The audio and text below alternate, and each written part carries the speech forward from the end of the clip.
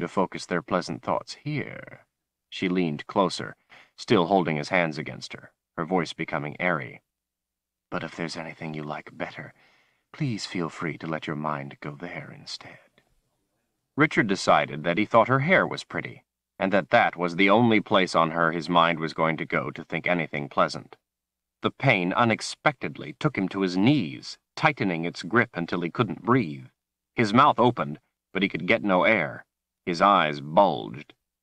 Now, show me you can do as you were told. Shut the pain off any time you wish, but do it in the way I told you. He looked up at her, at her hair. His vision was blurring.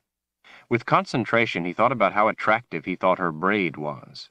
He forced himself to think of it as beautiful. The pain lifted, and he collapsed to his side, gasping for air. Stand up. He did as he was told, still struggling to breathe.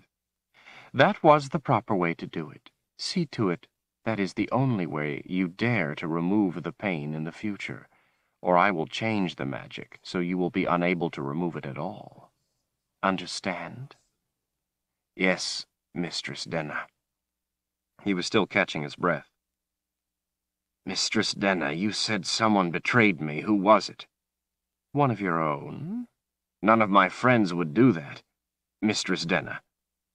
She regarded him contemptuously. Then I would guess they aren't really your friends now, are they? He looked at the floor, a lump in his throat. No, Mistress Denna. But who was it? She shrugged. Master Rahl didn't think it important enough to tell me. The only thing that is important for you to know now is that no one is going to rescue you. You are never going to be free again. The sooner you learn that, the easier it will go for you, the easier your training will be. And what is the purpose of my training, Mistress Denna? The smile returned to her face. To teach you the meaning of pain. To teach you that your life is no longer yours, that it is mine, and I can do anything I want with it. Anything. I can hurt you in any way I want for as long as I want, and no one is going to help you but me. I'm going to teach you that every moment you have without pain is a moment only I can grant you. You are going to learn to do as I say, without question, without hesitation, no matter what it is. You are going to learn to beg for anything you get. After a few days of training here, and I think you have made enough progress, then I will take you to another place, where there are other Mord Sith, and I will continue training you there until I'm finished, no matter how long it takes. I will let some of the other Mord Sith play with you, so you can see how lucky you are to have me. I rather like men. Some of the others hate them. I will let some of them have you for a while, so you can see how gentle I really am. And what is the purpose of this training, Mistress Denna? To what end? What is it you want? She seemed to genuinely enjoy telling him these things. You are someone special.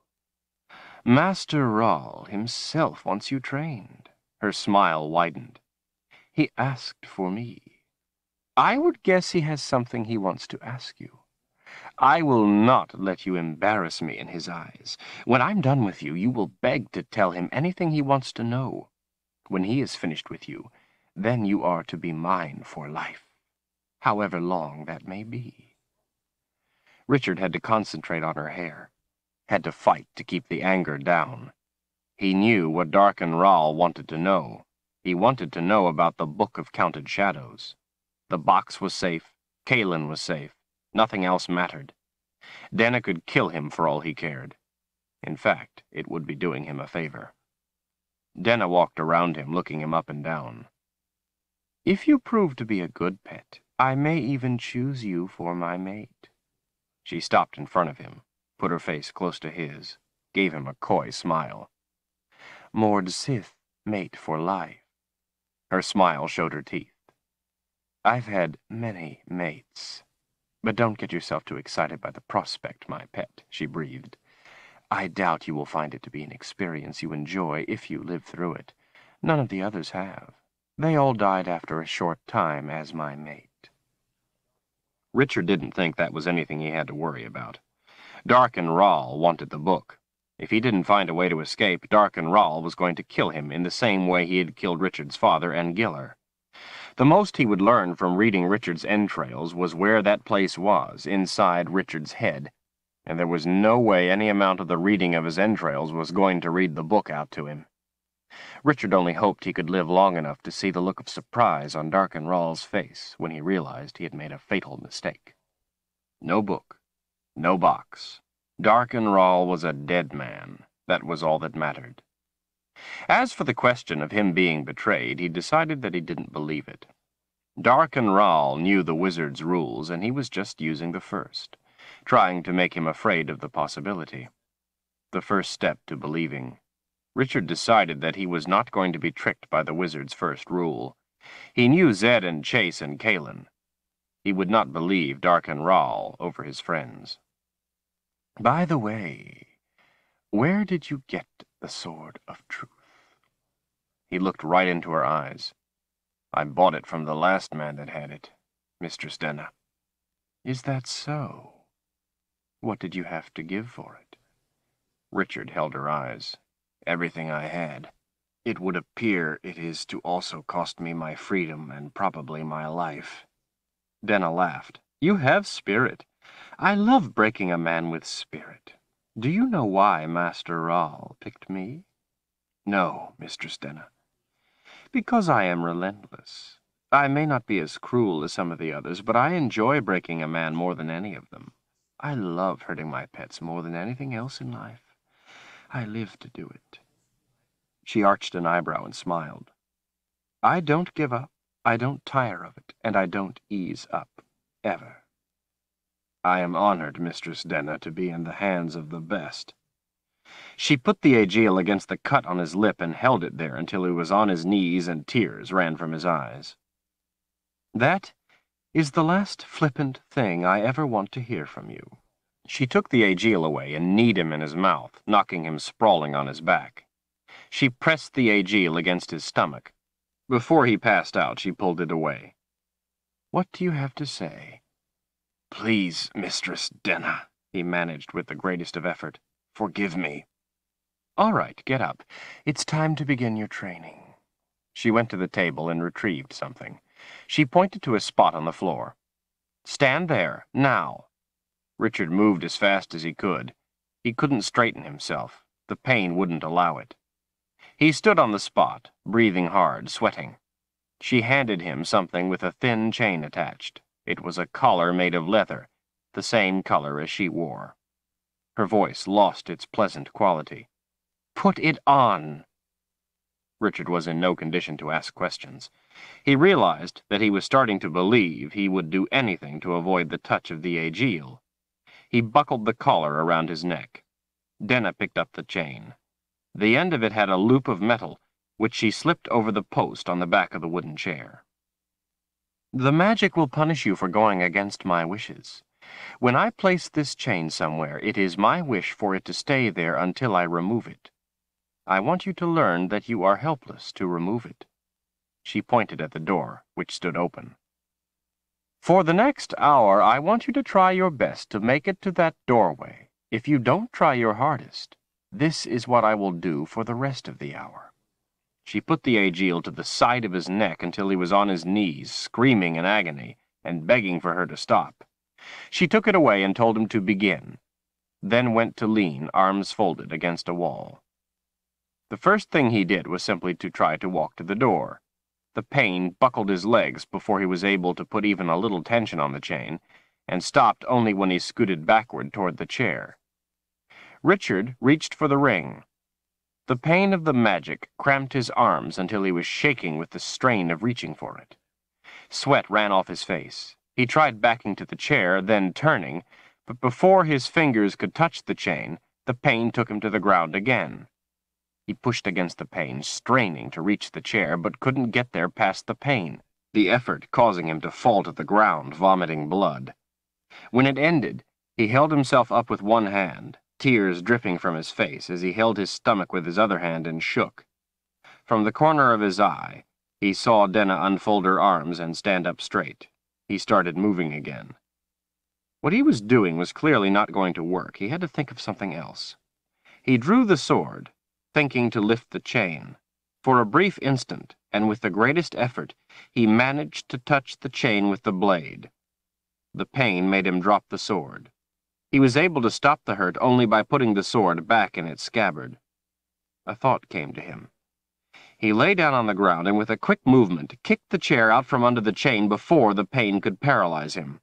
The chair skidded across the floor, hit the table, and fell over. The chain fell from the post. The victory lasted only the briefest of moments.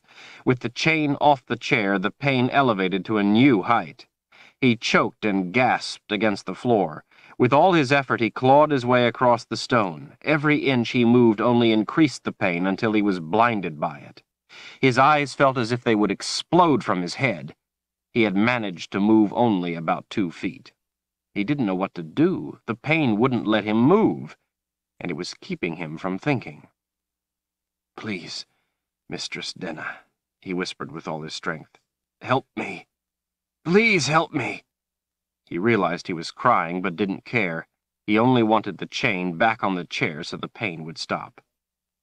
He heard her boots walking toward him. She bent and picked up the chair, righted it, and replaced the loop. His pain lifted, but he couldn't stop crying as he rolled onto his back. She stood over him, with her hands on her hips. That was only fifteen minutes. But since I had to come help you, the hour starts over. The next time I have to come help you, it will be two hours. She bent and pushed the Agiel against his stomach, making pain bloom inside him. Understand? Yes, Mistress Denna, he cried.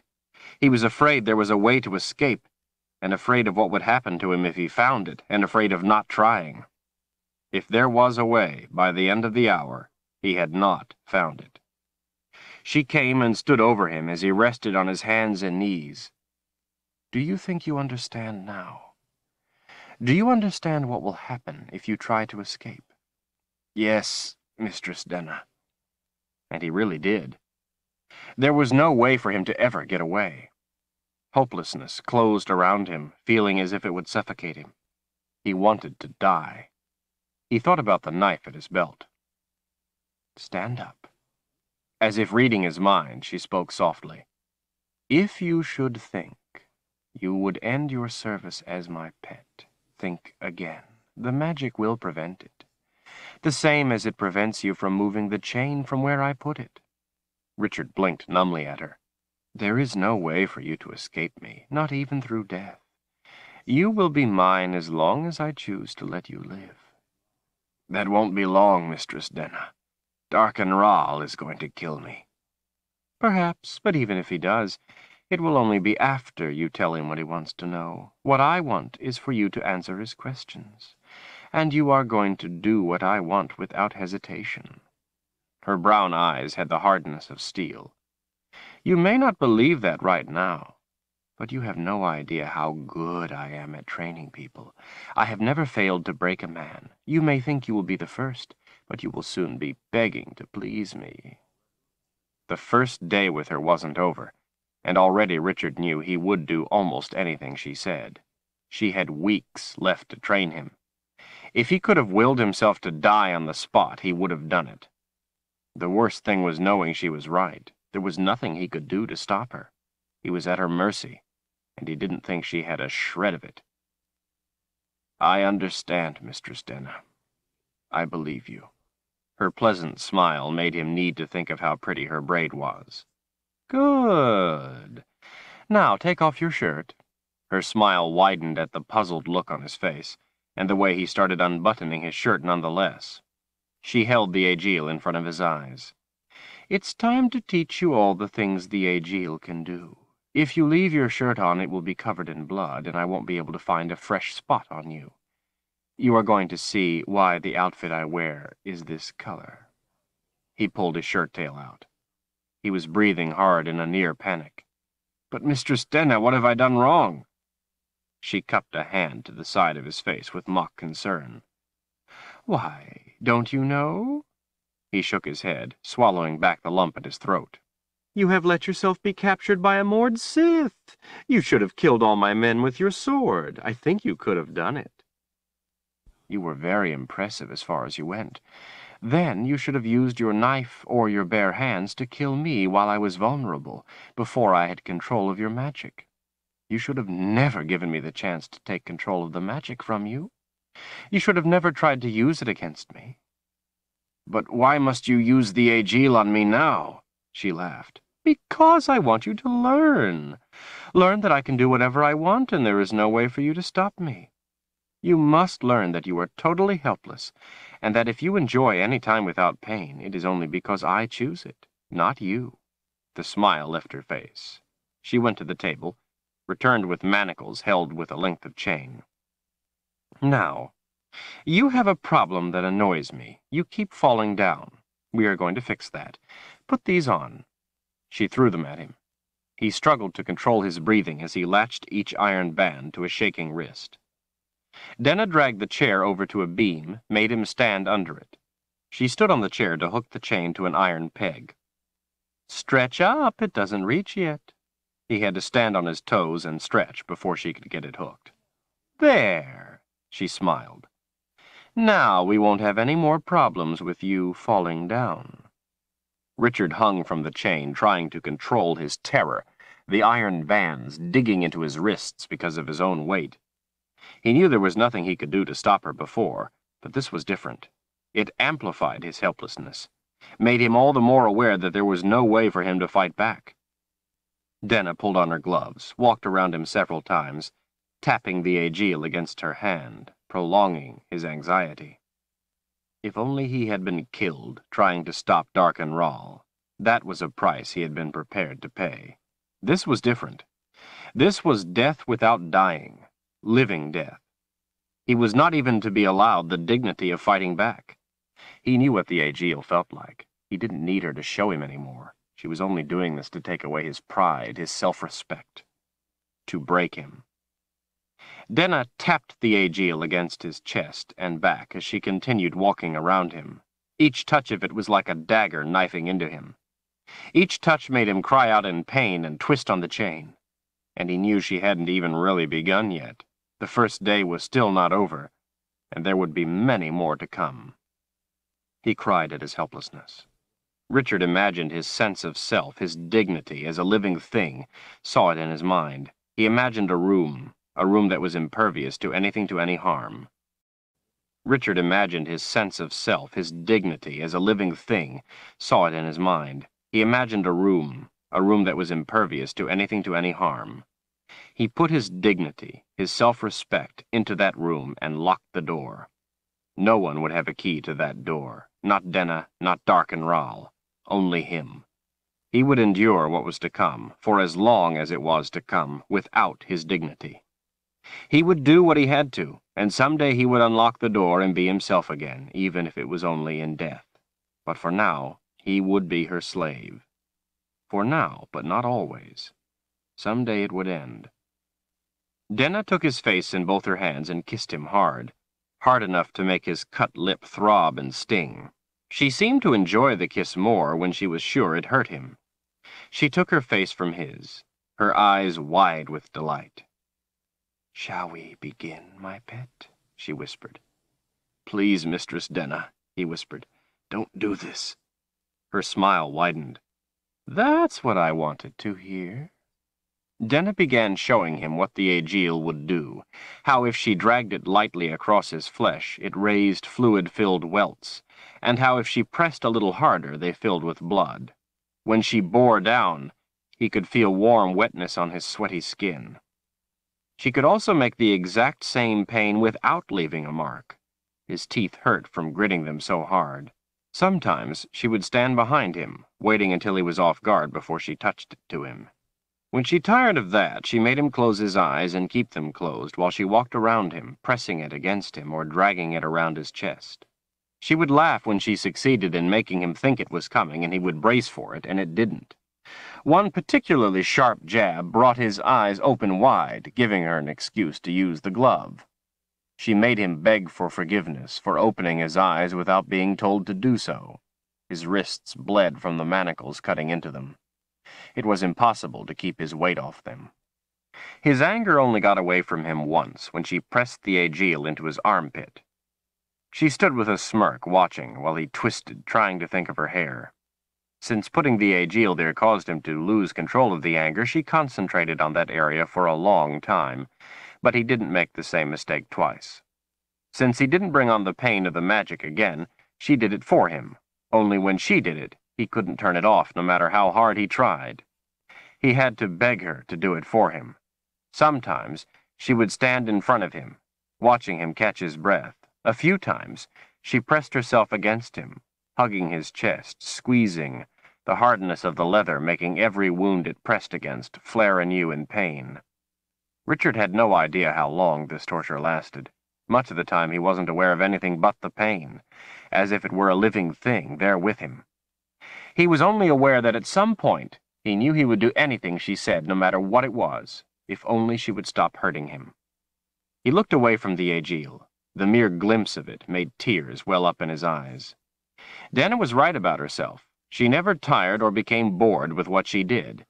It seemed to constantly fascinate her, keep her amused, satisfied. The only thing that seemed to make her happier than hurting him was when he begged her to stop.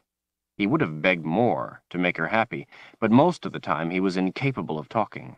Simply breathing was almost more than he could handle. He no longer tried to keep the pressure off his wrists, and hung limp, delirious. He thought she stopped for a while, but he hurt so much from what she had already done that he wasn't sure. The sweat in his eyes was blinding him. The sweat running into the wounds caused them to burn. When his head cleared somewhat, she returned, walking behind him. He braced for what he knew was coming.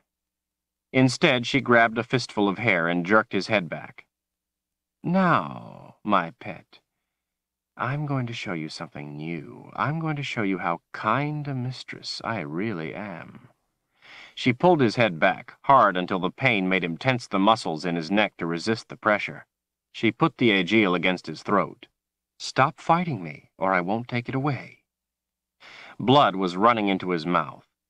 He relaxed his neck muscles, allowing her to pull as hard as she wanted. Now, my pet, listen very carefully. I'm going to put the Agiel in your right ear. Richard almost choked with fear. She jerked his head back to make him stop it. It's different from putting it anywhere else. It hurts a lot more. But you must do exactly as I say. Her mouth was right by his ear. She whispered to him like a lover. In the past, when I have had a sister Mord Sith with me, we would both put our Agiel in the man's ears at the same time. He would make a scream unlike any other. The sound of it is intoxicating. I get chills just thinking about it. But it would also kill him. We were never successful at using two Agiel at the same time in that particular way without killing him. We kept trying, but they always died. Be thankful I am your mistress. There are others who still try. Thank you, Mistress Denna. He wasn't sure what he was thanking her for, but he didn't want her to do whatever it was she had planned. Pay attention, she whispered harshly. Her voice softened again. When I do this, you must not move. If you move, it will damage things inside you. It won't kill you, but it will cause irrevocable disability. Some men who move go blind. Some are no longer able to move anything on one side of their body. Some can't talk anymore or walk. But in all who move, something is spoiled. I want you fully functional. Mord Sith who are more cruel than I don't tell their pets not to move. They just do it without warning them. So you see, I'm not so cruel as you thought. Still, only a few of the men I do it to are able to hold still. Even though I warn them, they still jerk, and then they are left impaired. Richard couldn't hold back from crying. Please, Mistress Denna. Please don't do it. Please. He could feel the breath of her smile. She ran her wet tongue into his ear, kissed it. But I want to, my pet. Don't forget, hold still. Don't move. Richard clenched his teeth, but nothing could have prepared him for it. His head felt as if it had been turned to glass and shattered into a thousand pieces. His fingernails cut into his palms. All sense of time shattered apart with everything else. He was in a wasteland of agony, with no beginning, no end. Every nerve in his body seared with razor-sharp, burning misery.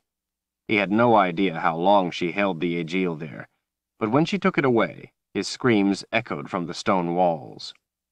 When he finally went limp, she kissed his ear and whispered breathlessly in it, That was a simply delightful scream, my pet.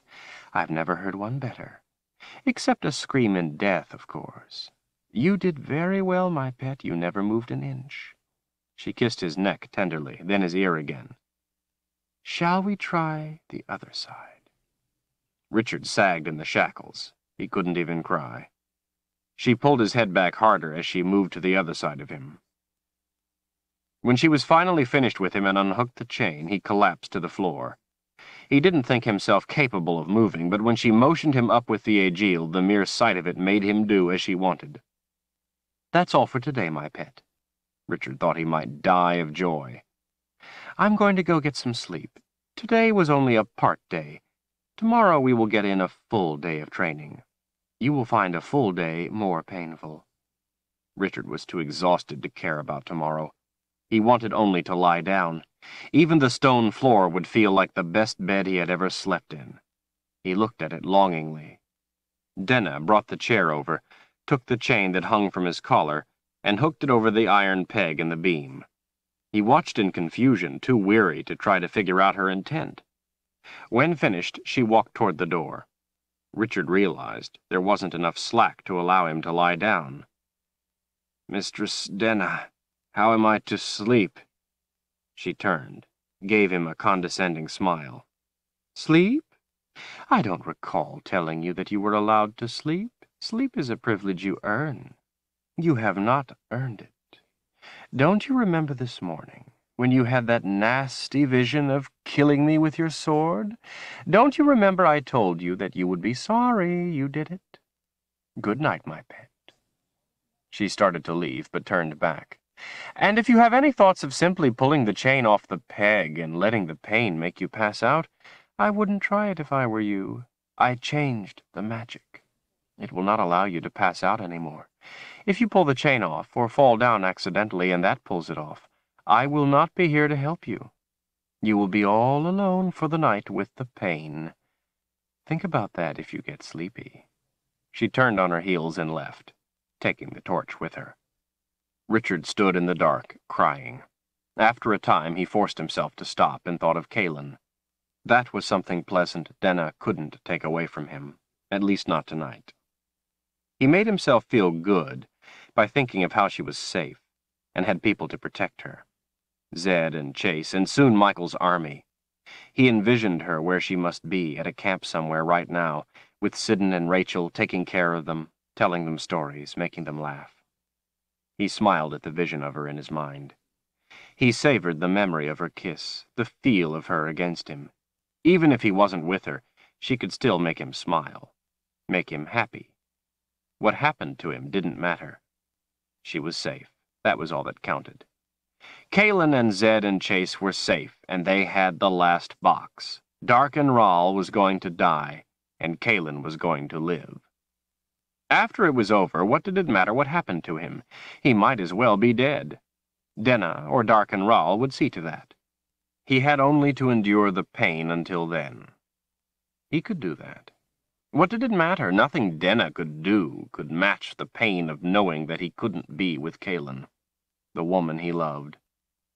The woman he loved who would choose another. He was glad he was going to be dead before then. Maybe he could do something to hurry it along. It certainly didn't take much to make Denna angry. If he moved, the next time she put the Agiel in his ear, he would be permanently impaired. Then maybe he would be of no use to her. Maybe she would kill him then. He had never felt so alone in his life. I love you, Kahlan, he whispered into the dark. As Denna had promised, the next day was worse. She seemed well rested, and anxious to work off some of her energy at the task of breaking him. He knew there was one thing he had control over, a choice in.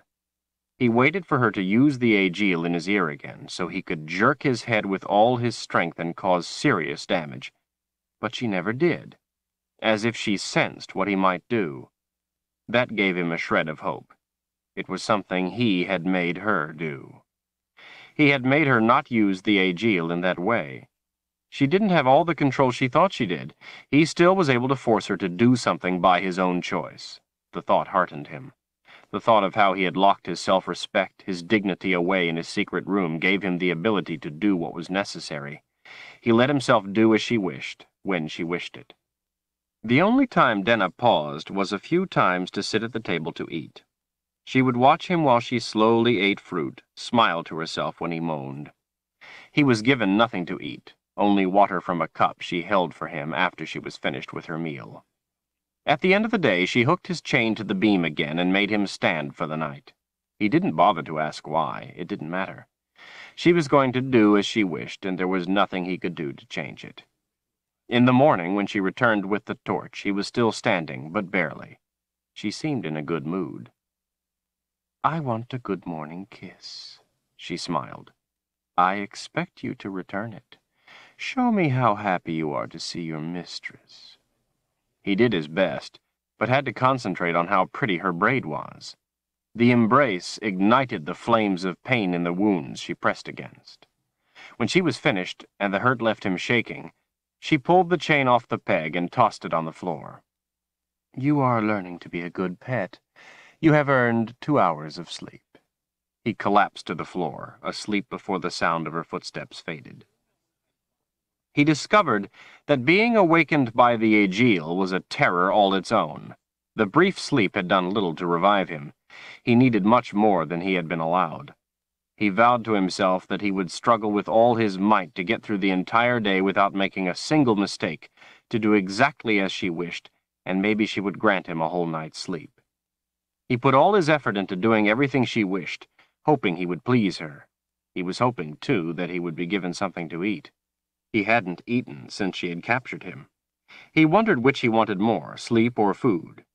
He decided that what he wanted the most was for the pain to stop, or for him to be allowed to die. He was at the end of his strength, felt his life slipping away from him, and awaited the end with longing. Denna seemed to sense his waning endurance and eased up, giving him more time to recover, taking longer breaks. He didn't care. He knew it was never going to end. He was lost.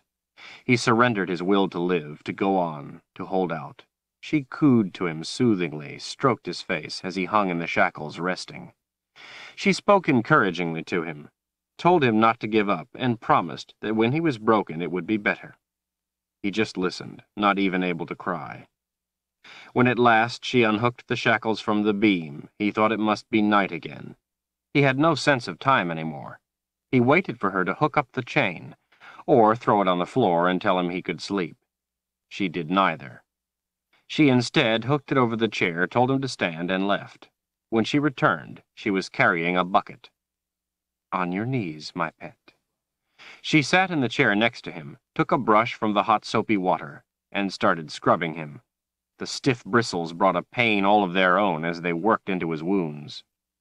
We have a dinner invitation. I have to get you cleaned up. I rather like the smell of your sweat, your fear, but I'm afraid it would offend the guests. She worked with an odd sort of tenderness. It reminded him of the way a person would care for a dog. He fell against her, unable to hold himself up. He wouldn't lean against her for support if he had the strength not to, but he didn't. She let him stay where he was as she scrubbed. He wondered who the dinner invitation was from, but didn't ask. Denna told him anyway. Queen Milena herself has asked us to join her and her guests for dinner. Quite an honor for someone as low as you, wouldn't you say? He only nodded, not having enough strength to speak. Queen Milena. So they were in her castle. He guessed that didn't surprise him. Where else would she have had time to take him? When she was finished, she allowed him one hour of sleep to rest for dinner. He slept at her feet. She woke him with her boot instead of the Agiel. He almost cried at her mercy and heard himself thanking her profusely for her kindness to him. She gave him instructions as to his behavior. He would have his chain hooked to her belt, and was to keep his eyes to her, speak to no one unless they spoke to him first, and then only if he looked to her first for permission to answer. He would not be allowed to sit at the table, but would sit on the floor, and if he behaved himself, he would be given something to eat. He promised to do as she wished. The idea of sitting on the floor sounded wonderful to him, to be able to rest and not have to stand or be hurt, and to be allowed something to eat at last. He would make sure he did nothing to displease her or to keep her from giving him food. Richard's brain was in a fog as he followed behind Denna, attached to her by the chain on his collar, concentrating on keeping the proper amount of slack. The manacles were off his wrists, but the cuts from them were red and swollen and throbbed painfully. He vaguely remembered some of the rooms they passed through. In the room with other people, Denna stopped as she strode around, talking briefly with finely dressed people. Richard kept his eyes on her braid. The braid had obviously been done over for the dinner. The vigorous use of the Agiel caused it to loosen, and freed stray wisps of hair. She must have done it over while she had let him sleep. He found himself thinking about how beautiful her hair really was, how much finer she looked than any of the other women at the dinner. He knew people were staring at him, at his sword, as he was led around the room by his collar and chain. He reminded himself that his pride was locked away for the time being. This was about getting a chance to rest, to eat, and about having her not hurt him for a while. Richard bowed and stayed bowed while Denna spoke to the Queen. The Queen and the Mord Sith gave only a bow of the head to each other. The Princess was at the Queen's side. Richard thought about how Princess Violet had treated Rachel, and had to return his thoughts to Denna's braid. As she sat at the table, Denna snapped her fingers and pointed at the floor behind her chair. He knew what she wanted and sat on the floor, crossing his legs. Denna sat to the left of the Queen, to the right of Princess Violet, who eyed him coldly. Richard recognized some of the Queen's advisers. He smiled to himself. The court artist wasn't among them. The head table was higher than the others, but sitting on the floor, Richard couldn't see many of the gathered guests. Since you don't eat meat, the Queen said to Denna, I had the cooks prepare a special dinner I know you will enjoy, some wonderful soups and vegetables, and some rare fruits. Denna smiled and thanked her. While she was eating, a server brought her a plain bowl on a tray. For my pet, she told him, interrupting her conversation only briefly. The man took the bowl from the tray and handed it down to Richard. It was some sort of gruel, but to Richard, as he held the bowl in his trembling hands, preparing to drink it down, it looked like the best meal he had ever seen. If he's your pet, Princess Violet said, why do you allow him to eat like that? Denna looked over to the princess. What do you mean? Well, if he's your pet, the princess smiled, he should eat off the floor without his hands. Denna grinned, a glint in her eye. Do as she says. Put it on the floor, Princess Violet said, and eat it like a dog for us all to see. Let everyone see that the Seeker is no better than a dog. Richard was too hungry to do anything to lose his meal. He concentrated on a mental image of Denna's braid and set the bowl carefully on the floor as he glanced into Princess Violet's eyes to her smirk and ate the gruel to the sound of laughter. He licked the bowl clean, telling himself it was because he needed the strength in case he ever got the chance to use it. After the Queen and her guests had finished eating, a man in chains was brought in and made to stand in the center of the room. Richard recognized him. He was one of the men Kahlan had freed from the dungeon. They exchanged a brief look of understanding, despair. There was talk of crimes and foul deeds done. Richard did his best to ignore it. He knew it was merely a pretext. The Queen gave a short lecture on the man's crimes, then turned to the princess. Perhaps the princess would like to pronounce this man's punishment. Princess Violet stood, beaming. For his crimes against the crown, 100 lashes. Then for his crimes against the people, his head. A murmur of agreement swept the room. Richard felt sick, but at the same time he wished he could exchange places with the man. The 100 lashes would be easy, and there would be an axe at the end of it. Princess Violet turned to Denna as she sat back down. Sometime I would enjoy seeing how you handle your punishments. Stop down any time you wish. Denna glanced over her shoulder. I'll let you watch. When they were back in the stone room, Denna wasted no time in getting his shirt off, and he was soon hanging from the beam again. She coolly informed him that his eyes had strayed too much at dinner. Richard's heart sank. The shackles around his wrists, burned into his flesh once more. Denna's talons had him covered in sweat in no time, gasping for air, crying out in agony. She told him it was still early, and she wanted to get in a lot of training before the evening ended. Richard's muscles flexed and tightened, lifting him off the floor as Denna twisted the Agiel into his back. He begged her to stop, but she didn't. When he sagged once more in the shackles, he saw a silhouette in the doorway. I like the way you can make him beg, Princess Violet said. The Mord Sith smiled to her. Come closer, my dear, and I'll show you more.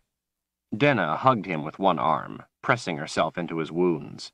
She kissed his ear and whispered to him, Let's show the princess how well you can beg, shall we?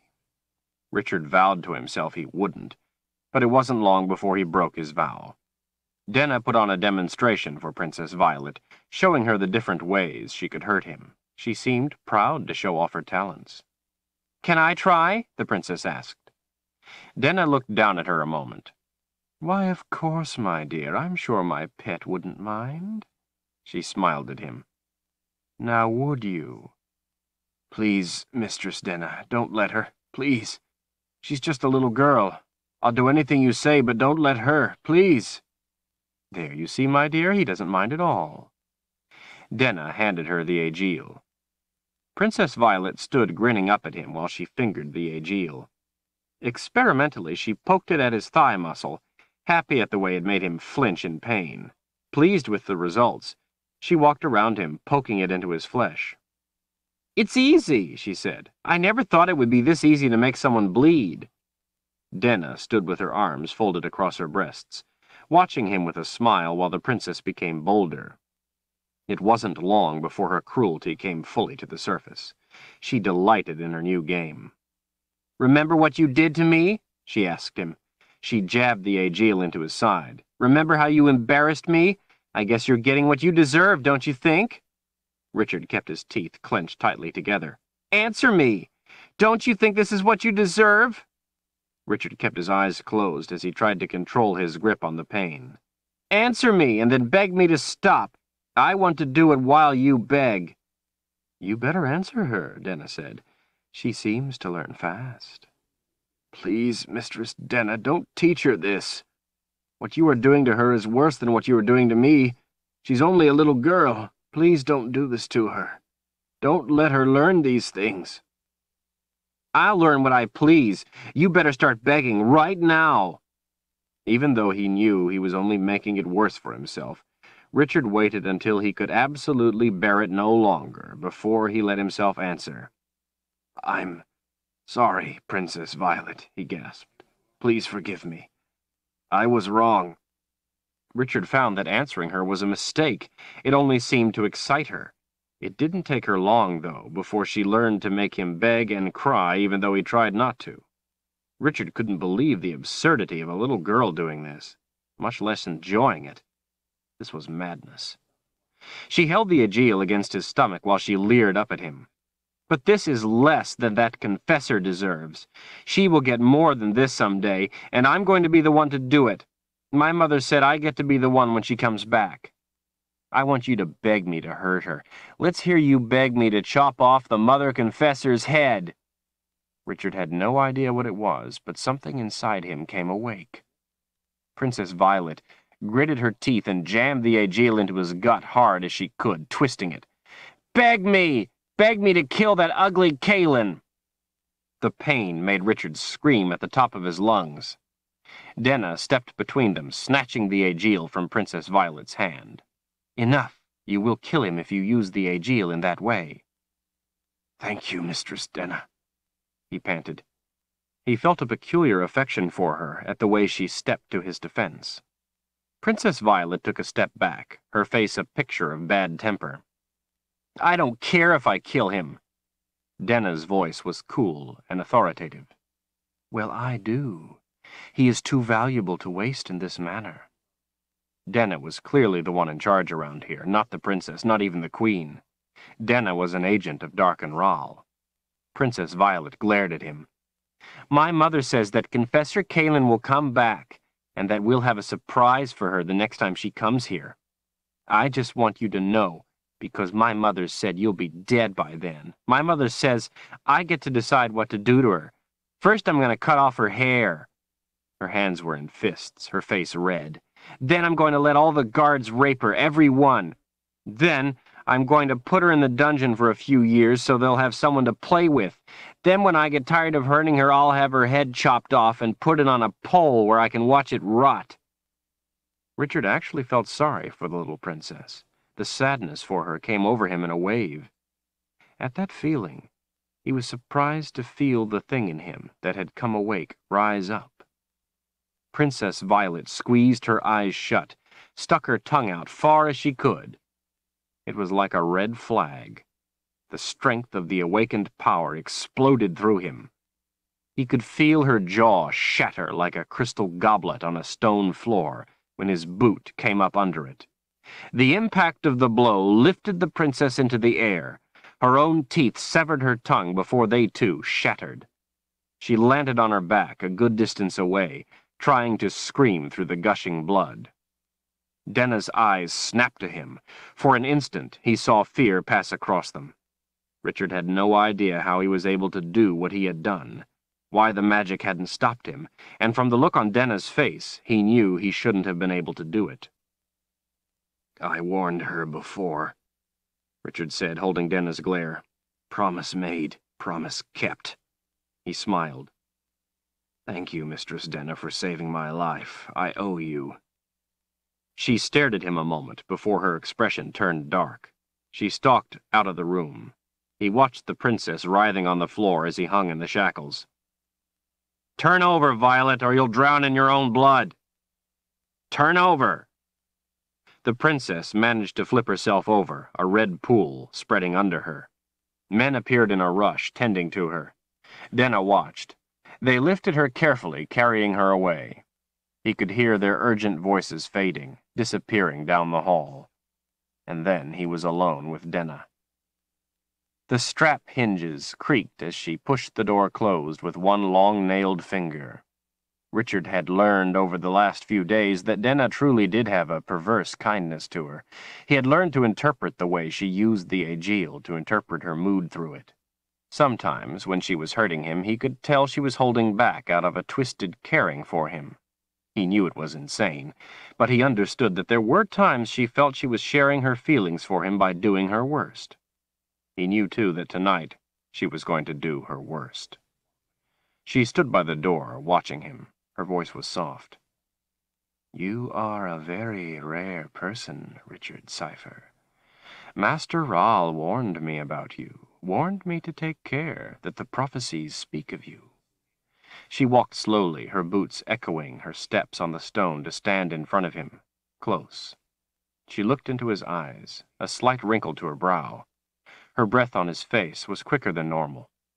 That was quite extraordinary, she whispered. Thoroughly exciting. Her eyes searched his face hungrily. I have decided, she said breathlessly, to have you as my mate. Richard hung from the chains, helpless against this madness. He didn't know what the power was that had risen up in him, or how to call it back. He tried. It did not come. Denna seemed to be in the grip of something he didn't understand, as if she were trying to summon the courage to do something, fearing it, yet anxiously wanting it. Her breathing was quickening, her chest heaving, as she looked into his eyes. Incredulous, he saw something the ugliness of her cruelty had never let him see before. She was attractive breathtakingly, stunningly attractive. He thought he must be losing his mind. Shocked and strangely worried, Richard watched as she slowly put the Agiel between her teeth. He could tell by the way her pupils suddenly expanded that it was hurting her. Her skin paled. She inhaled sharply, trembling the slightest bit. Denna put her fingers into the back of his hair and held his head.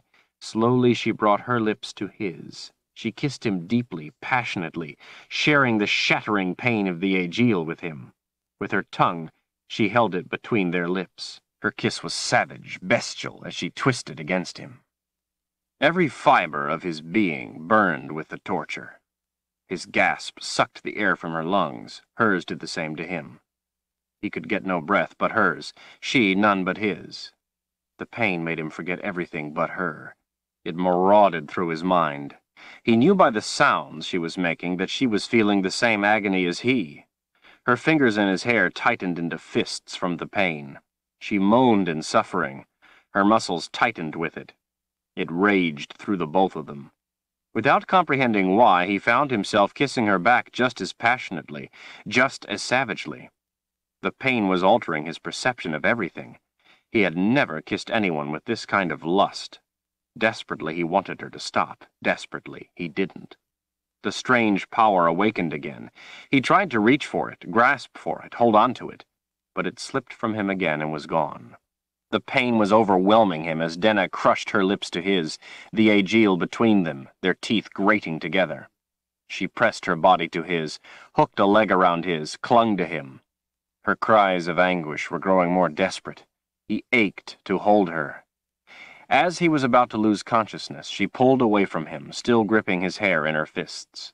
Tears ran from her eyes as she looked into his not two inches away. She rolled the Agiel into her mouth with her tongue, and held it there with her teeth as she shook with the pain, as if to show him she was stronger than he. Her hand came slowly and took the Agiel as her eyes rolled back in her head. She gasped for air. Her brow wrinkled together. Tears from the pain and from something else flooded from her eyes. She gave him a kiss. The tenderness, the gentleness of it shocked him. We are bonded, she whispered intimately. Bonded in the pain of the Agiel. I am sorry, Richard. She brushed his cheek with trembling fingers, the glaze of pain still in her eyes. Sorry for what I will do to you. You are my mate for life. Richard was stunned by the compassion in her voice. Please, Mistress Denna. Please let me go. Or at least help me stop Darken Rahl. I promise you, I will willingly be your mate for life if you help me stop him. I swear on my life, if you help me, I will stay without the magic holding me, forever. She put a hand to his chest to steady herself as she recovered. Do you think I do not understand what I am going to do to you? Her eyes had an empty gloss to them. Your training and service will last for mere weeks before you die. The training of a Mord Sith lasts for years. Everything I do to you and more has been done to me a thousand times over. A Mord Sith must know her Agiel better than she knows herself. My first trainer took me for his mate when I was fifteen, after he had trained me since I was twelve. There is no way I could ever live up to his cruelty or his ability to keep a person on the cusp between life and death. He trained me until I was eighteen, when I killed him. For that, I was punished with the Agiel every day for the next two years. This Agiel. The very same one I use on you was the one used to train me. It was presented to me when I was proclaimed Mord Sith. I live for nothing else but to use it. Mistress Denna, he whispered, I'm sorry. The steel returned to her eyes. She nodded. You will be. There is no one who will help you.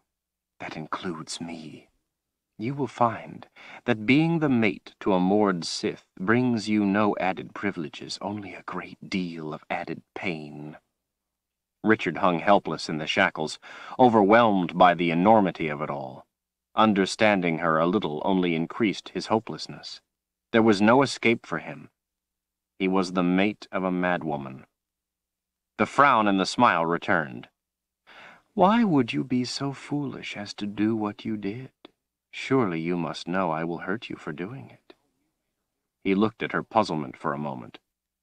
Mistress Denna, what difference does it make? You were going to hurt me anyway. I can't imagine what more you could do to me. Her lip curled in a sneer. Oh, my love, you have a very limited imagination. He felt her grab the tongue of his belt and yank the buckle open. She gritted her teeth.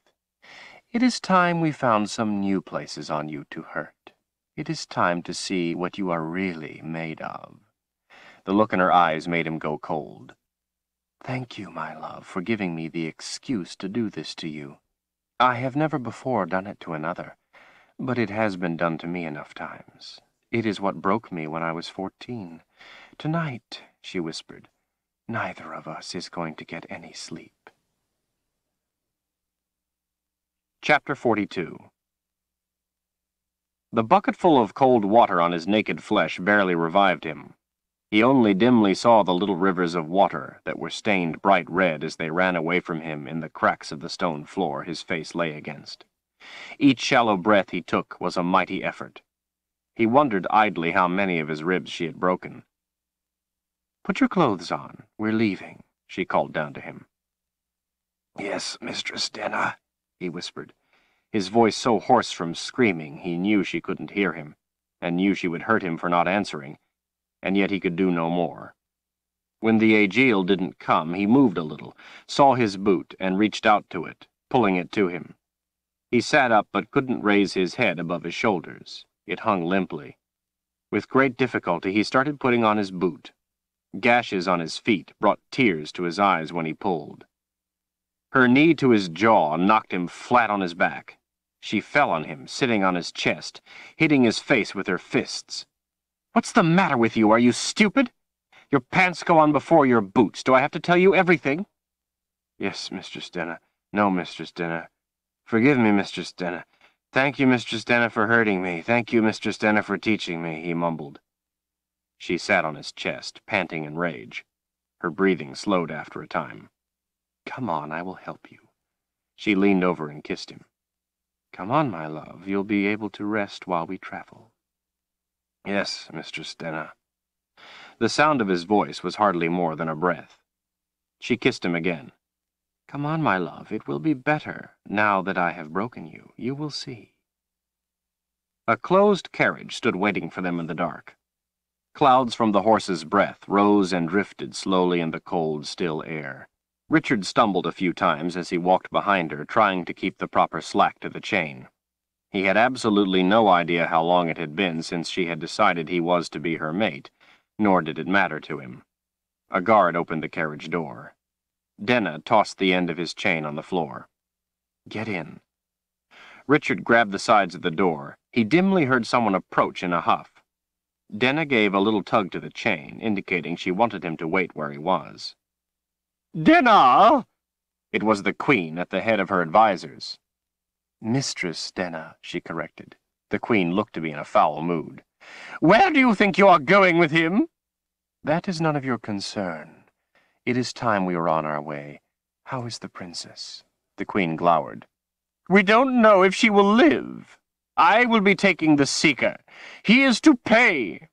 The Seeker is the property of myself and of Master Rahl. He is being punished and will continue to be punished until either Master Rahl or myself kills him.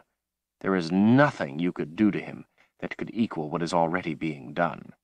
He is to be executed, right now. Denna's voice was as cold as the night air. Go back to your castle, Queen Milena, while you still have a castle.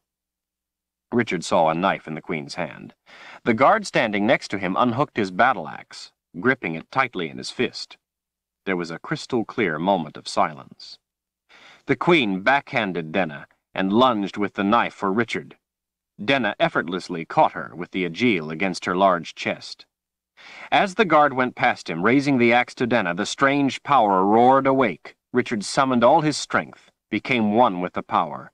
He hooked his left arm around the guard's throat and drove his knife home. Denna gave a casual glance back as the man let out a death scream.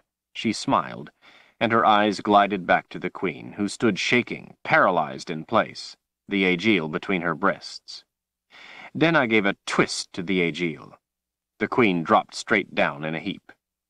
Denna turned her glare to the Queen's advisers. The Queen's heart has given out, she arched an eyebrow. Unexpectedly.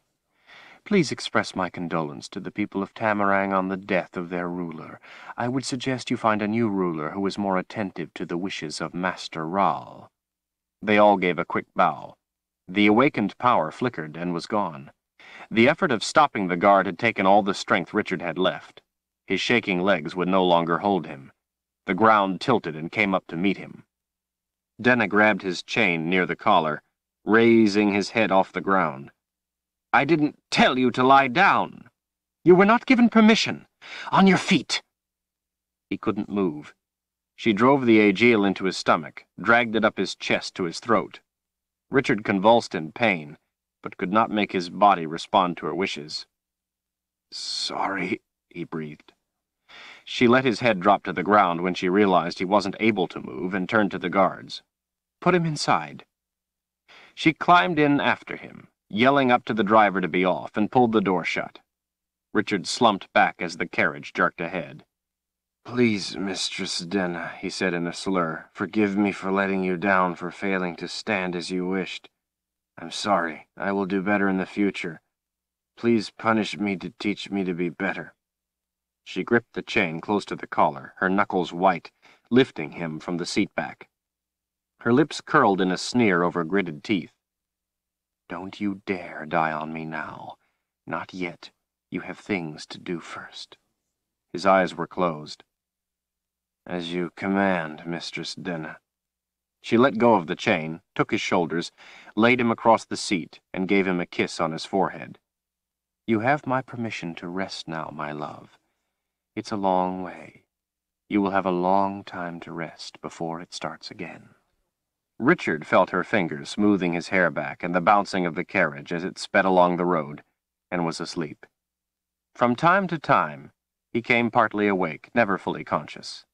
Sometimes Denna sat next to him, letting him lean against her as she spooned food into his mouth. Swallowing was painful, almost more effort than he could bring forth. He winced with each spoonful, his hunger not sufficient to overcome the pain in his throat, and he turned his head from the spoon. Denna murmured encouragement to him, urging him to eat for her. Doing it for her was the only thing he responded to. Whenever a bump in the road brought him awake suddenly, he would clutch at her for protection, safety, until she told him it was nothing and to go back to sleep. He knew that sometimes he slept on the ground, sometimes in the carriage. He saw nothing of the countryside they traveled through, nor did he care. As long as she was near him, that was all that mattered. Nothing else was important, except being ready to do as she commanded. A few times he slowly came awake to find her wedged into the corner with him stretched out, his cloak tucked around him, his head on her breast, as she stroked his hair. When it happened, he tried not to let her know he was awake, so she wouldn't stop. When this happened, and he felt the warm comfort of her, he also felt the power in him come awake. He didn't try to reach it, to hold it, he only noted it. One time when it happened, he recognized it, knew what it was. It was the magic of the sword. As he lay against her, feeling the need of her, the magic stood within him. He touched it, fondled it, felt its power. It was like the power he had called forth when he was going to kill with the sword, but different in a way he couldn't understand. The power he had known before, he could no longer feel. Denna had that power now, but this she didn't. When he tried to grasp the magic, it vanished like vapor. A dim part of his mind wanted its help, but since he couldn't control it, call it forth to aid him, he lost interest in it. As the time passed, his wounds began healing over. Each time he came awake, he was a little more alert. By the time Denna announced that they had arrived at their destination, he was able to stand by himself, although he was still not completely clear-headed. In the darkness, she led him from the carriage. He watched her feet as she walked, keeping the proper slack in the chain attached to her belt. Even though he kept his eyes on her, he still noticed the place they were entering. It was immense, dwarfing the castle at Tamarang. Walls stretched off into the nothingness of the distance. Towers and roofs rose to dizzying heights. He was aware enough to note that the design of the vast structure was elegant and graceful. It was imposing, but not harsh, not forbidding. Denna led him through halls of polished marble and granite. Columns held majestic arches to the sides. As they walked on and on, he noticed how his strength had grown. He wouldn't have been able to stand for this long even a few days ago. They saw no other people. Richard looked up at her braid and thought about how pretty her hair was, how lucky he was to have such a fine mate. At the thought of his caring for her, the power rose up. Before it had a chance to fade, the dim, locked-away part of his mind grabbed it, held it, while the rest of his mind thought about his affection for her. The realization that he had control of it made him stop thinking about her and grab the hope of escape. The power evaporated. His heart sank. What did it matter, he thought. He was never going to escape, and why would he want to anyway? He was Denna's mate. Where would he go? What would he do without her to tell him what to do? Denna went through a door, closing it behind him. A window with a pointed top was trimmed with simple drapes and open to the darkness outside. There was a bed with a thick blanket and fat pillows. The floor was polished wood. Lamps stood lit on the table next to the bed, and on the table with the chair on the other side of the room. There were cabinets of dark wood built into one wall next to another door. A stand held a basin and pitcher. Denna unhooked his chain. These are my quarters. Since you are my mate, you will be permitted to sleep here if you please me. She hooked the loop over the post of the footboard, snapped her fingers, and pointed at the floor at the foot of the bed. You may sleep there tonight, on the floor. He looked at the floor. The Agiel laid on the top of his shoulder took him to his knees. I said on the floor, now. Yes, Mr. Denna. I'm sorry, Mr. Denna. I'm exhausted. I don't want to hear another sound out of you tonight. Understand? He nodded, afraid to voice his agreement. Good. She flopped face down in the bed and was asleep in moments. Richard rubbed the hurt in his shoulder. It had been a while since she had used the Agiel on him. At least she hadn't chosen to draw blood. Maybe, he reasoned, she didn't want blood in her quarters. No, Denna liked his blood. He lay down on the floor. He knew that tomorrow she was going to hurt him some more. He tried not to think about it. He was just getting healed from before. He was awake before her. The shock of being awakened by the Agiel was something he wanted to avoid. A bell rang with a long peal. Denna woke, lay on her back a while, saying nothing, then sat up, checking that he was awake. Morning devotions, she announced. That was the bell, the call. After devotions, you will be trained. Yes, Mistress Denna. She hooked his chain to her belt, and led him once more through the halls to a square open to the sky with pillars supporting arches on all four sides. The center of the square, under the open sky, was white sand, raked in concentric lines around a dark pitted rock. On the top of the rock was a bell, the one he had heard before. On the tile floor, among the columns, were people on their knees, bent forward, with their foreheads touching the tile. The people chanted in unison. Master Rahl, guide us. Master Rahl, teach us. Master Rahl, protect us. In your light we thrive. In your mercy we are sheltered. In your wisdom we are humbled. We live only to serve. Our lives are yours. Over and over they chanted the same thing. Denna snapped her fingers, pointing at the floor. Richard kneeled down, imitating the others. Denna kneeled next to him, putting her forehead to the tiles. She started chanting in unison with the others, but stopped when she heard he wasn't. That's two hours. She frowned darkly at him. If I have to remind you again, it's six. Yes, Mistress Denna. He began chanting along. He had to concentrate on a vision of Denna's braid to be able to say the words without bringing on the pain of the magic. He wasn't sure how long the chanting lasted, but he thought it was about two hours. His back hurt from bending with his head to the floor. The words never varied. After a time they melted into the sound of gibberish, feeling like mush in his mouth. The bell rang twice, and the people rose to their feet, going off in different directions. Denna rose. Richard stayed where he was, unsure of what to do. He knew he might get in trouble for staying where he was, but knew if he got up and wasn't supposed to, the punishment would be much worse. He heard footsteps coming toward them, but didn't look up. A woman's husky voice spoke. Sister Denna, how good to see you've returned. Tahara has been lonely without you. Tahara? Through the fog of his training, the word ignited his thoughts. Instantly, he brought to mind the vision of Denna's braid protecting him. Sister Constance, it's good to be home and see your face again. Richard recognized the ring of sincerity in Denna's voice. The Agiel touched the back of his neck, taking his breath away. It felt as if a rope were tightening around his throat, by the way it was held, he knew it wasn't Denna's. And what have we here? Constance asked. She took the Agiel away. Coughing in pain, Richard gasped for air. He came to his feet when Denna told him to do so, wishing he could hide behind her. Constance was a good head shorter than Denna, her stout figure dressed in a leather outfit like Denna's, only brown. Her dull brown hair was done in a braid too, but didn't have the fullness of Denna's. The look of her face made it seem she had just eaten something she didn't like. Denna gave his stomach an easy slap with the back of her hand. My new mate. Mate. Constance spat the word out as if it tasted bitter. I swear, Denna, I'll never understand how you can bear to take a mate. The thought of it gives me a stomach ache. So, the seeker I see by his sword. Quite a catch, anyway. It must have been difficult. Denna smiled smugly. He only killed two of my men before he turned his magic on me. The look of shock on Constance's face made Denna laugh. He's from Westland. Constance's eyebrows went up. No! She peered into Richard's eyes. Is he broken? Yes, Denna said, sighing. But he still gives me reason to smile. It's only the morning devotion, and already he's earned two hours. A grin spread on Constance's face. Mind if I come along? Denna gave her a warm smile. You know that anything that is mine is yours also, Constance. In fact, you will be my second. Constance seemed pleased and proud.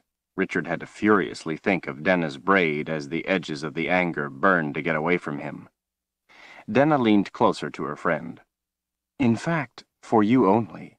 If you wish to borrow him for a night, I would not object. Constance stiffened with displeasure. Denna laughed. Never try, never know. Constance scowled. I will have my pleasure from his flesh in other ways. I'll go change into the red and meet you there. No, the brown is fine, for now. Constance studied her face. That's not like you, Denna. I have my reasons. Besides, Master Rahl himself sent me for this one. Master Rahl himself? As you wish, then. After all, he is yours to do with as you will. The training room was a simple square with walls and floor of gray granite and a beamed ceiling. On the way in, Constance tripped him. He landed on his face. Before he could stop it, the anger gripped him. She stood over him, pleased with herself, watching him struggle to regain control. Denna attached a device to him that held his wrists and elbows tightly together behind his back. It was hooked to a rope that ran through a pulley in the ceiling and was tied off at the wall. She hoisted him up until he had to stand on his toes before she tied the rope off at the wall. The pain in his shoulders was excruciating, making it hard to breathe, and she hadn't even touched the Agiel to him yet. He was helpless, off balance, and in agony before she even started. His mood sank. Denna sat in a chair against the wall, telling Constance to enjoy herself. When Denna had trained him, she often had a smile on her face. Constance never smiled once. She went about her work like an ox at a plow, strands of hair coming loose, and in no time her face was covered with a sheen of sweat. She never varied the touch of her Agiel. It was always the same, always hard, harsh, angry. Richard didn't have to anticipate. There was no pause. She worked with rhythmic timing, never giving him a rest. But she didn't draw blood. Denna had a constant smile on her face as she sat with the chair leaned against the wall. At last, Constance stopped, Richard panting, groaning. He can take it well. I haven't had a workout like this in quite a time. All the pets I've gotten lately fold at the first touch. The chair came down on its front legs with a clunk. Maybe I can help, Sister Constance. Let me show you where he doesn't like it. Denna came up behind him and paused, making him flinch in expectation of what didn't come. Just as he breathed out, the Agiel drove into a tender spot on the right side. He cried out as she held the pressure against him. He couldn't hold his weight, and the rope pulled his shoulders so hard he thought his arms would come out of their sockets. With a sneer, Denna held the Agiel to him until he started crying. Please, Mistress Denna, he sobbed. Please! She withdrew the Agiel. See? Constance shook her head. I wish I had your talent, Denna. Here is another place. She made him scream. And here? And here too? She came around and smiled to him. You don't mind if I show Constance all your special little places, do you? Please, Mistress Denna, don't! It hurts too much. There, you see? He doesn't mind at all. She went back to her chair as tears ran down his face. Constance never smiled. She simply went to work, and also had him begging breathlessly. But the way she never varied the pressure, never let up, was worse than Denna. She never gave him a moment to rest. Richard learned to fear her touch more than he feared Denna's. Denna had an odd compassion at times. Constance never did. When it was beyond a certain point, Denna would tell her to stop, wait a moment, guide her so as not to cripple him. Constance complied with her wishes, and let Denna direct the way she wanted him hurt. You don't have to stay, Denna, if you have things to do. I won't mind. Fear and panic raced through his mind. He didn't want to be left alone with Constance. He knew that Constance wanted to do things to him that Denna didn't want done. He didn't know what they were, but he feared them. Another time, I will leave you alone with him, to do things your way, but today I will stay. Richard made sure he showed no sign that he was relieved. Constance went back to work. After a while longer, when she was behind him, Constance grabbed a fistful of his hair and yanked his head back, hard. Richard knew very well what it meant to have his head pulled back in this manner. He remembered the pain of what she was about to do, the pain of having the Agiel in his ear. He shook uncontrollably, couldn't breathe with the fear of it. Denna came out of her chair. Don't do that, Constance. Constance gritted her teeth as she looked at him, pulling his head back harder. Why not? Surely you've done it. Yes. I just don't want you to, that's all. Master Rahl hasn't talked to him yet. I don't want to take any chances. A grin came to Constance's face. Denna, let's do it together. At the same time, you and me, like we used to. I told you, Master Rahl wants to talk to him. After that? Denna smiled. It has been a long time since I've heard that scream. She looked to Richard's eyes. If Master Rahl doesn't kill him, and he doesn't die first from... from other things, then yes, we will do it to him, all right? But not now. And Constance, please respect my wishes about using the Agiel in his ear. Constance nodded and released his hair. Don't think you have gotten off easy. She scowled at him. Sooner or later, you and I will be alone, and then I will take my pleasure from you. Yes, Mistress Constance, he whispered hoarsely. After they were finished training him, they went to lunch. Richard followed behind, the chain hooked to Denna's belt. The dining hall was tasteful in its simple style of frame and panel oak over a white marble floor. There was the soft murmur of conversation at the various tables as people ate. Denna snapped her fingers as she sat, pointing at the floor behind her chair. Servers brought food to the two Mord Sith, but none for Richard. Lunch was a hearty-looking soup, cheese, brown bread, and fruit. The good smells drove Richard to distraction. There was no meat served. Halfway through her meal, Denna turned and told him that he would get no lunch, for having earned two hours that morning. She said that if he behaved himself, he would get dinner. The afternoon was spent at devotions, and after that several hours of training. Denna and Constance shared the task. Richard did his best to do nothing wrong, and at dinner was rewarded with a bowl of rice with vegetables over it. After dinner were more devotions and more training, until at last they left Constance and returned to Denna's quarters, Richard dead tired, stooped with pain as he walked. I wish a bath, she said. She showed him the room adjoining hers. It was small, empty of everything except a rope holding the binding device from the ceiling, and a bathing tub in the corner. She told him the room was for training if he needed it on the spot and she didn't want blood in her room, and for when she wanted to leave him hanging all night. She promised him he would be spending a great deal of time in the little room. She had him drag the tub to the foot of her bed.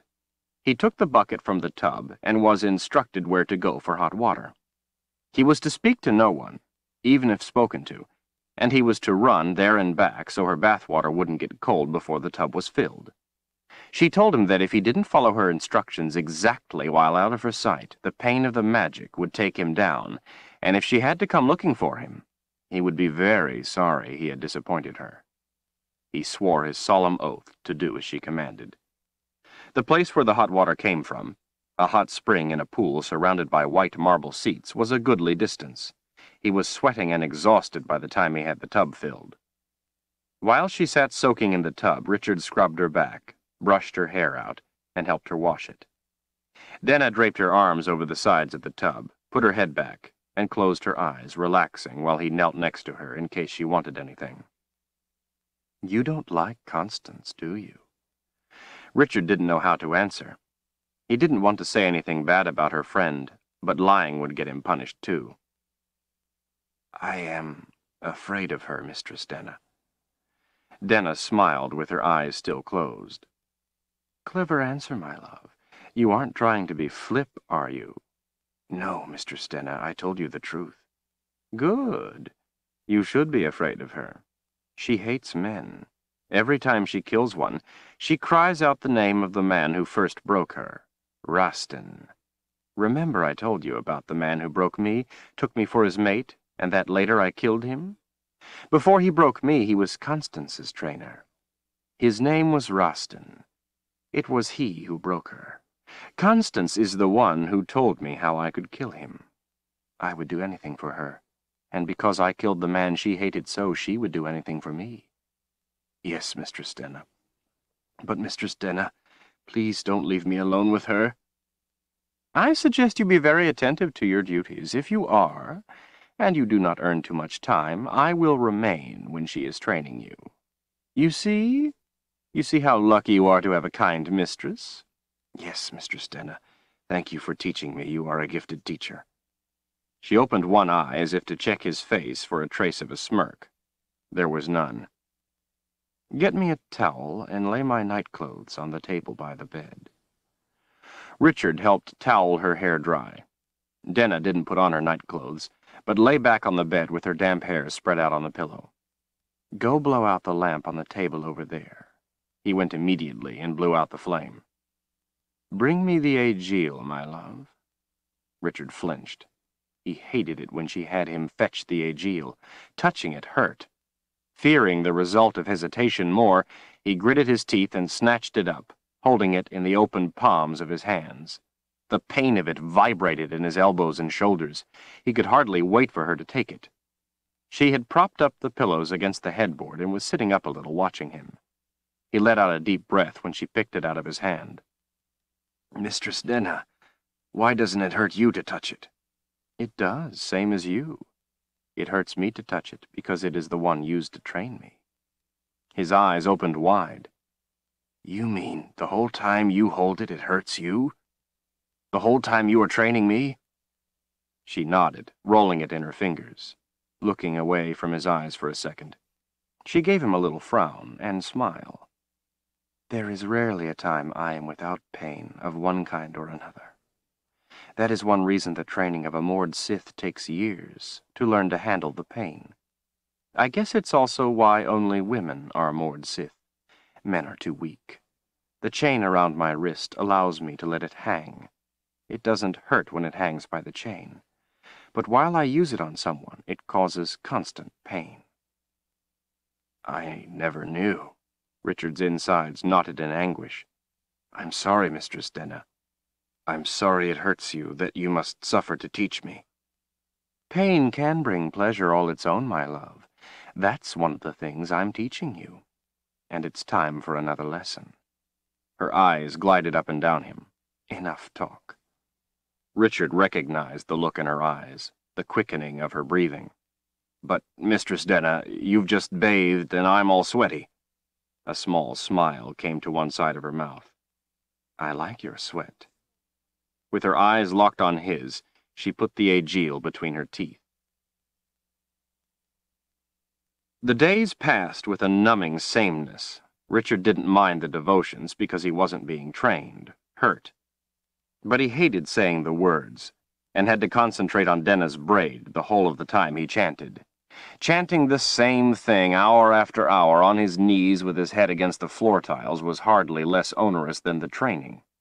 Richard found himself waking at night or in the morning chanting the words, Master Rahl, guide us, Master Rahl, teach us, Master Rahl, protect us. In your light we thrive, in your mercy we are sheltered, in your wisdom we are humbled, we live only to serve, our lives are yours. Denna didn't wear the red anymore. Instead, she wore white leather. She told him it was a gesture that said he was broken, had been taken for a mate, and that to show her power over him she chose not to make him bleed. Constance didn't like it. It didn't make much difference to Richard.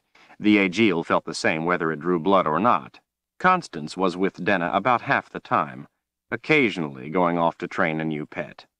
Constance became more and more insistent about being left alone with Richard, but Denna wouldn't permit it. Constance threw her all into his training. The more Richard saw of her, the more terrified he became of her. Denna smiled at him whenever she told Constance to take over. One day after the afternoon devotion, when Constance had gone off to train someone else, Denna took him back to the little room adjacent to her quarters for his afternoon training. She hoisted him up by the rope until he was hardly able to touch the floor. Mistress Denna, with your permission, would you allow Mistress Constance to do all my training from now on? His question had an effect he hadn't expected. It enraged her. She stared at him, her face turning a deep red. Then she started hitting him with the Agiel, driving it into him, screaming at him, telling him how worthless he was, how insignificant, how she was sick of his talking. Denna was strong, and she beat him with the Agiel as hard as she could. It went on and on. Richard couldn't remember her being so angry, so severe, so cruel. Soon he couldn't remember anything, even where he was. He convulsed in pain. He couldn't say anything or beg her to stop or even breathe most of the time. She never slowed or let up. She just seemed to get angrier as she hurt him. He saw blood on the floor, a lot of blood. It was splattered all over her white leather. Her chest heaved with her effort, her rage. Her braid came loose. Denna grabbed his hair and yanked his head back. She gave him no warning. She drove the Agiel in his ear harder than she ever had. She did it again and again. Time distorted into eternity. He no longer knew who he was, what was happening. He no longer tried to beg, to cry, to hold on. She stopped, standing next to him, panting in ire. I'm going to dinner. He felt the agony of the magic come on in him. He gasped, his eyes going wide. While I'm gone, and I'm going to take my time, I'm leaving the pain of the magic on you. You will not be able to pass out or to stop it. If you let the anger get away from you, it will make the pain worse. And it will get away from you, I promise. She went to the wall and hoisted the rope up until his feet were off the floor. Richard cried out. His arms felt as if they would be torn out. Enjoy yourself. She turned on her heels and left. Richard balanced on the edge of sanity and madness, the suffering twisting in him, making him unable to control the anger as she had promised. The flames of his hurt consumed him. It was somehow worse that she wasn't there. He had never felt so alone, so helpless, and the pain wouldn't even let him cry. He could only gasp in agony. He had no idea how long he was left alone.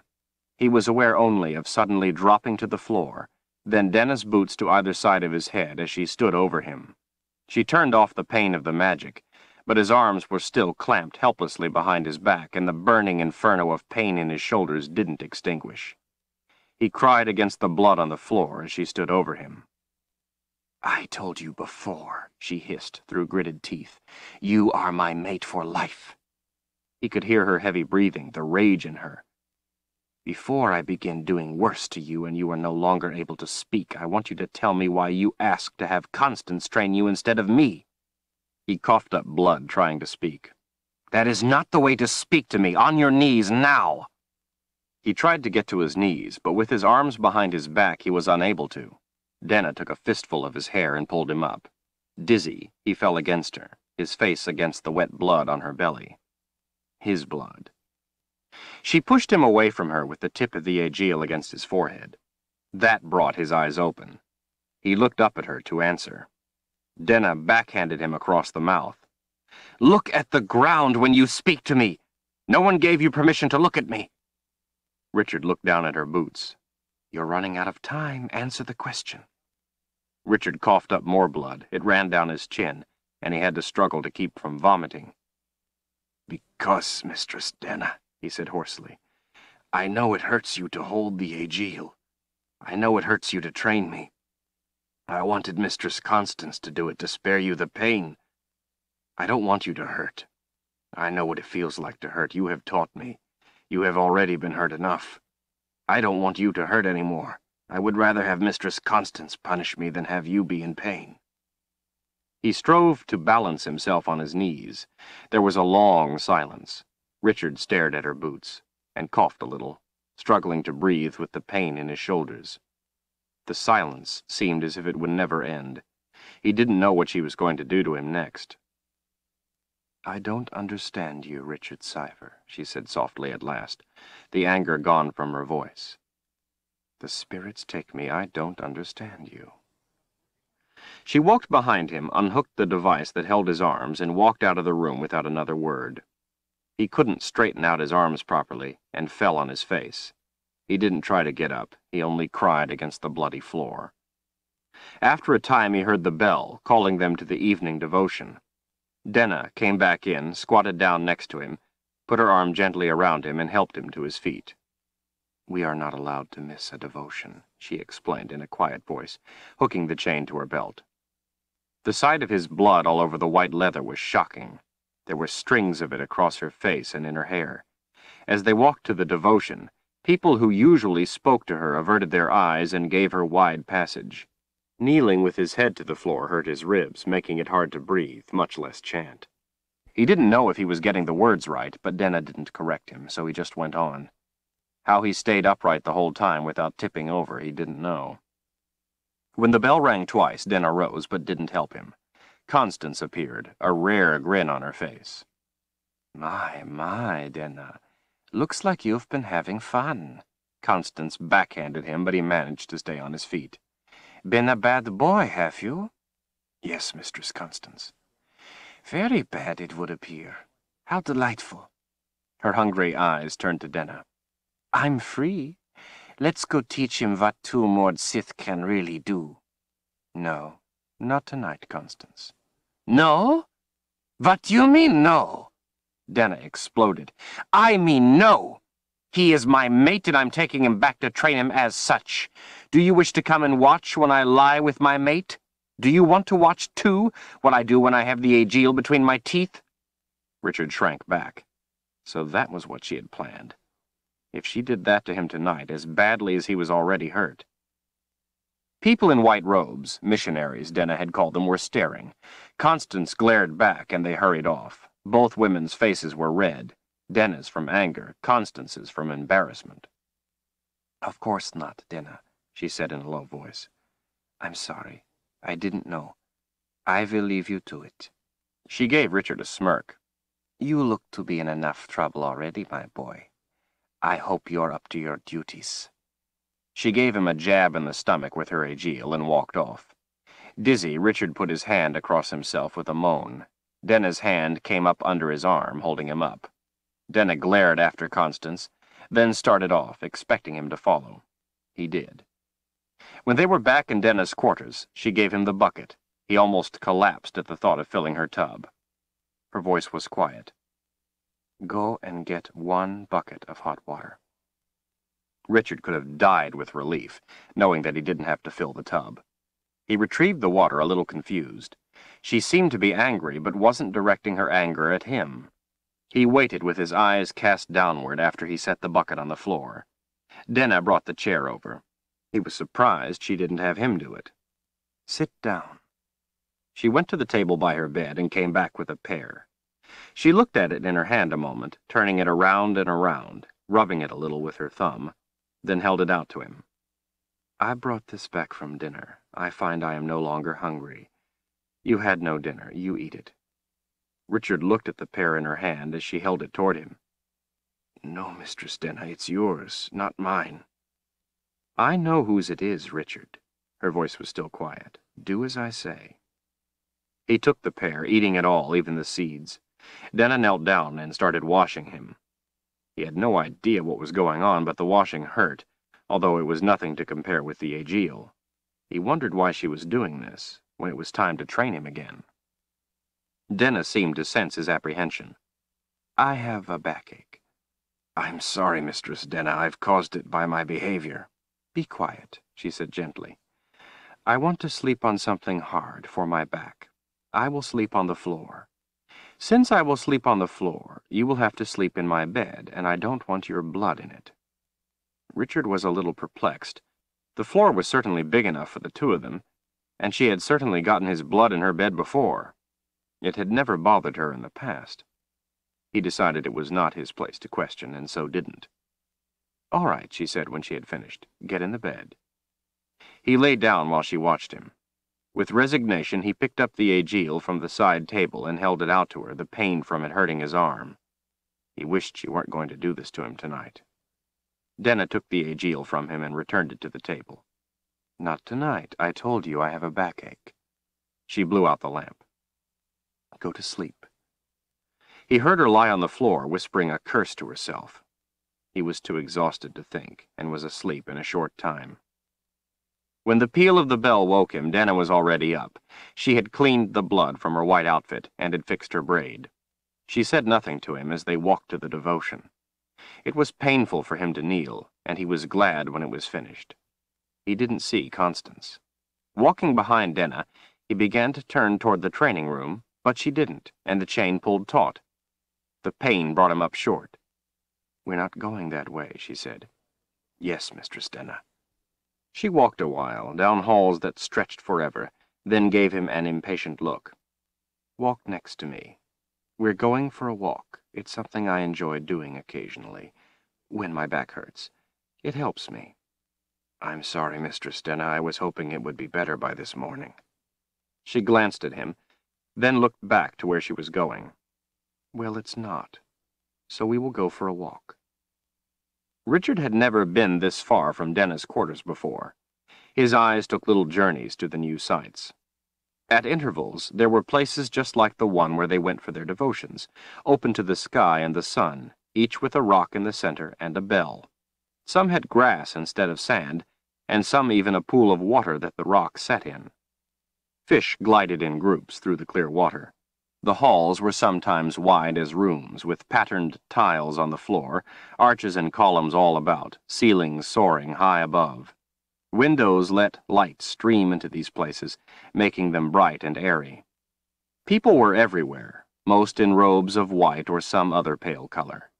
No one ever seemed in a hurry, but most seemed as if they had a place to go, although a few sat on marble benches. Richard saw few soldiers. Most people walked past Denna and him as if they were invisible, but a few smiled and exchanged a greeting with her. The size of the place was astounding. The halls and passages stretched out of sight. Wide stairs led up or down to unknown parts of the great edifice. One hall had statues of naked people in proud poses. The statues were made of carved and polished stone, mostly white, some with gold veining through it, and each was twice as tall as he. Richard never saw one place that was dark or ugly or dirty. Everything he saw was beautiful. The sound of people's footsteps echoed through the halls like reverent whispers. Richard wondered how a place as large as this could even be conceived of, much less built. It must have taken lifetimes. Denna led them to a sprawling square that was open to the sky. Full-grown trees covered the mossy ground, and a path of brown clay tiles meandered through the center of the indoor forest. They strolled along the path, Richard looking up at the trees. They were beautiful, even if they were bare of leaves. Denna watched him. You like the trees, don't you? He nodded, looking about. Very much, Mistress Denna, he whispered. Why do you like them? Richard thought a moment. It seems they are part of my past. I could dimly recall that I was a guide. A woods guide, I think. But I don't remember much about it, Mistress Denna, except I liked the woods. Being broken makes you forget things from before, she said quietly. The more I train you, the more you will forget the past, except specific questions I ask you. Soon you will remember none of it. Yes, Mistress Denna. Mistress Denna, what is this place? It's called the People's Palace. It's the seat of power in D'Hara. It is the home of Master Rahl. They had lunch in a different place than they usually ate. She had him sit in a chair. He didn't know why. They went to the afternoon devotion at one of the places with water instead of sand, and after devotion, they walked some more through the vast halls to find themselves back in familiar territory for dinner. The walking made him feel better. His muscles had needed to be stretched. After the evening devotion, in the little room in their quarters, Denna locked his arms behind his back in the binding device and hoisted it up, but not enough to take the weight off his feet. It still brought the pain back to his sore shoulders, but it made him wince only a little. Is your back better, Mistress Denna? Did the walking help? It's nothing I can't tolerate. She walked slowly around him, watching the floor. She stopped at last in front of him, rolling the Agiel in her fingers for a time, scrutinizing it. Her eyes didn't come up. Her voice was hardly more than a whisper. Tell me you think I'm ugly. He looked at her until her eyes finally came up. No, that would be a lie. A sad smile spread on her lips. That was a mistake, my love. You have disobeyed my direct order, and you have forgotten the appellation. I know, Mistress Denna. Her eyes closed but a little of the strength came back to her voice. You are nothing but trouble. I don't know why Master Rahl burdened me with your training. You have earned yourself two hours. She gave him his two hours, not as hard as she usually did, but hard enough to make him cry in pain. After the training, she told him that her back still hurt, and slept on the floor again, having him sleep in the bed. The next few days went back to the regular routine, the training not being as long or as strenuous as before, except when Constance was there. Denna kept a close watch on her, guiding more than she had in the past. Constance didn't like it, sometimes glaring at Denna. When Constance was rougher than Denna wished, she wasn't invited for the next session. With the lighter training sessions, his head started to clear, and he began remembering things, things about his past. A few times, when Denna's back hurt, they went for long walks, looking at the various astonishingly beautiful places. After an afternoon devotion one day, Constance asked if she could come along. Denna smiled and said yes. Constance asked to do the training and was given permission. She was rougher than usual, and had Richard in prolonged agony, tears of pain streaming down his cheeks. Richard was hoping Denna would put a stop to it, as he was on his last strings of tolerance. As Denna came out of her chair, a man came into the room. Mistress Denna, Master Rahl has requested you. When? Right now. Denna gave a sigh. Constance, would you finish the session? Constance looked into Richard's eyes and smiled. Why, of course, Denna. Richard was terrified, but didn't dare say a word. His time is nearly up. Just take him back to my quarters and leave him there. I'm sure I won't be long. My pleasure, Denna. You can count on me. Denna started to leave. Constance grinned at him wickedly, her face close to his. She grabbed his belt and yanked it open. Richard couldn't breathe. Constance, Denna had come back in. I don't want you doing that. Constance was caught off guard. In your absence, I'm in charge of him, and I'll do as I wish. Denna came and put her face close to the others. He is my mate, and I said I don't want you to do that. And I don't want you to put the Agiel in his ear, either. I'll do as I... You will not. Denna gritted her teeth as she looked down to the shorter woman.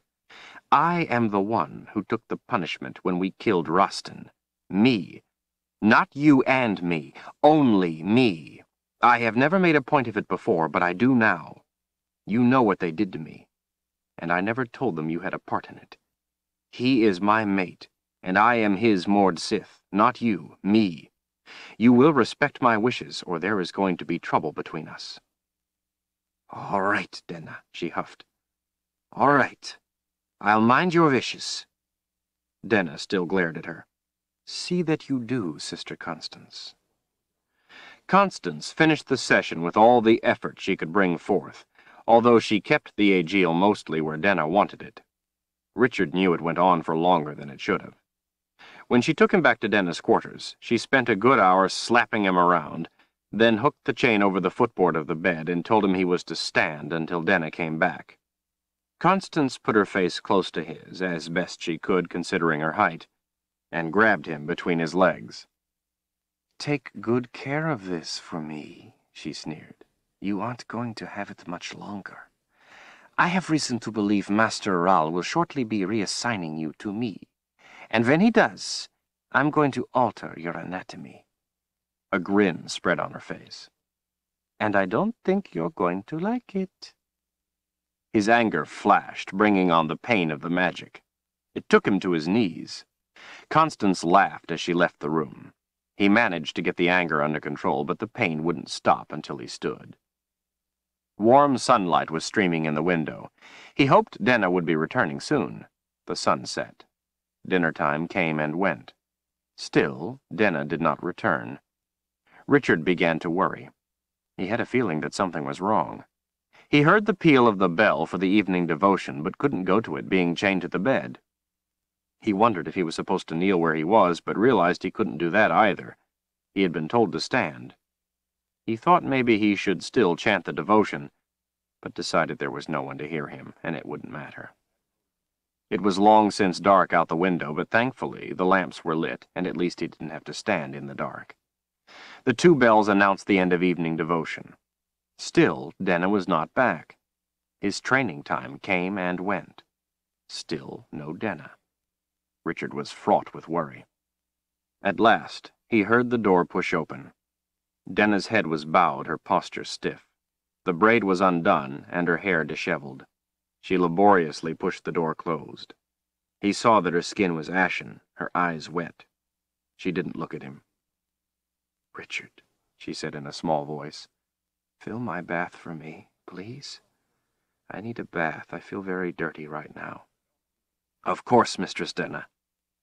He dragged the tub in and ran as fast as he could to fill it. He didn't think he had ever done it more quickly. She stood and watched as he brought in bucket after bucket. When he was finished, he stood panting, waiting. Her trembling fingers started unbuttoning the leather. Help me with this. I don't think I can do it by myself. He unbuttoned it for her as she shivered. Wincing, he had to peel it off her back. Some of her skin came with it. His heart was pounding. Denna was covered with welts from the back of her neck to the back of her ankles. Richard was frightened, and he ached with hurt for her, for the pain she was in. Tears came to his eyes. The power roared up in him. He ignored it. Mistress Denna, who did this to you? he demanded. Master Rahl, it is nothing I did not deserve.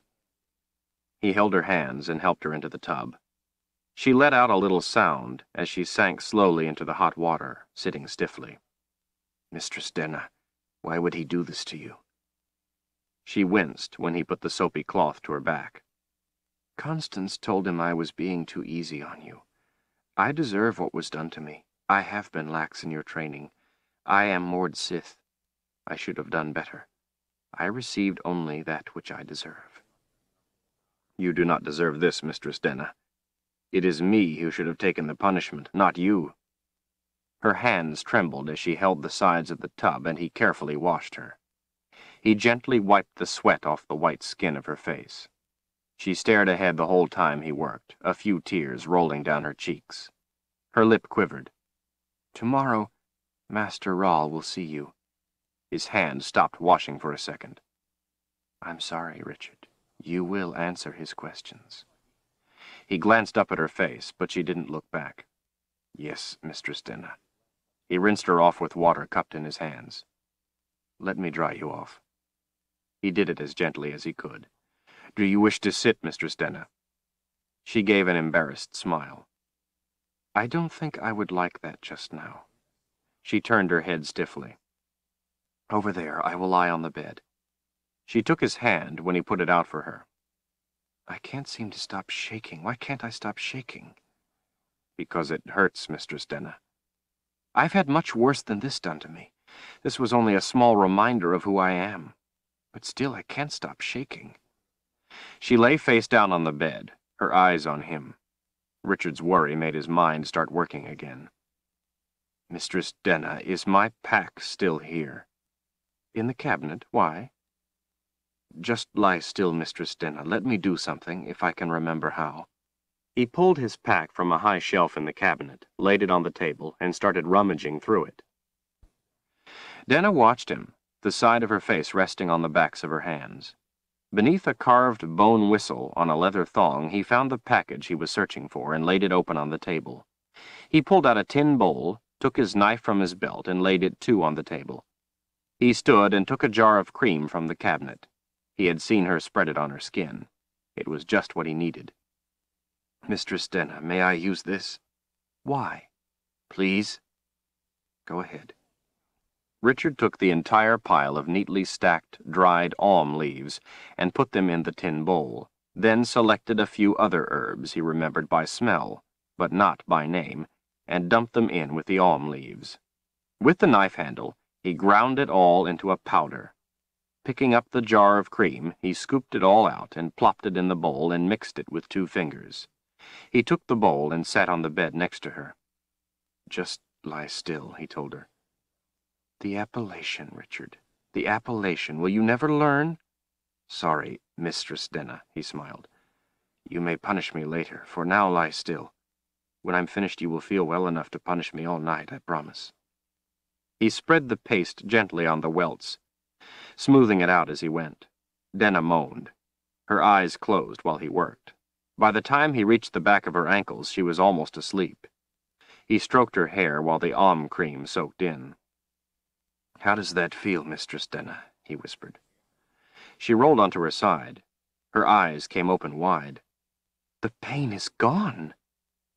How did you do that? How did you make the pain leave? Richard smiled in satisfaction. I learned it from an old friend named... He frowned. I can't remember his name, but he's an old friend and he taught me. I'm so relieved, Mistress Denna. I don't like to see you in pain. She gently touched her fingers to the side of his face. You are a very rare person, Richard Cypher. I have never had a mate like you before. The spirits take me I've never even seen a person like you before. I killed the one who did the things to me that I have done to you, and you instead helped me. We all can be only who we are, no more and no less, Mistress Denna. He looked down at his hands. I don't like what Master Rahl has done to you. You don't understand about the Mord Sith, my love. We are carefully selected as young girls. Those chosen to be Mord Sith are the most gentle, the most kind-hearted that can be found. It is said that the deepest cruelty comes from the deepest caring. All of D'Hara is searched, and each year only about a half dozen are chosen. A Mord Sith is broken three times. His eyes were wide. Three times, he whispered. Denna nodded. The first is the way in which I broke you, to break the spirit. The second is to break our empathy. To do it, we must watch our trainer break our mother and make her his pet, and watch him hurt her until she dies. The third is to break us of our fear of hurting another, to make us enjoy giving pain. To do it, we must break our fathers, under the guidance of our trainer, and make him our pet, and keep hurting him until we kill him. Tears trickled down Richard's cheeks. They did all this to you? What I did to you to break you is nothing compared to what must be done to us to break us the second and third time. The more kind-hearted a girl is, the better Mord Sith she makes, but it makes it harder to break her the second and third time. Master Rahl thinks me special because they had a very difficult time with the second breaking of me. My mother lived a long time to try to keep me from giving up hope, but that only made it harder on both of us. They failed at the third breaking, had given up and were going to kill me, but Master Rahl said that if I could be broken, I would be someone special, and so took over my training himself. He is the one who broke me the third time. On the day I killed my father, he took me to his bed as a reward. His reward left me barren. Richard could hardly speak past the lump in his throat. With shaking fingers, he brushed some of her hair back off her face. I don't want anyone hurting you, not ever again, Mistress Denna. It is an honor, Denna whispered through tears, that Master Rahl would spare the time to punish one as low as me with my own Agiel. Richard sat numb. I hope he kills me tomorrow so I don't have to learn anything else that gives me this much pain, Mistress Denna. Her wet eyes shone in the lamplight. I have done things to hurt you that I have done to no other, yet you are the first person since I was chosen who has done anything to stop my pain. She sat up, picked up the tin bowl. There is some left. Let me put it on you where Constance did what I told her not to. Denna spread the aum cream on the welts on his shoulders, then on his stomach and chest, working up to his neck. Her eyes met his. Her hand stopped. The room was dead quiet. Denna leaned forward and gently kissed him. She put her hand with the cream on the back of his neck and kissed him again. She lay back on the bed, holding his hand against her belly with both of hers. Come to me, my love. I want you very badly right now. He nodded and started to reach for the Agiel on the side table. Denna touched his wrist. Tonight I want you without the Agiel, please? Teach me what it's like without the pain. She put a hand behind his neck and gently pulled him on top of her. Chapter 43 Denna didn't train him the next morning, but instead took him for a walk. Master Rahl had said he wanted to see Richard after the second devotion. After it was over and they were starting to leave, Constance stopped them. You look surprisingly well today, Sister Denna. Denna looked at her without emotion. Richard was furious at Constance for talking to Master Rahl about Denna, for getting her punished, and had to concentrate on Denna's braid. Constance turned to Richard. Well, I hear you are to be granted an audience with Master Rahl today. If you are still alive afterward, you will be seeing more of me, alone. I want a piece of you, as it were, when he's finished with you. He spoke before he thought. The year they chose you, Mistress Constance, must have been a year of desperate need. Otherwise one of such limited intelligence would never have been selected to be Mord Sith.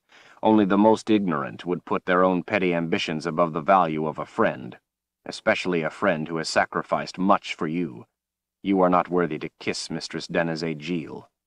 Richard smiled smoothly, confidently, as she stood startled. You had better hope Master Rahl kills me, Mistress Constance, because if he doesn't, then the next time I see you, I'm going to kill you for what you've done to Mistress Denna. Constance stared in shock, then suddenly drove her Agiel toward him.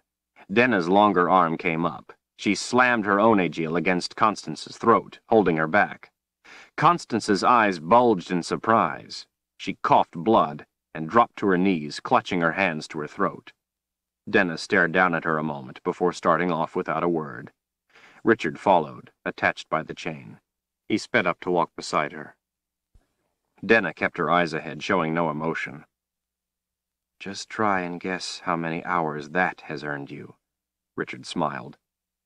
Mistress Denna, if there is a Mord Sith who could raise a scream from a dead man, it would be you. And if Master Rahl doesn't kill you, how many hours? Mistress Denna, there are not enough hours in a lifetime to dim my pleasure at what I have done. She smiled a little, but didn't look over. I'm glad, then, that it was worth it for you. She gave him a sidelong glance. I still don't understand you. As you said, we can be no more or less than who we are. I regret I can be no more than I am, and I fear you can be no less. Were we not warriors, fighting on opposite sides in this war, I would keep you as a mate for life, and work to see you die of old age. Richard was warmed by her gentle tone. I would try my best to live a long life for you, Mistress Denna. They walked on through the halls, past the devotion squares, past the statues, past the people. She took him upstairs, through vast rooms of exquisite decorations. She stopped in front of a pair of doors covered in carvings of rolling hills and forests, all sheathed in gold. Denna turned to him. Are you prepared to die this day, my love? The day is not over yet, Mistress Denna. She slipped her arms around his neck, kissing him tenderly. She pulled her face away a few inches, stroked the back of his head. I'm sorry, Richard, that I do these things to you, but I have been trained to do them, and can do nothing less. I live only to hurt you. Know that it is not by choice, but by training. I can be no more than what I am, Mord Sith. If you are to die this day, my love, then make me proud, and die well. He was mate to a madwoman, he thought sadly, and one not of her own making. She pushed the doors open and entered a grand garden. Richard would have been impressed had his mind not been on other things. They went down a path between flowers and shrubs, past short vine-covered stone walls and small trees to an expanse of lawn. A glass roof let in the light, keeping the plants healthy and in flower. In the distance were two identically huge men. Their folded arms had metal bands with sharp projections just above their elbows. Guards of some sort, Richard thought. To their side stood another man. Imposing muscles flexed on his smooth chest. His short-cropped blond hair stood up in spikes, with a single black streak running through it. Near the center of the lawn, near a circle of white sand in a warm shaft of late afternoon sunlight, stood a man with his back to them. The sunlight made his white robes and shoulder-length blond hair glow. Sparks of the sunlight glinted off the gold belt and curved dagger at his waist. As Richard and Denna approached him, Denna dropped to her knees, putting her forehead to the ground. Richard had been instructed and did the same as he pushed his sword out of the way. Together they chanted, Master Rahl, guide us. Master Rahl, teach us. Master Rahl, protect us. In your light we thrive. In your mercy we are sheltered. In your wisdom we are humbled. We live only to serve. Our lives are yours. They chanted only once, then waited, Richard trembling slightly. He remembered that he was never to get near Master Rahl, to stay away from him, but couldn't remember who told him so only that it was important. He had to concentrate on Denna's braid to control the anger at what Master Rahl had done to her. Rise, my children. Richard stood with his shoulder close against Mistress Denna, while intense blue eyes studied him. That the master's face looked kind, intelligent, pleasant, did not calm Richard's churning fears, and the thoughts that boiled just below the surface of his mind. The blue eyes glided to Denna. You look surprisingly well this morning, my pet. Mistress Denna is as good at taking pain as giving it, Master Rahl, Richard heard himself say. The blue eyes returned to his. The calmness, the peace in Rahl's face made Richard quiver. My pet has told me you are nothing but trouble. I am pleased to see she has not lied to me, but not pleased to find it true. He clasped his hands in a relaxed manner. Well, no matter. How good to meet you at last, Richard Cypher. Denna drove the Agiel into his back with a sharp jab to remind him of what it was he was supposed to say. It is my honor to be here, Master Rahl. I live only to serve. I am humbled in your presence.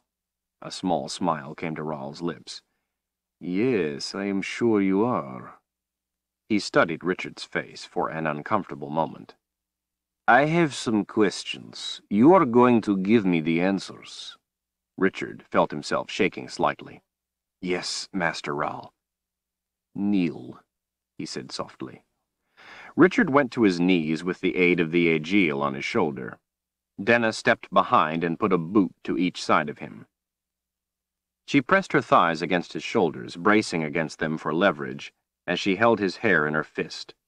She pulled his head back a little, making him look up into the master's blue eyes. Richard swallowed in terror. Darken Rahl looked down without emotion. You have seen the Book of Counted Shadows before? Something powerful in the back of his mind told Richard he shouldn't answer. When he said nothing, Denna tightened her grip on his hair and pushed the Agiel against the base of his skull. There was a stunning explosion of pain in his head. Denna's grip on his hair was all that kept him upright. It was as if she had compressed the pain of an entire training session into that one touch. He couldn't move, breathe, or even cry out. He was beyond being in pain. The shock took everything from him, and in its place left an all-consuming agony of fire and ice. She took away the Agiel. He didn't know where he was, who he was, who was holding him, only that this was more pain than he had ever known before, and that there was a man in front of him dressed in a white robe. Blue eyes looked down at him. You have seen the Book of Counted Shadows before? Yes, he heard himself say. Where is it now? Richard hesitated. He didn't know how to answer. He didn't know what the voice wanted. The pain exploded in his head again. When it stopped, he felt tears running down his cheeks. Where is it now? the voice repeated. Please don't hurt me any more, he cried. I don't understand the question. What is there not to understand? Simply tell me where the book is now. The book, or the knowledge of the book? Richard asked fearfully. The blue eyes frowned. The book. I burned it in a fire, years ago. Richard thought the eyes were going to tear him apart. And where is the knowledge? Richard hesitated too long. When he was aware again, Denna yanked his head up to look into the blue eyes again. Richard had never felt so alone, so helpless, so afraid. Where is the knowledge that was in the book? In my head. Before I burned the book, I learned the words, the knowledge. The man stood staring, unmoving. Richard cried softly. Recite the words of the book. Richard desperately didn't want the Agiel in the back of his head again. He shook with the fear of it. Verification of the truth of the words of the Book of Counted Shadows if spoken by another rather than read by the one who commands the boxes can only be ensured by the use of a confessor. Confessor. Kahlan. The name Kahlan went through Richard's mind like a bolt of lightning. The power roared to life, blasting away the fog with the burning white-hot glare of his memories. The door to the locked room in his mind was flung open. It all came back to him, brought back by the power as it rose in him. Richard was one with the power, at the thought of Darken Rahl having Kahlan, hurting her. Darken Rahl turned to the other men. The one with the black stripe came forward. You see, my friend? The fates work for me. She is already on her way here with the old one. Find her. See to it she is brought to me. Take two quads, but I want her alive, do you understand? The man gave a nod. You and your men will have the protection of my spell. The old one is with her, but he will have no weapon against an underworld spell, if he is even alive by then. Rahl's voice became harder. And Demmin, I don't care what your men do to her, but she had better be alive when she gets here and able to use her power. A little of the color left the man's face. I understand. It will be done as you wish, Lord Rahl. He bowed deep. He turned and left after meeting Richard's eyes and giving a knowing smile. Darken Rahl returned his blue eyes to Richard. Continue. Richard had gone as far as he was going to go, he remembered everything. It was time to die. I will not. There is nothing you can do to make me tell you. I welcome the pain. I welcome death. Before the Agiel could come, Rahl's eyes snapped up to Denna. Richard felt her fist loosen on his hair. One of the guards marched forward, grabbed her by the throat with his big hand, squeezing, until Richard could hear her struggling to breathe. Rahl glared at her. You told me he was broken. He was, Master Rahl. She struggled to speak as she was being choked. I swear. I am very disappointed in you, Denna. Ah. As the man lifted her feet off the ground, Richard could hear her sounds of pain. Again the power turned white-hot in him. Denna was being hurt. Before anyone knew what was happening, he was on his feet, the power of the magic raging through him. Richard threw one arm around the man's thick neck, grasping his opposite shoulder.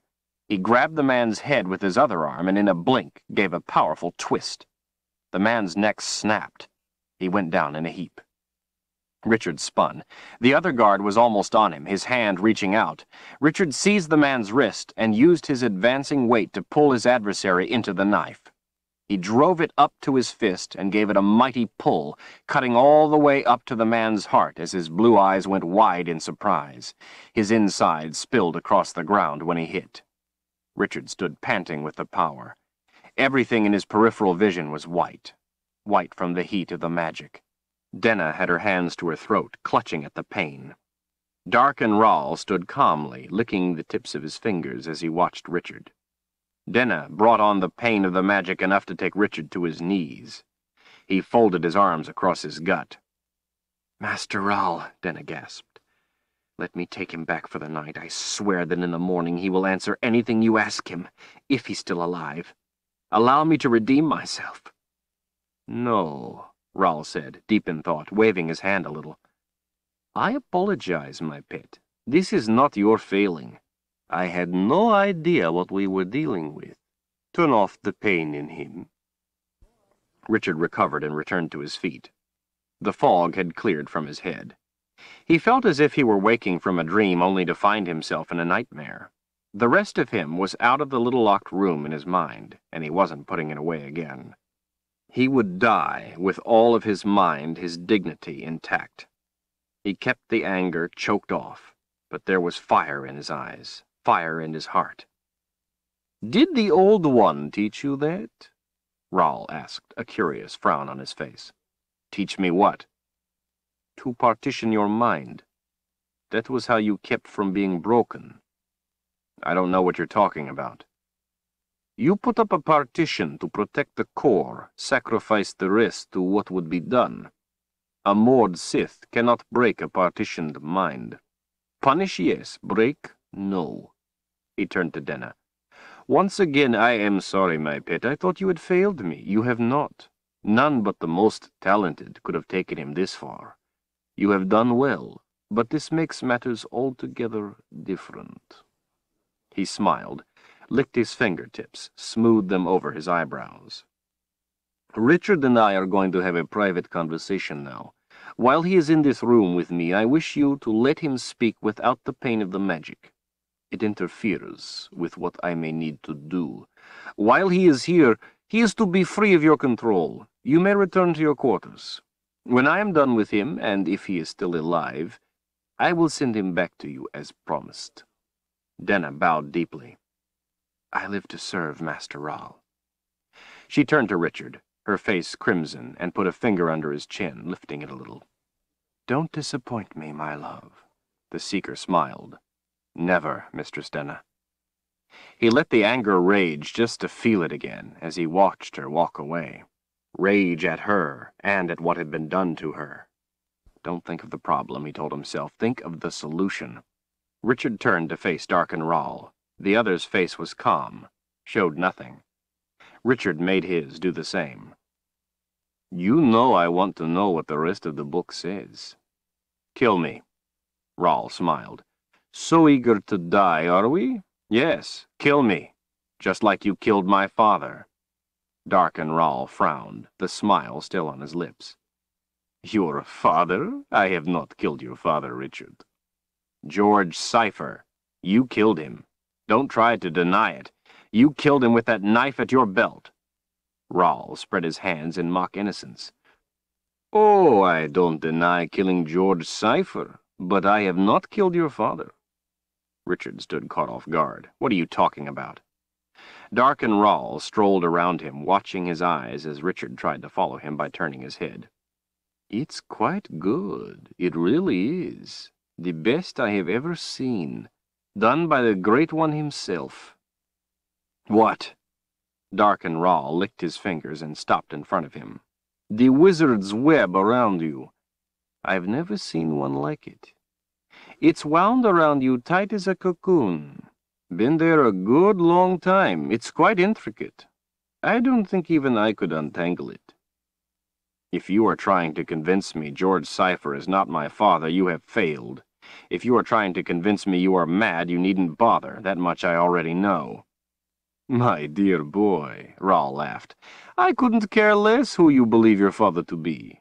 Nonetheless, there is a wizard's web hiding the truth from you. Really? I'll play along. Who's my father, if it's not George Cypher? I wouldn't know, Rahl shrugged. The web hides it. But from what I've seen, I have my suspicions. The smile left. What does the Book of Counted Shadows say? Richard shrugged. That's your question? You disappoint me. How so? Well, after what was done to your bastard father, I thought sure you'd want to know the old wizard's name. Darken Rahl glared as he slowly licked his fingertips. What is the old wizard's name? It was Richard's turn to smile. He spread his arms wide. Cut me open. It's written on my guts. You will have to find it there. Richard kept the smirk on his face. He knew he was defenseless and was hoping Rahl would be driven to kill him. If he was dead, the book died with him. No box, no book. Rahl was going to die. Kahlan would be safe then. That was all that mattered. In one week it will be the first day of winter, and I will know the name of the wizard and have the power to snatch him from wherever he is and bring his hide to me. In one week you will be dead. You have only two boxes. Darken Rahl licked his fingers again and smoothed them over his lips. I have two right now, and the third is on its way here as we speak. Richard tried not to believe him, let his face show nothing. A brave boast, but a lie nonetheless. In one week, you are going to die. Rahl raised his eyebrows. I speak the truth. You have been betrayed. The same one who has betrayed you to me has also betrayed the box to me. It will be here in a few days. I don't believe you, Richard said flatly. Darken Rahl licked his fingertips and turned, walking around the circle of white sand. No? Let me show you something. Richard followed him to a wedge of white stone upon which sat a flat slab of granite held up by two short-fluted pedestals. In the center of the slab sat two of the boxes of Orden. One was ornately jeweled, like the one Richard had seen before. The other was as black as the night stone, its surface a void in the light of the room. The box itself, its protective covering, removed. Two of the boxes of Orden, Rahl announced, holding his hand out to them. Why would I want the book?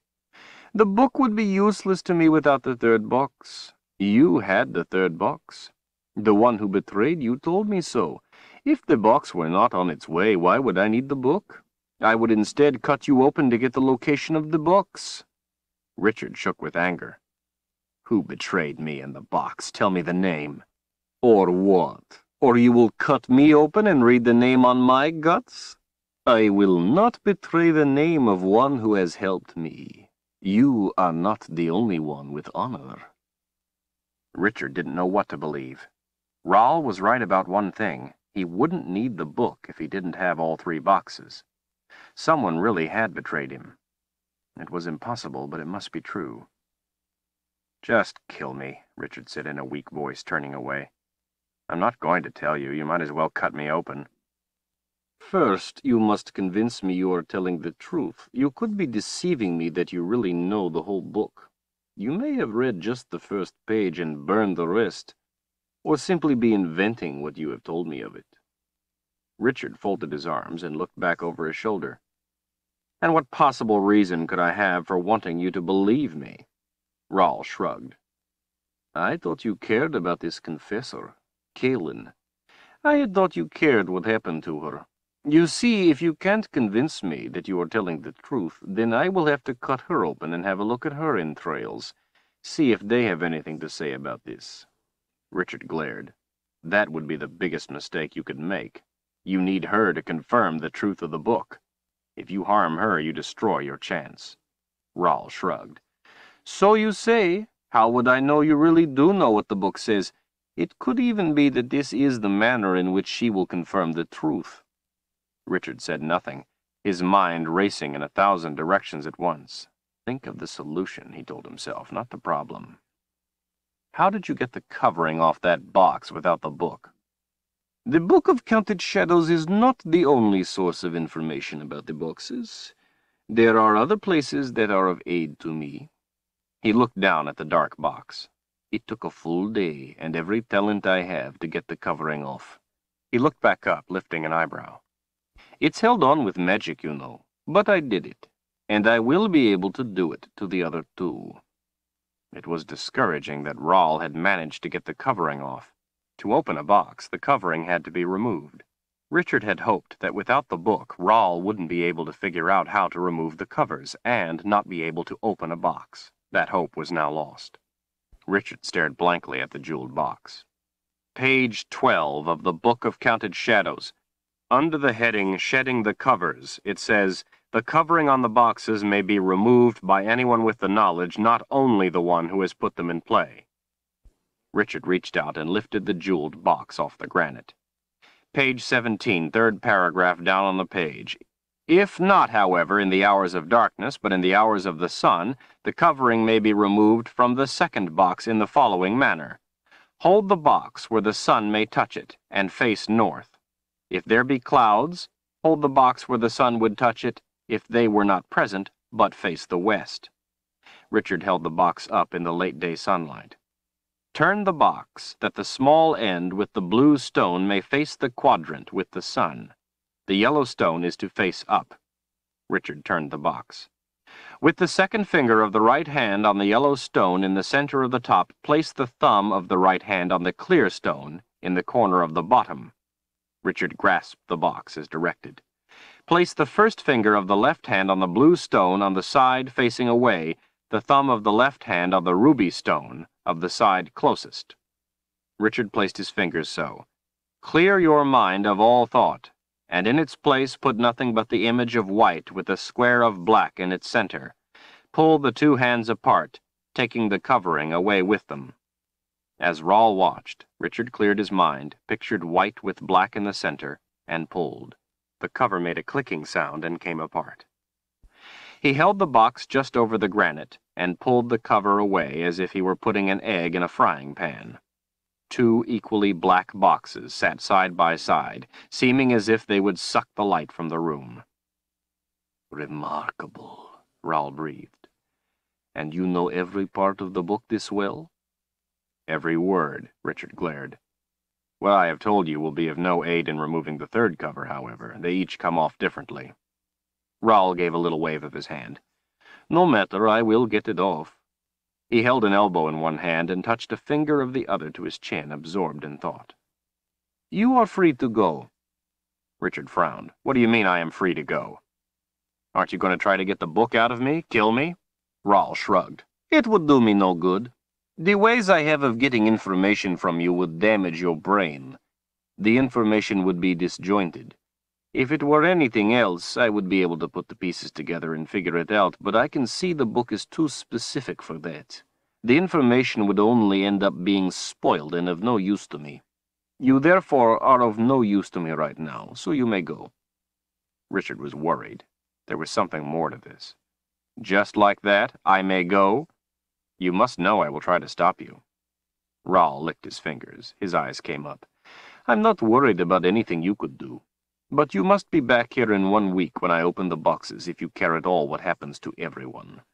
Richard narrowed his eyes. What do you mean if I care what happens to everyone? In one week, on the first day of winter, I am going to open one of the boxes.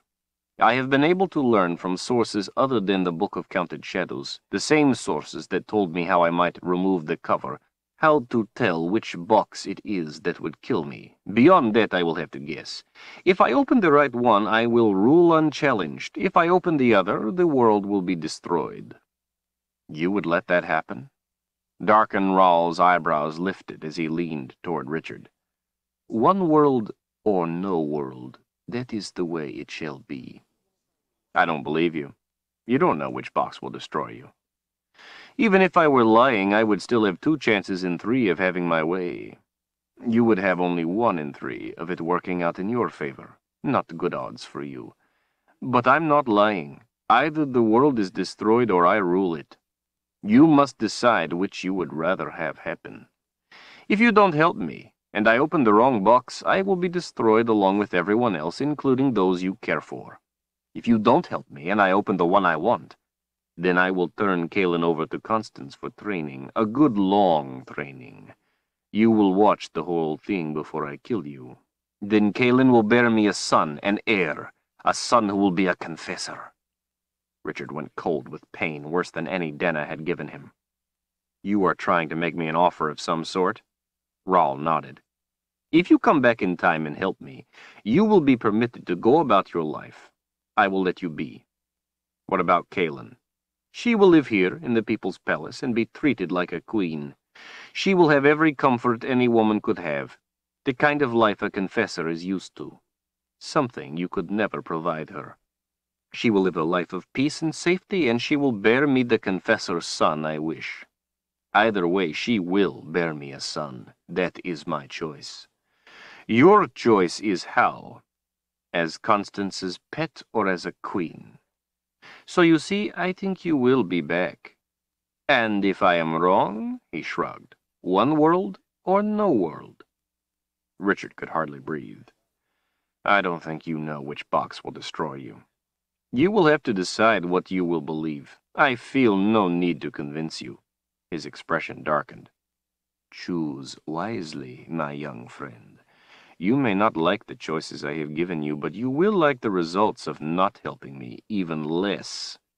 Not all choices in life are ones you would like, but those are all that are presented to you. Sometimes you must choose what is better for the ones you love than yourself.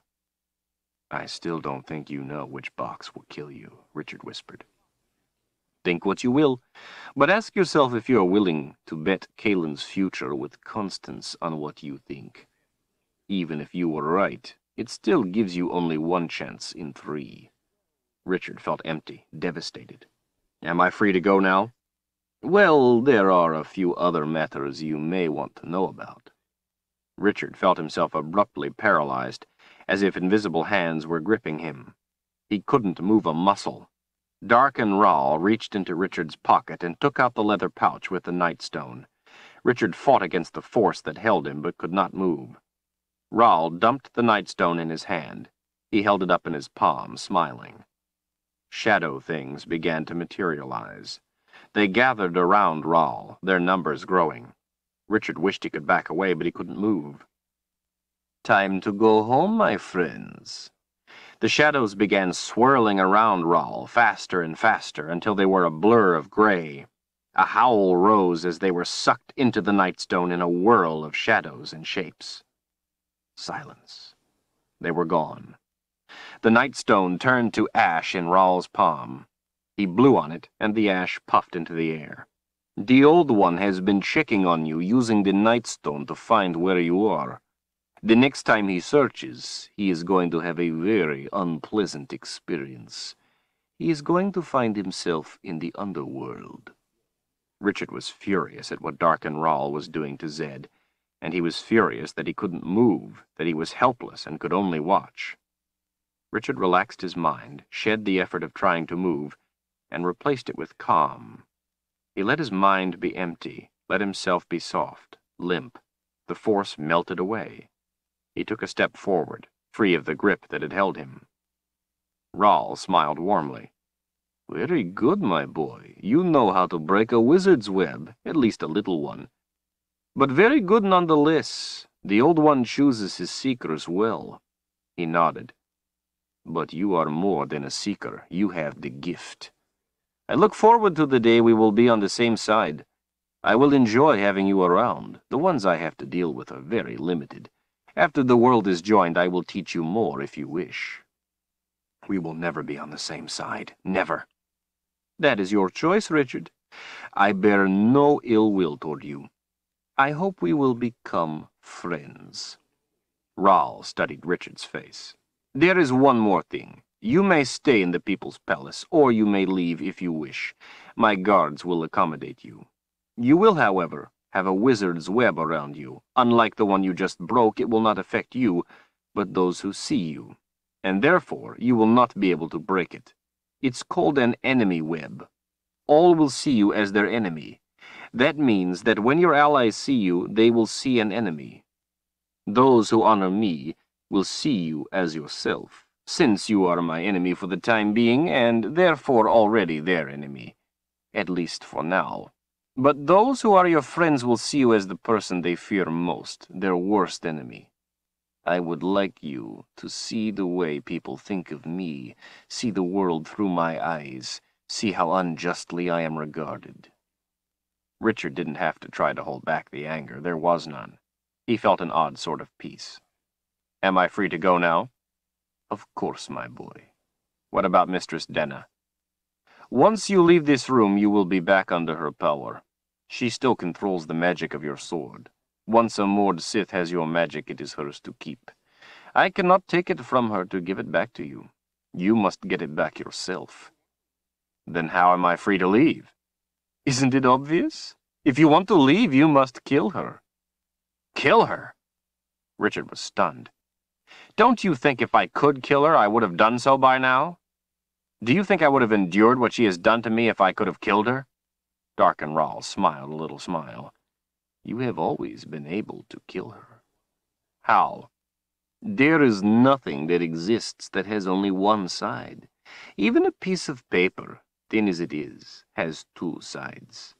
Magic is not one-dimensional either.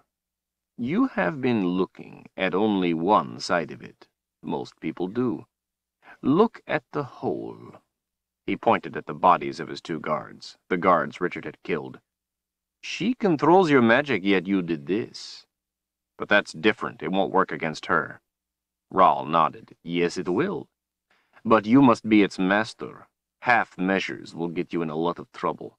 She controls you with one dimension of your magic, the side you offered her. You must use the other side.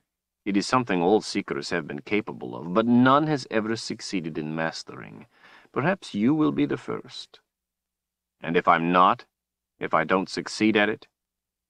Darken Rahl was sounding altogether too much like Zedd for Richard's comfort. This was the way Zedd had always taught him. By making him think for himself, find the answers in his own way, with his own mind.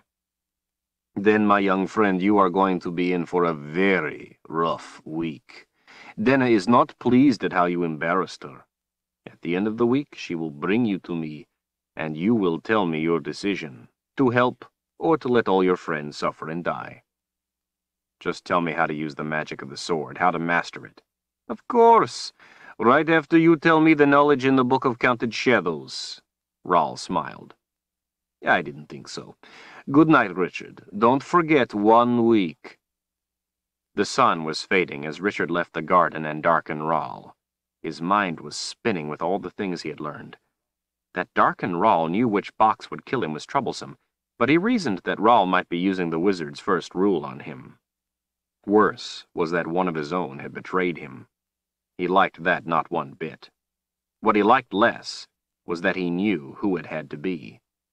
Shota had told him that Zedd and Kahlan would use their power against him. It had to be Zedd or Kahlan. He couldn't make that fit, no matter how he tried, no matter how he reasoned it out. It couldn't be either, yet it had to be one. He loved them both more than his need to live. Zedd had told him he had to be prepared to kill any of them if they jeopardized winning, even if he thought there was only a chance that they did. He forced the thought out of his mind. He had to think of a way to get away from Denna. He could be of no help, and none of the rest of it mattered if he couldn't get away from Denna. It would do him no good to think of the other problems if he couldn't get away, and if he didn't figure it out soon, then Denna was going to hurt him, and he wouldn't be able to think any more. The things she did to him made it too hard to think, made him forget things. He had to concentrate on that problem first and worry about the others later. The sword, he thought. Denna controlled the magic of the sword.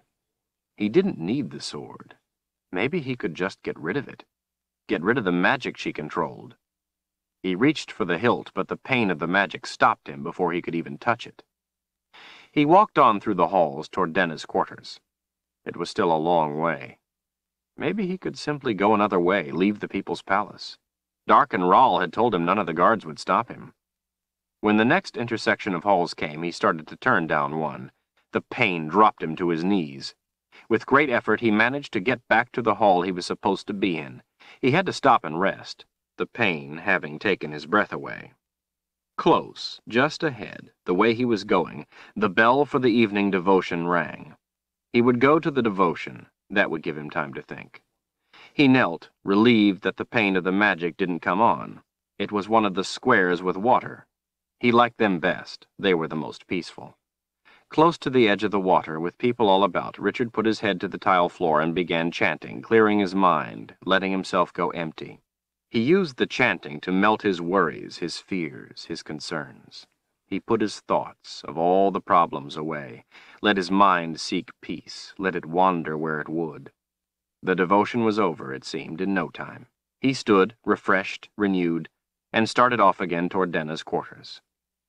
The halls he passed through, the rooms and stairways, were breathtakingly beautiful, and Richard again marveled at them as he passed.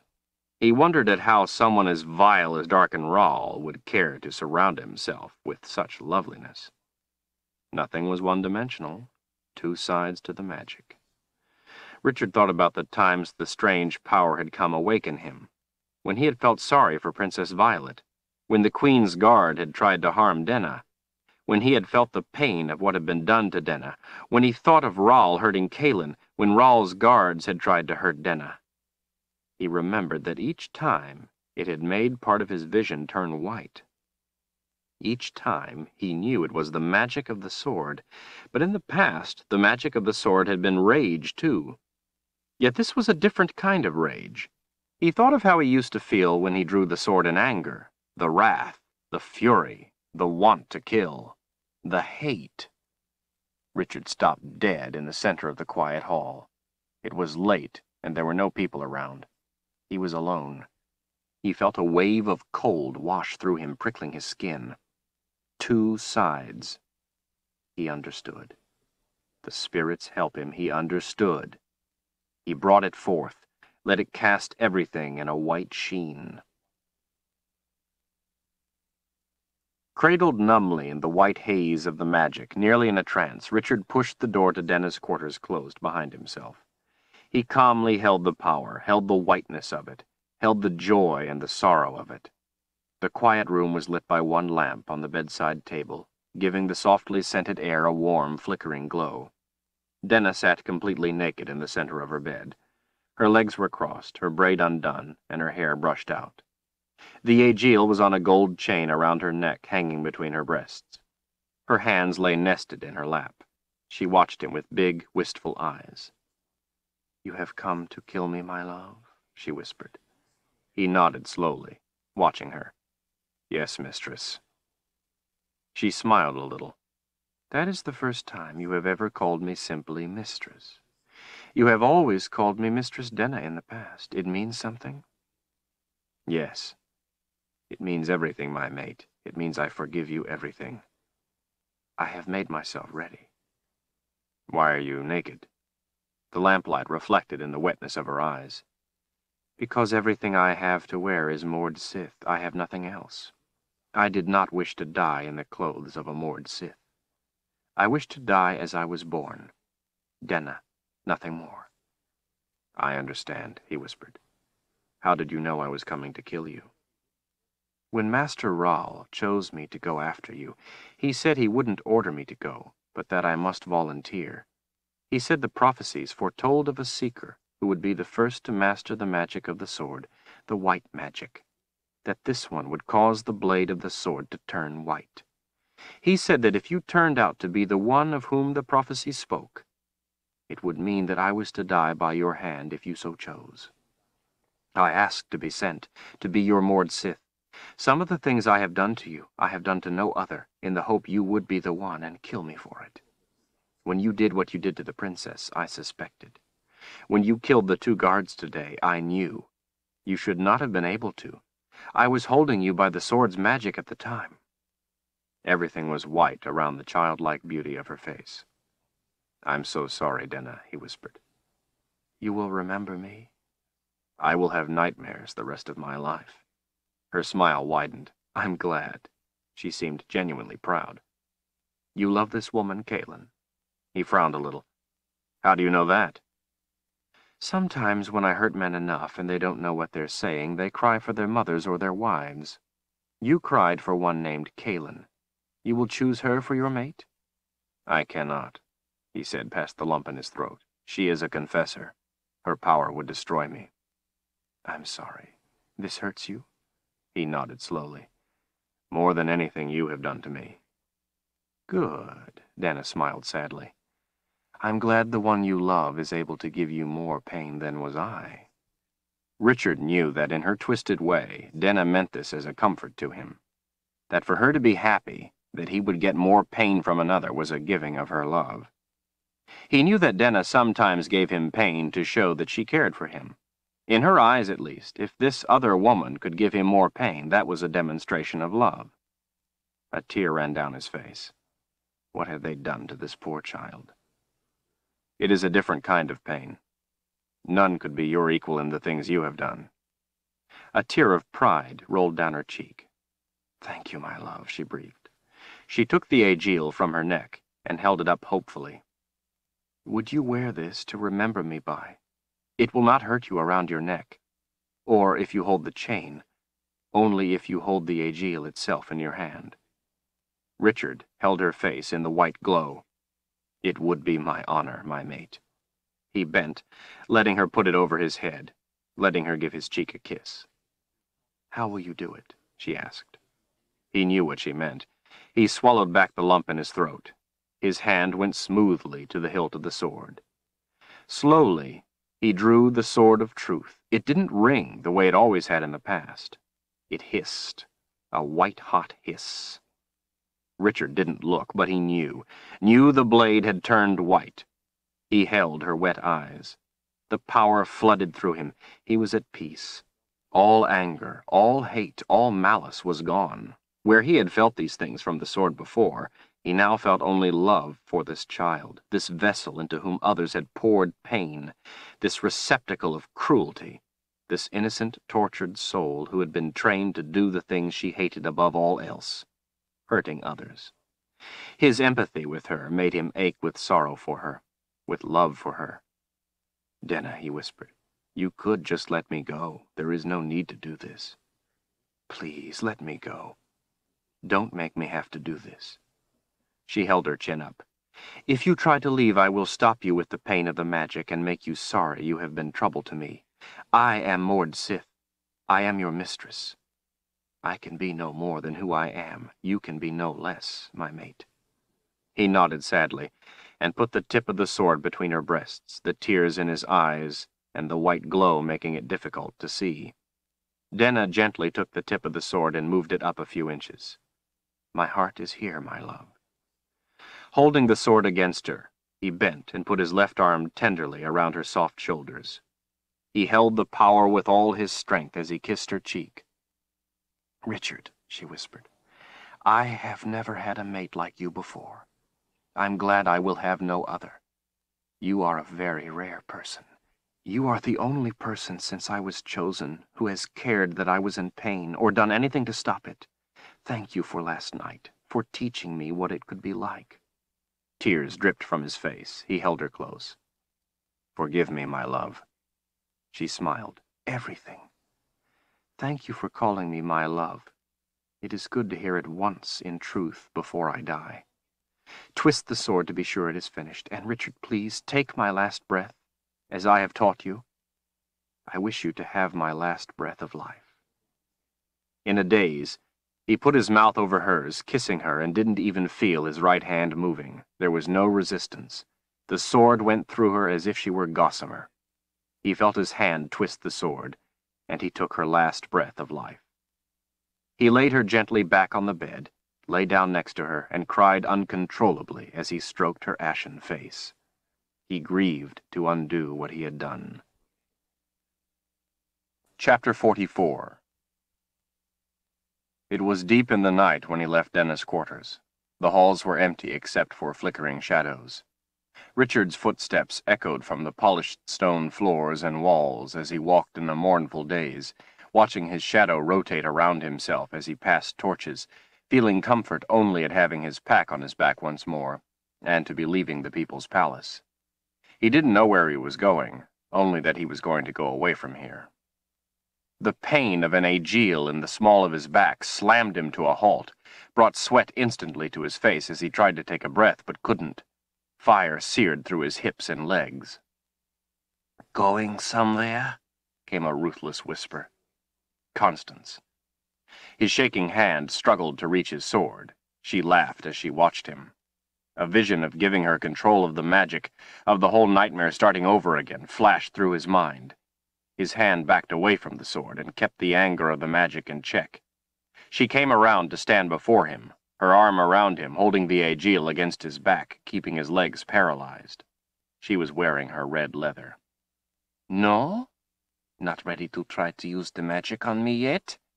You will. You will try before long. You will try to save yourself with it. She smiled. Save yourself the extra pain. Use it now. Maybe I will have mercy on you if you try it now. Richard thought about all the ways Denna had given him pain, and how she had taught him to tolerate it so she could give him more. He brought to bear everything he had learned. He controlled the pain, blocking it enough to draw a deep breath. He swept his left arm around Constance, forcing her body tight against himself. He grabbed the Agiel in his fist, Denna's Agiel hanging from his neck. Pain shot up his arm. He endured it, dismissed it. Constance gave a grunt as he lifted her off her feet, pulling her up his body. She tried to press her Agiel harder into his back, but she didn't have the leverage, and he had her arm pinned so she couldn't move it. When he had lifted her high enough, her contorted face in front of his, he pressed Denna's Agiel to her chest. Her eyes widened. Her expression slackened. Richard remembered Denna holding her Agiel against Queen Milena in this manner. It had the same effect on Constance. She shook, easing the pressure against his back. Still it was hurting him, as was the Agiel in his hand. Richard gritted his teeth against the pain. I'm not going to kill you with the sword. To do that, I would have to forgive you everything. I could never bring myself to forgive you for betraying a friend. I could forgive your deeds against me, but not those against your friend Denna. That is the one thing I could never forgive. Constance gasped with the agony. Please. Promise made, he sneered. No, please don't.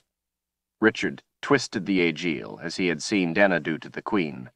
Constance flinched and went limp in his grip. Blood ran from her ears.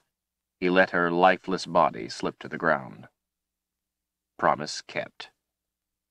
Richard stared a long time at the Agiel held tightly in his fist before he realized it was causing pain and released it at last to hang from its chain around his neck. He looked down at the dead Mord Sith as he caught his breath. Thank you, Denna, he thought, for teaching me to endure the pain. You have saved my life. It took him the better part of an hour to find his way out of the labyrinth of halls, out into the frigid night, to the expanse of grounds. He kept a tight grip on the hilt of the sword as he went past two big guards at the open gate through the outer wall, but they only gave a polite nod of their heads, as if he were an invited guest departing after a royal dinner. He stopped, gazing out at the starlit country before him. He had never been so happy to see stars. He turned about, looking at everything. The People's Palace, surrounded by imposing sheer walls, sat atop an immense plateau that dropped off before him to a plain. The plateau stood hundreds of feet above the barren land, but there was a road cut into the cliffs, switching back and forth, descending to the flat land. Horse, sir? Richard spun around. One of the guards had spoken to him. What?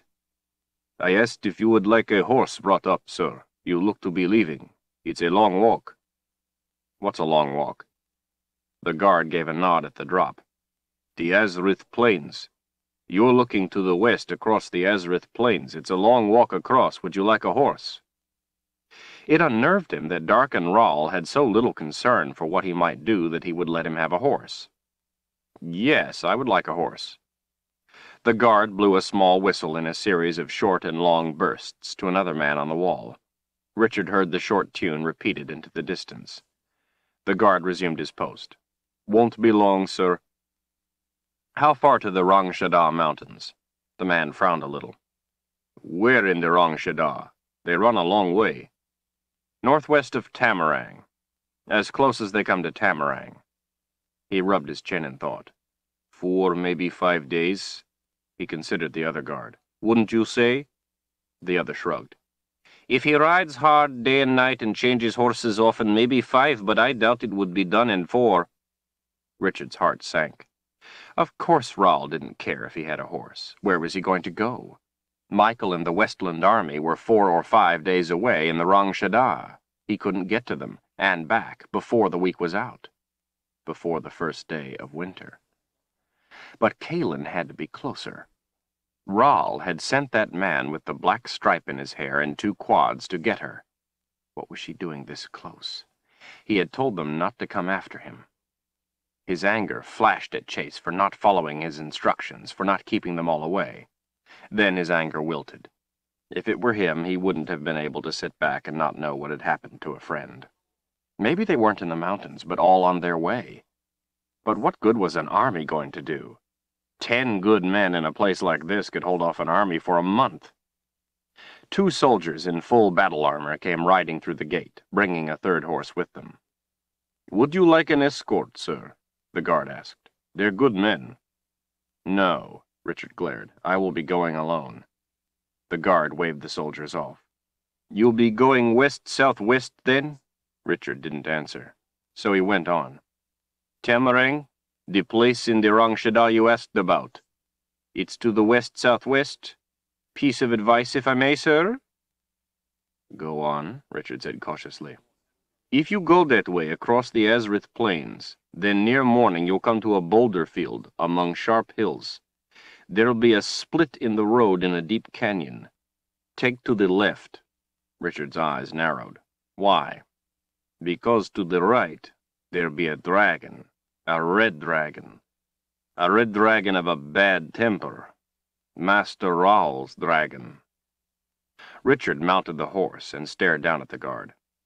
Thanks for the advice. I'll remember.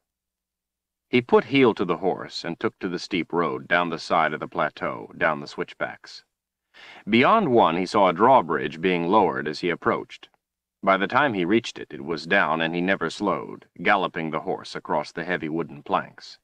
He could see that the road was the only practical way up the cliffs of the plateau, and the yawning gap spanned by the bridge would prove an impasse to any advancing army. Even without the formidable force of defenders he knew was behind him, even without Darken Rahl's magic, the simple inaccessibility of the People's Palace was defense enough. As he rode, Richard unbuckled the hated collar and flung it into the night.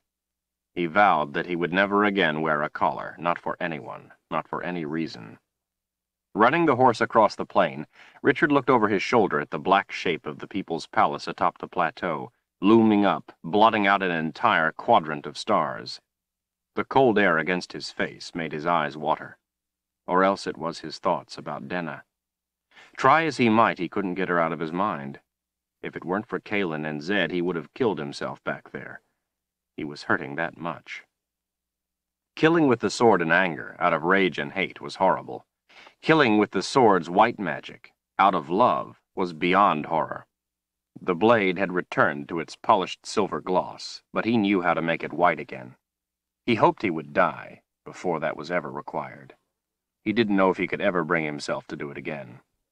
And yet here he was, racing across the night, on his way to find Zedd and Kahlan, to find which of them had betrayed the box to Darken Rahl, had betrayed everyone to Darken Rahl. The whole thing didn't make any sense.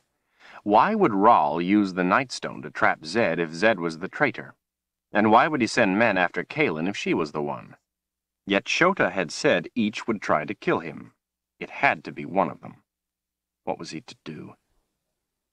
Turn the sword white and kill both? He knew that was foolish. He would rather die himself first than harm either. But what if Zedd was betraying them, and the only way to save Kahlan would be to kill his old friend? Or what if it was the other way around? Would he still rather die first then? The important thing was to stop Rahl. He had to recover the last box. He had to stop wasting his energy thinking about things he couldn't know. All that mattered was stopping Rahl, then everything else would fall into place. He had found the box once. He would have to find it again. But how? There was no time. How was he going to find Zedd and Kahlan? He was one man on a horse, and there was a whole country to search. They wouldn't be traveling by road, not if Chase was with them. Chase would keep them off the roads, well hidden. Richard didn't know the roads, much less the trails. This was a fool's task. There was too much country to search. Darken Rahl had planted too many doubts in him. Swirling thoughts twisted on themselves, became more and more confusing, hopeless. He felt that his own mind was his worst enemy right now. Richard cleared his mind and chanted the devotion to keep himself from thinking. He smiled at the stupidity of chanting a devotion to a man he wanted to kill, but he chanted anyway, as he rode on into the night. Master Rahl, guide us. Master Rahl, teach us. Master Rahl, protect us. In your light we thrive. In your mercy we are sheltered. In your wisdom we are humbled. We live only to serve. Our lives are yours. Twice he walked the horse to rest it, but pushed on hard the rest of the time. The Azrith plains seemed endless, the flat country devoid of almost all vegetation stretched on forever. The chanting helped him keep his mind clear of all thoughts except one the horror of killing Denna. That memory he couldn't shake. Those tears he couldn't keep back. Dawn brought him his own shadow to chase. Boulders appeared, looking out of place on the flat ground, casting long shadows of their own. They gathered in numbers as he rode. The terrain began undulating, opening up in gullies, rising in ridges. He rode through narrow passes and rifts, down a canyon with walls of crumbling rock. The road took a bend to the left, with a narrower road to the right. Richard took the horse to the left, remembering what the guard had told him. Out of the clearness of his mind, a thought came to him. Richard brought the horse to a skidding halt. He looked off down the right road. He thought about it a minute, then pulled the reins to the right, urging the animal on down the right-hand road. Darken Rahl had told him he was free to go where he pleased, had even let him have a horse so he might go where he wished. Maybe Darken Rahl wouldn't mind if Richard borrowed his dragon. Letting the horse pick its own way, he watched carefully all about, resting his hand on the hilt of the sword. Surely a red dragon wouldn't be hard to spot. There was no sound but the horse's hooves on the hard ground. Richard didn't know how far it was, and rode for a long time among the rubble of boulders on the canyon floor. He began to worry that the dragon was gone, that maybe Rahl himself was riding it somewhere. Maybe to get the box. He didn't know if his present course was a good idea, but it was the only idea he could think of. A blinding burst of fire erupted with a deafening roar. The horse reared. Richard leapt off, landed on his feet, and scrambled behind a boulder as the air was filled with flying stones and fire. Shards of rock ricocheted past his head. He heard the horse thud to the ground and smelled burnt hair. It screamed a terrible neigh until there was a snapping of bones. Richard crouched tighter against the rock, afraid to look. As he listened to the periodic roar of fire, the breaking of bones, the ripping of flesh, Richard decided that this had been a very stupid idea. He could hardly believe the dragon was so well hidden that he hadn't even seen it. He wondered if it had seen him dive behind the boulder, at least for the moment it didn't seem so. He searched about for a way to escape, but the terrain was too open to run without being seen. The sound of the horse being eaten made his stomach turn. At last it ended. He wondered if dragons took naps after they ate. There were a few snorts. The snorts came closer. Richard tried to make himself smaller. Talons rasped over the boulder he was hiding behind and lifted it right off the ground, tossing it aside. Richard looked up into piercing yellow eyes. Almost everything else was an intense red.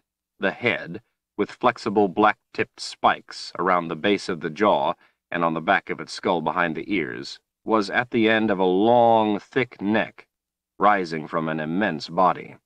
The sinewy tail terminated in black-tipped spikes, like the ones on the head, only stiff, hard. The tail swished idly, pushing rocks aside. As it flexed its wings, powerful muscles rippled beneath the glossy red interlocking scales on its shoulders. Razor-sharp teeth stained red from its recent meal sprouted just inside the snarling lips and lined the long muzzle. The beast snorted. Smoke rose from nostrils at the end of the tapered snout. What have we here? came a decidedly female voice. A tasty treat? Richard sprang to his feet and drew the sword, sending its ring into the air. I need your help. Only too glad to help you, little man, but not until after I eat you. I'm warning you, stay back. This sword has magic. Magic? The dragon gasped in mock fright. It put a claw to its breast. Oh, please, brave man, don't slay me with your magic sword. It made a smoky rumble that Richard took for laughter. Richard kept the sword out, but felt suddenly foolish. You intend to eat me, then? Well, I must admit more for the amusement than the taste. I had heard red dragons were an independent sort but that you are little more than a lapdog to Darken Rahl. A ball of flame boiled from the mouth, rising into the air.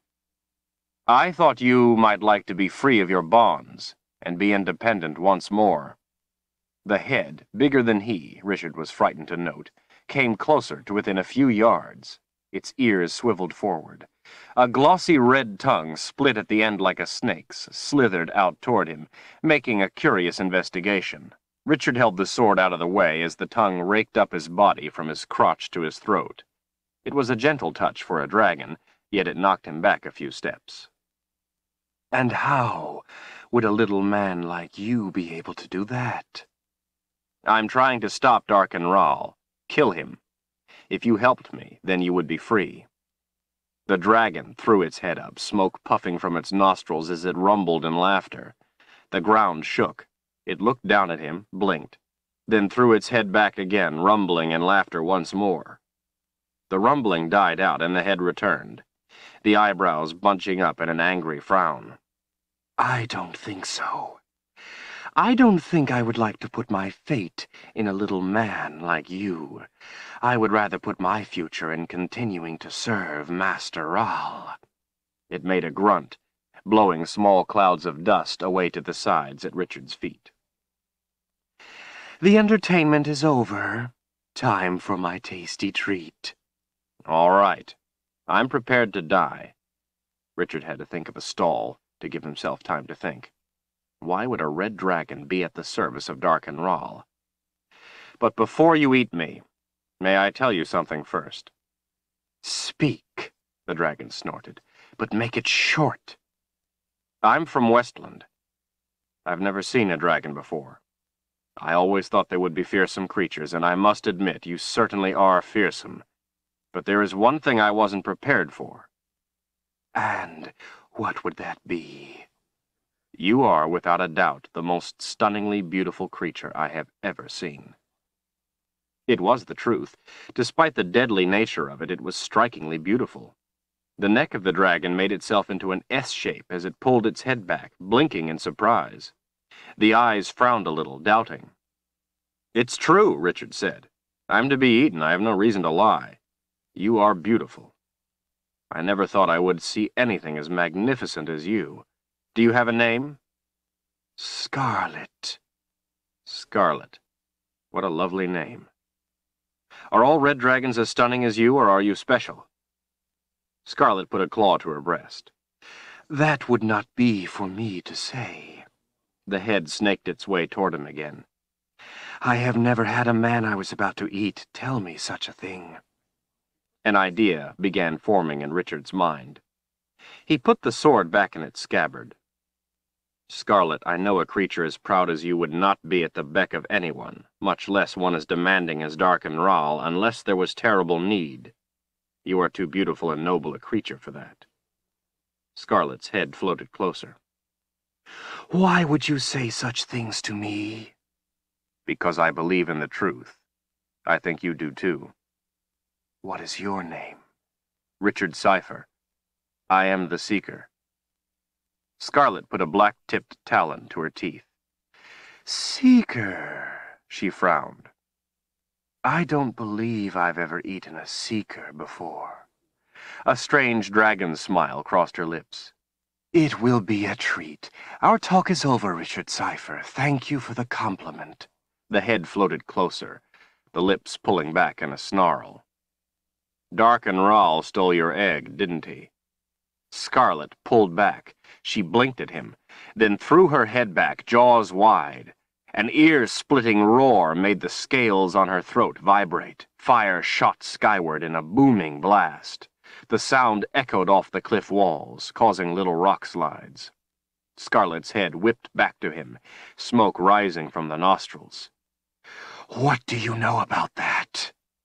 I know that a proud creature such as you would not subject herself to such demeaning duties, except for one reason, to protect something important, like her young. So you know. That will not save you, she snarled. I also know where Darken Rahl is keeping your egg. Where? Richard had to dive to the side to avoid the flames. Tell me where it is. I thought you wanted to eat me now. One eye came close.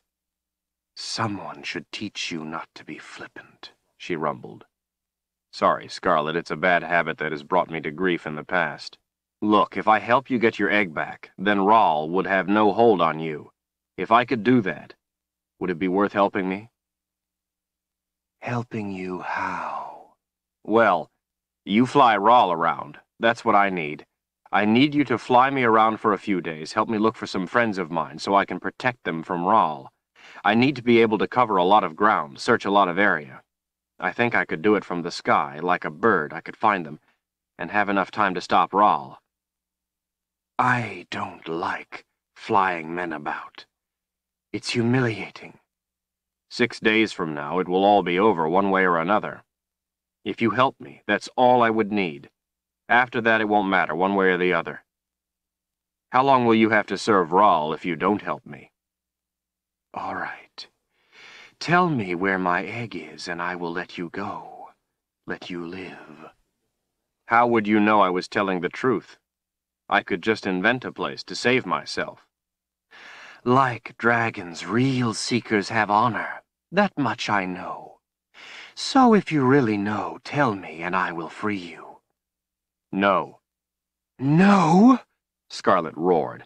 What do you mean, no? I don't care about my life. Just as you, I care about things more important. If you want me to help you get your egg back, then you will have to agree to help me save the ones I care about. We will get the egg first, then you help me. I think it more than a fair trade. The life of your offspring in exchange for flying me about for a few days. Scarlet's piercing yellow eye came close to his face, her ears swiveled forward. And how do you know that once I have my egg, I will keep my end of the bargain? Because, Richard whispered, you know what it is like to fear for the safety of another, and you have honor. I have no choice. I don't know any other way to save my friends from living the rest of their lives as you are living now, under the heel of Darken Rahl. I will be putting my life at great risk to save your egg. I believe you to be a creature of honor.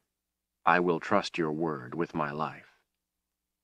Scarlet gave a snort, backing away a little, peering at him. She folded her huge wings against herself. Her tail swished about, knocking stones and a few small boulders skidding across the ground. Richard waited. One arm came forward.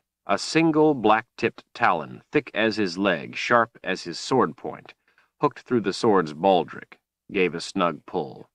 Her head came close. Bargain struck. On your honor, on mine, Scarlet hissed. But I have not given my word I will not eat you at the end of the six days. If you help me save my friends and stop Rahl, I don't care what you do to me after that. Scarlet snorted. Are short-tailed gars a threat to dragons? The dragon unhooked her talon from him. Gars! She spat the name. I have eaten enough of them. They are no match for me, not unless there were eight or ten together. But gars don't like to gather together in numbers, so that's not a problem. It's a problem now. When I saw your egg, there were dozens of gars around it. Scarlet gave a grunt, and tongues of flame licked out between her teeth. Dozens. That many could pull me from the sky, especially if I were carrying my egg. Richard smiled. That's why you need me. I will think of a plan. Zedd screamed. Kahlan and Chase both jerked back.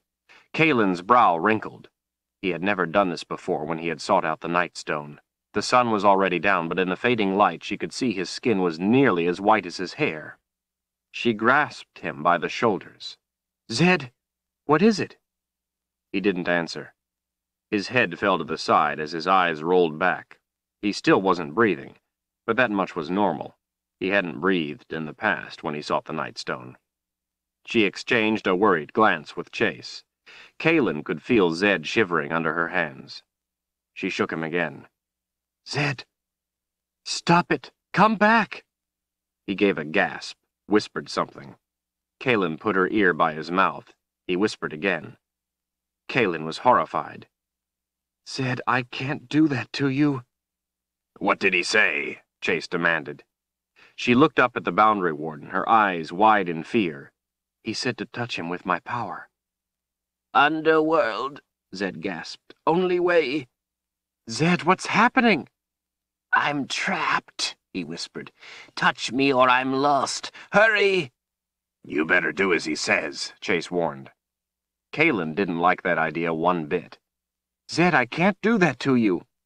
It's the only way to break the hold. Hurry! Do it, Chase bellowed. There's no time to argue. May the good spirits forgive me, she whispered, as she closed her eyes. She felt trapped by panic. She had no choice. Dreading what she was going to do, her mind fell silent, calm. In the calm, she relaxed her restraint. She felt her power build, taking her breath away. Released, the power slammed into the wizard. There was a hard impact to the air all about, thunder with no sound. Pine needles rained down all about. Leaning over them, Chase gave a little grunt of pain. He was closer than he should have been. Silence fell over the woods. Still, the wizard did not breathe. Zedd stopped shaking. His eyes came down. He blinked a few times. His hands came up, and he gripped Kahlan's arms. With a gasp, he took a breath. Thank you, dear one, he managed through the deep breaths. Kahlan was surprised that the power, the magic, didn't seem to have taken him. It should have. She was relieved it hadn't, but astonished. Zedd, are you all right? The wizard gave a nod. Thanks to you. But if you hadn't been here, or had waited any longer, I would have been trapped in the underworld. Your power has brought me back. Why didn't it change you? Zedd straightened his robes, seeming a little embarrassed at his helpless predicament. Because of where I was, he held his chin up. And because I'm a wizard of the First Order. I used your confessor's power as a lifeline to find my way back. It was like a beacon of light in the darkness. I followed it back without letting it touch me. What were you doing in the underworld? Chase asked, before she had a chance. Zedd gave a cross look to the boundary warden and didn't answer. Kahlan's worry surged. Zedd, answer the question. This never happened before. Why were you pulled into the underworld?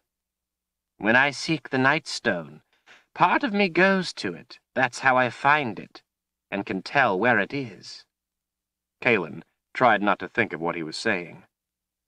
But the Nightstone is still in D'Hara. Richard is still in D'Hara.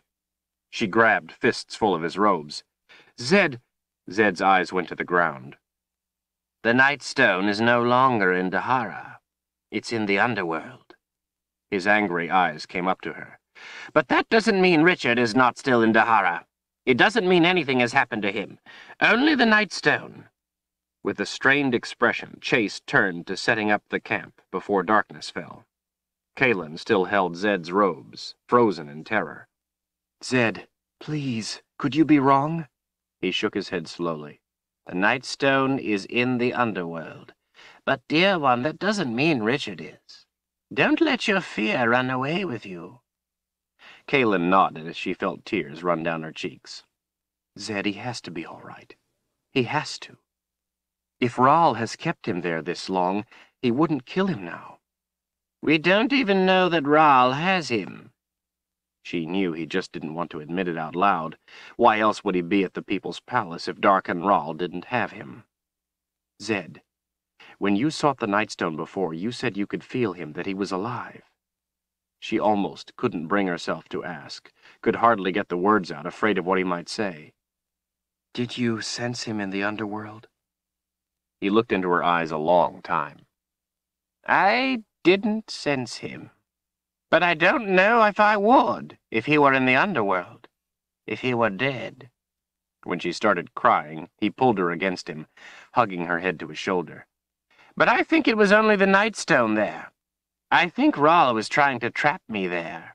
He must have gotten the Nightstone from Richard, must have sent it to the underworld to snare me. We're still going after him, she cried. I'm not turning back. Well, of course we are. Kahlan felt a warm tongue on the back of her hand. She stroked the wolf's fur, smiled over at him. We'll find him, Mistress Kahlan. Don't you worry. We'll find him. Brophy's right, Chase called over his shoulder. I'm even looking forward to the lecture we'll be getting about coming after him. The box is safe, the wizard said. That's what matters. Five days from tomorrow is the first day of winter, and then Darken Rahl will be dead. We will have Richard back after that, if not before. I'll get us there before then, if that's what you're getting at, Chase grumbled. Chapter 45 Richard held the thick spines on Scarlet's shoulders in a death grip as she made a banking turn to the left. He had learned, much to his amazement, that when she leaned into a turn, it didn't make him slide off the side, but pressed him harder against her. Richard found the experience of flying at once exhilarating and frightening, like standing on the edge of an impossibly high cliff that moved.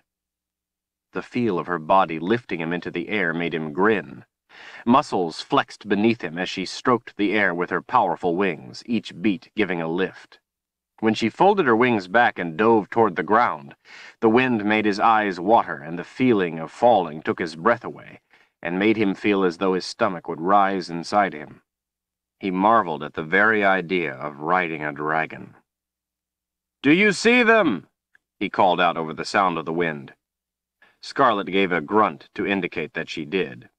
In the fading light, the gars looked like black dots moving about on the rocky ground below. Steam trailed up from Fire Spring, and even this high up Richard could smell the acrid fumes. Scarlet rose steeply into the air, making his legs press against her as she lifted them higher. Then she rolled into a sharp bank to the right. There are far too many, she called back. Her head tilted behind, one yellow eye peering at him. Richard pointed. Go down there behind those hills and don't let them see us. Scarlet climbed with strong strokes. When they were higher than they had been so far, she glided away from Fire Spring. She swooped down between the rocky slopes, threading her way back toward where Richard had told her to land. With a silent flutter of wings, she gently settled on the ground near the mouth of a cave and lowered her neck so he could climb down. Richard knew she didn't want him on her back any longer than necessary. Her head swung around toward him, her eyes angry, impatient. There are too many Gars. Darken Rahl knows I can't fight that many. That's why there are so many there, in case I ever found my egg. You said you would think of a plan. What is it? Richard glanced over at the mouth of the cave. The Shadrin's Cave. Kahlan had told him. We need a diversion, something to distract them while we get the egg. While you get the egg, Scarlet corrected, with a little flame to make her point. He looked over at the cave again. One of my friends told me the cave goes all the way through to where the egg is. Maybe I could go through, snatch the egg, and bring it back. Get going. Shouldn't we discuss if it's a good idea? Maybe we could think of something better. I've also heard there might be something in the cave. Scarlet brought her angry eye closer to him. Something in the cave? She snaked her head around to the opening and sent a horrific blast of fire into the darkness. Her head came back. Now there's nothing in the cave. Go get my egg. The cave was miles long. Richard knew the fire wouldn't have harmed anything farther back. He also knew he had given his word. Collecting cane reeds growing nearby, he bound them together with a sinewy vine into several bundles. He held one bundle up to Scarlet as she watched him. Light the end of this for me? The dragon pursed her lips and blew a thin stream of flame across the end of the cane reeds. You wait here, he told her. Sometimes it's better to be small than big. I won't be spotted so easily. I'll think of something and get the egg and bring it back through the cave. It's a long way. It may take until morning before I'm back. I don't know how close the Gars will be behind me, so we might need to leave in a hurry. Stay sharp, all right? He hooked his pack over a spine on her back. Keep this for me. I don't want to carry more than I have to. Richard didn't know if a dragon could look worried, but he thought she did. Be careful with the egg, It will hatch soon, but if the shell is broken now before its time... Richard gave her a reassuring smile. Don't worry, Scarlet. We're going to get it back. She waddled to the cave entrance behind him, poking her head in, watching him disappear inside. Richard Cypher, she called after him, her voice echoing.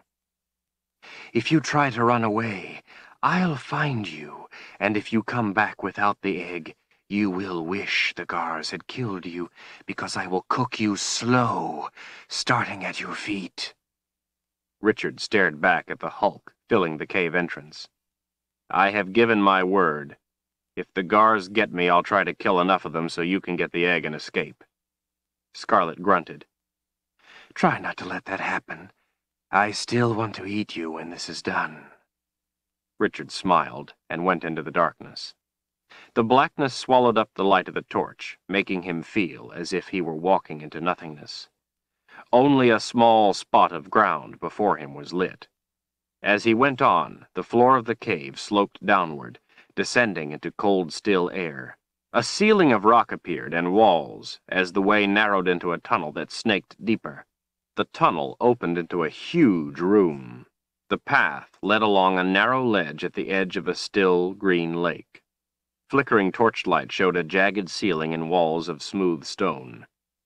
The ceiling sloped downward as he went on into a wide, low passage. He had to bend over to pass through. For a good hour he walked hunched over, his neck starting to hurt from holding it sideways. Occasionally, he pressed the torch to the rock ceiling to shed its ash and keep it burning brightly. The darkness was oppressive. It surrounded him, followed him, sucked him deeper, calling him onward with unseen sights. Delicate, colorful formations of rock grew like vegetation, flowering and blossoming from solid rock. Sparkling crystals flashed at him as he passed with the torch, its flame the only sound, echoing back to him from the blackness. Richard went through rooms of astounding beauty. Into the darkness rose immense columns of rippled stone, some ending before they reached their destination, with mates hanging down trying to meet them halfway. Crystalline sheets flowed over the walls in places like melted jewels. Some passages were clefts in the rock he had to squeeze through, other holes he had to traverse on hands and knees. The air had an odd lack of smell. This was a place of perpetual night, no light, nothing alive ever touched it. As he walked on and on, warm from the effort, the chill of the air made steam rise from his skin. When he held the torch near his other hand, he could see vapor rise from each finger, like life's energy draining away. Although it wasn't frigid, the way winter was frigid. It was the kind of cold that would bleed a person of all their heat if they stayed here long enough. A slow, sucking death. Without the light, he would be lost in a matter of minutes. This was a place that could kill the unwary, or the unlucky. Richard checked the torch and extra cane reeds often. Eternal night wore on slowly. Richard's legs were tired from the constant climbing and descending. In fact, all of him was tired. He hoped the cave would end soon. It seemed he had walked the whole night. He had no idea of time. The rock closed around him. The flat shelf of the roof lowered until he was walking hunched over again, and lowered more until he was on his hands and knees. The ground cold and wet with slimy mud that smelled of rot. It was the first thing he had smelled in a long time. His hands were cold with the wet, stinking mud. The way diminished to a single small opening, a black hole in the torchlight. Richard didn't like how small it looked. Air moaned through the passage, making the flame flap and whip. He held the torch into the hole, but could see nothing but blackness beyond. He pulled back the torch, wondering what he should do. It was an awfully small hole, flat on the top and bottom, and he had no idea how long it was or what was through on the other side. Air was coming through, so it must lead to the other end of the cave, to the Gars, the egg. But he didn't like how small it was. Richard backed away. There might be other routes from farther back, in one of the other rooms. But how much time could he waste searching only to fail? He came back to the hole, staring at it with rising dread. Trying not to think about his fear, he took off the sword, held it with the spare reeds and torch out ahead of himself, and pushed into the hole. He was immediately frightened of the way the rock pressed against him, top and bottom. Arms straight out, head turned sideways, he wriggled his way in deeper. The closeness increased, making him wiggle and snake his way inches at a time. Cold stone pressed against his back and chest. He couldn't take a deep breath. The smoke from the torch burned his eyes. He squeezed deeper, tighter. He rocked his shoulders forward and back, pulling one leg a few inches, then the other, feeling like a snake trying to shed its skin. The torch showed only blackness ahead. Anxiety gripped him. Just get through, he told himself. Just push ahead and get through. With the toes of his boots braced against rock, Richard gave himself a push as he wiggled. The push wedged him tight. He tried to push again. He didn't move. Angry, he pushed harder. Still he didn't move.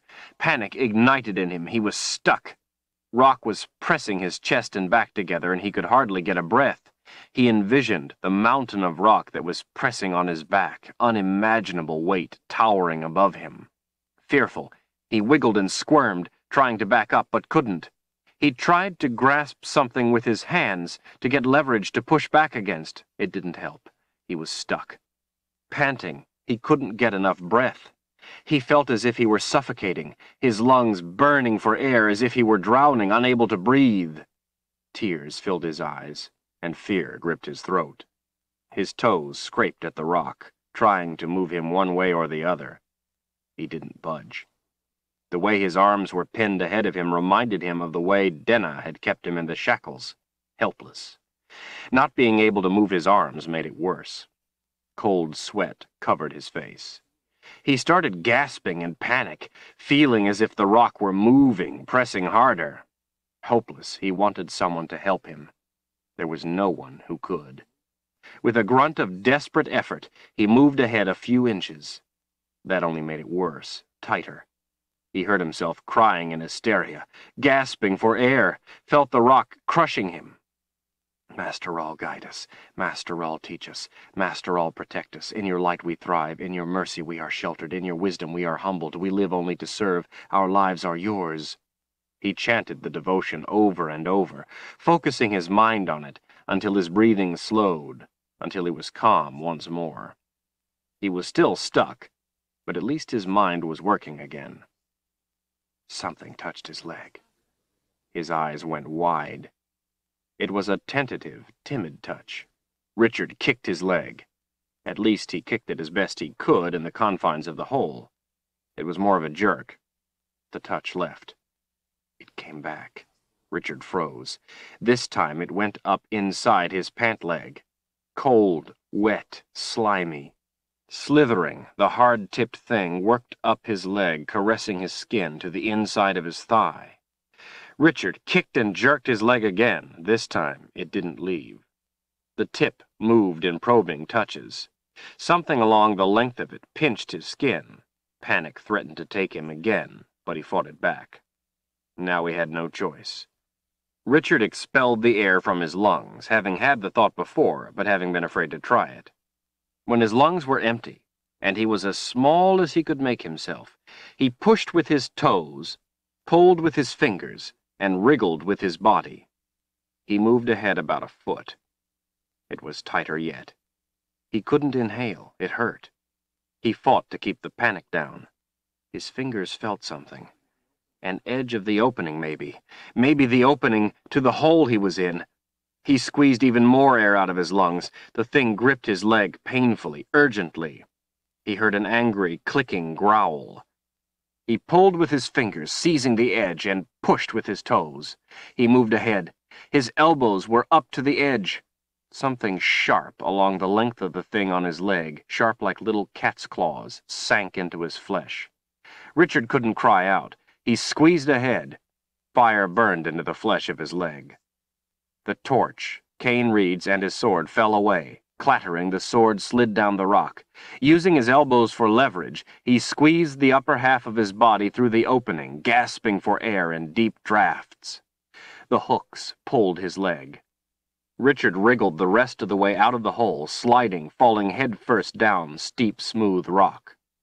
The torch burned on the curving bottom of the egg-shaped chamber. His sword was just beyond it. As he slid head first, his hands out in front, he stretched for his sword. The hooked claws and the flesh of his leg brought him up short, holding him upside down. Richard screamed out in pain, the sound echoing around the chamber. He couldn't reach the sword. Painfully, slowly, he was dragged back up by claws in his leg. They tore the flesh. He screamed again. Another appendage slipped up the other pant leg, feeling his calf muscle with its hard tip. Richard pulled his knife and twisted himself in half to reach the thing that held him. Over and over he drove the blade into it. From deep in the hole came a high-pitched squeal. The claws retracted. Richard fell, sliding along the rock, coming to a stop next to the torch. Grabbing the scabbard in one hand, he drew the sword as snake-like appendages came out of the hole, wriggling about in the air, searching. They probed their way down the rock toward him. Richard swung the sword, lopping off several of the arms. With a howl, they all whipped back into the hole. There was a low growl from the depths of the blackness.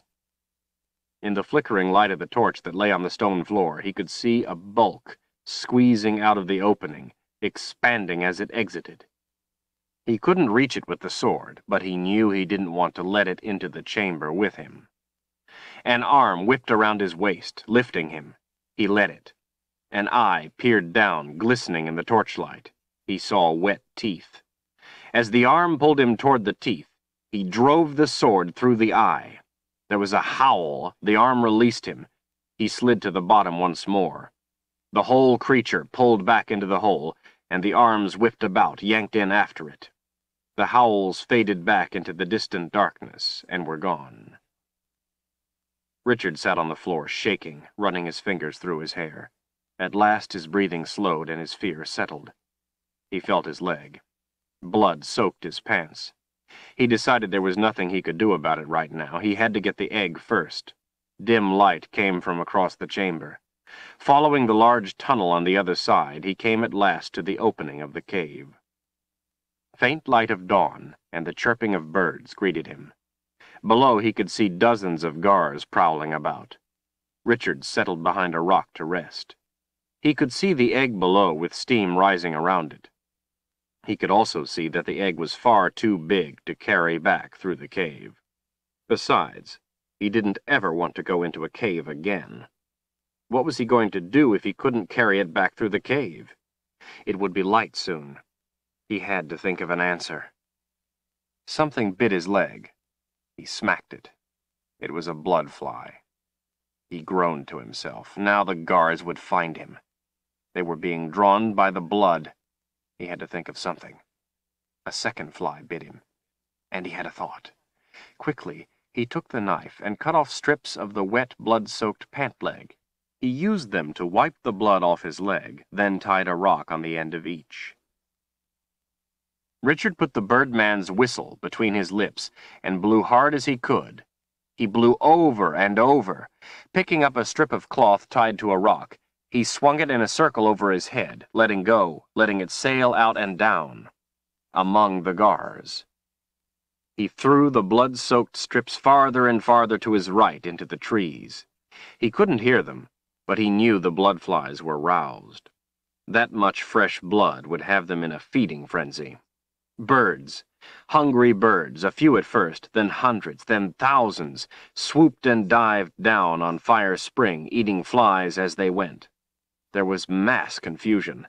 Gars howled as the birds swooped up and pecked flies off their bellies or snatched them from the air. Gars were running everywhere. Some took to the air.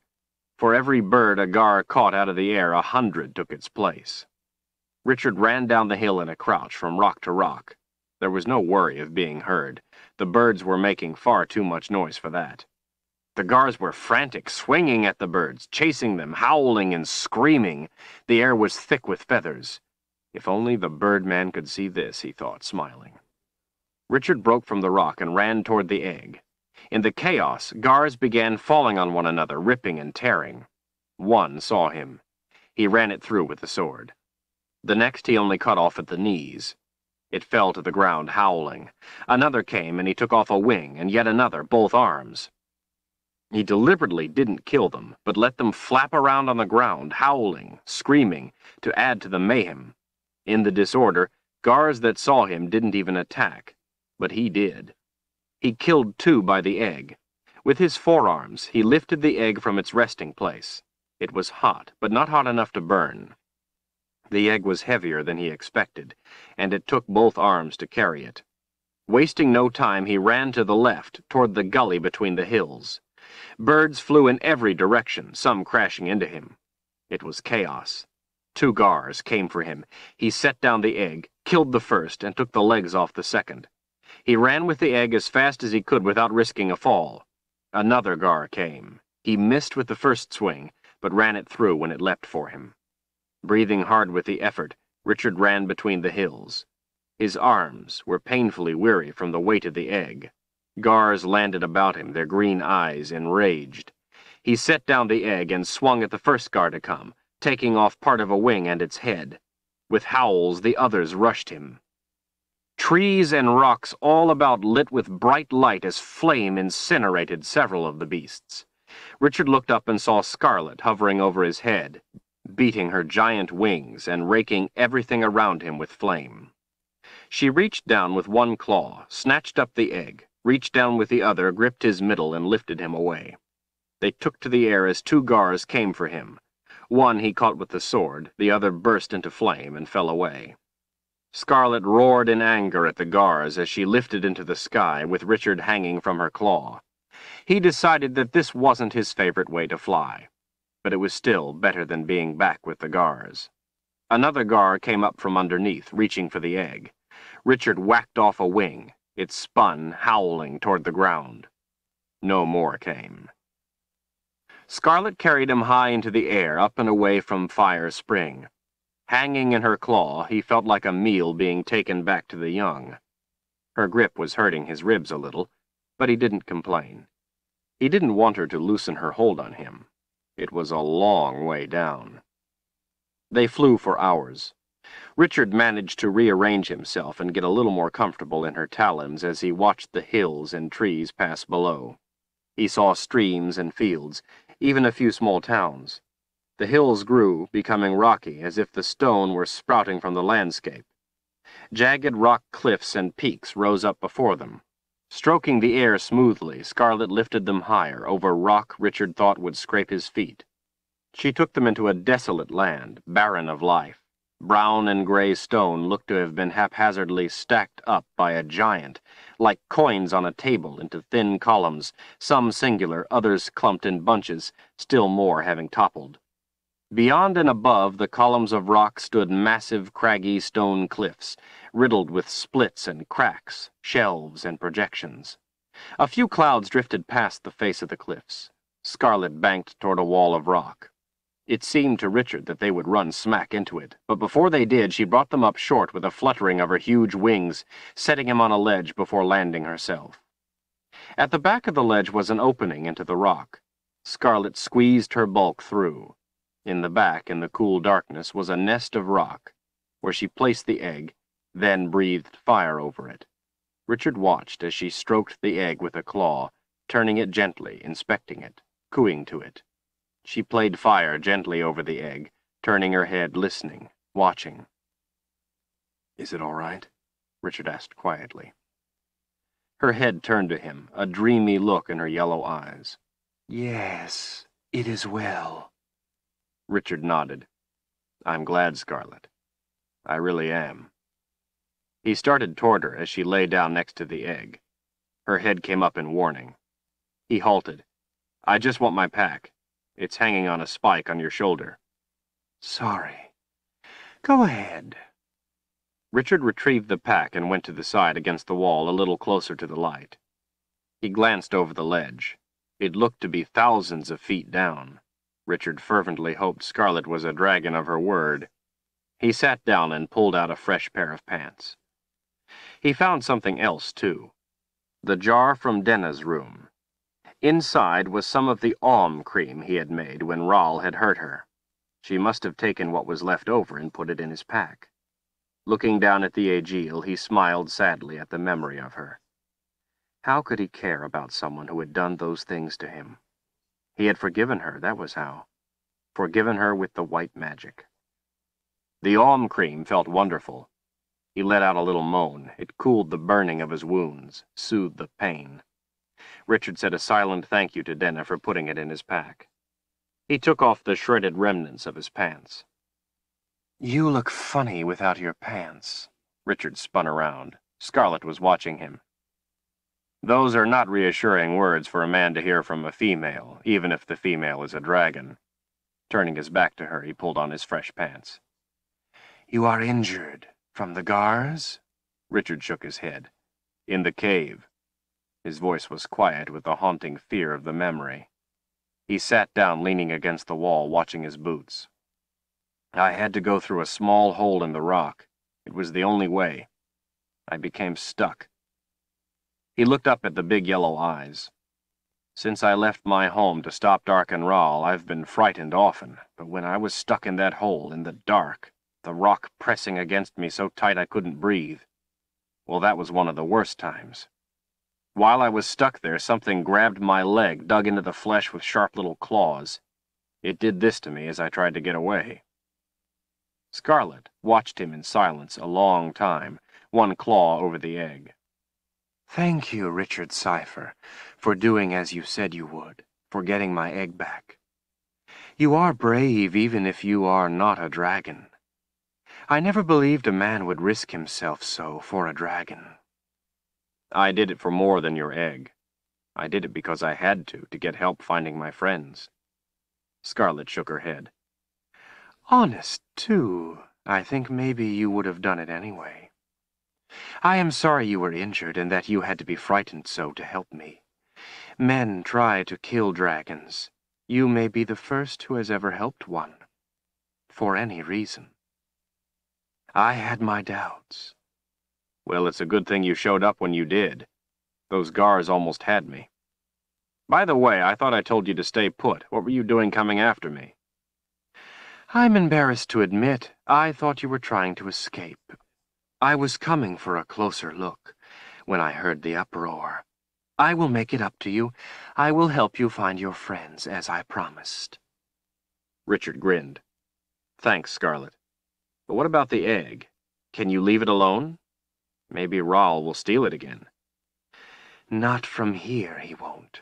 I searched a long time for this place after he stole my egg. So, if I ever got it back, I would have a safe place for it. He will not be able to reach it here. As for leaving it, that is not a problem. When dragons hunt for food, they simply heat the rock with their flame to keep the egg warm in their absence. Scarlet, time is short. When can we start? Right now. Chapter 46 It was a frustrating day. Scarlet flew low over thick woods as they both scanned the roads and trails. Richard was discouraged that they had seen no sign of his friends. He was so exhausted that he could hardly hold on to Scarlet's spikes as she flew him over the land, searching, but he didn't want to rest.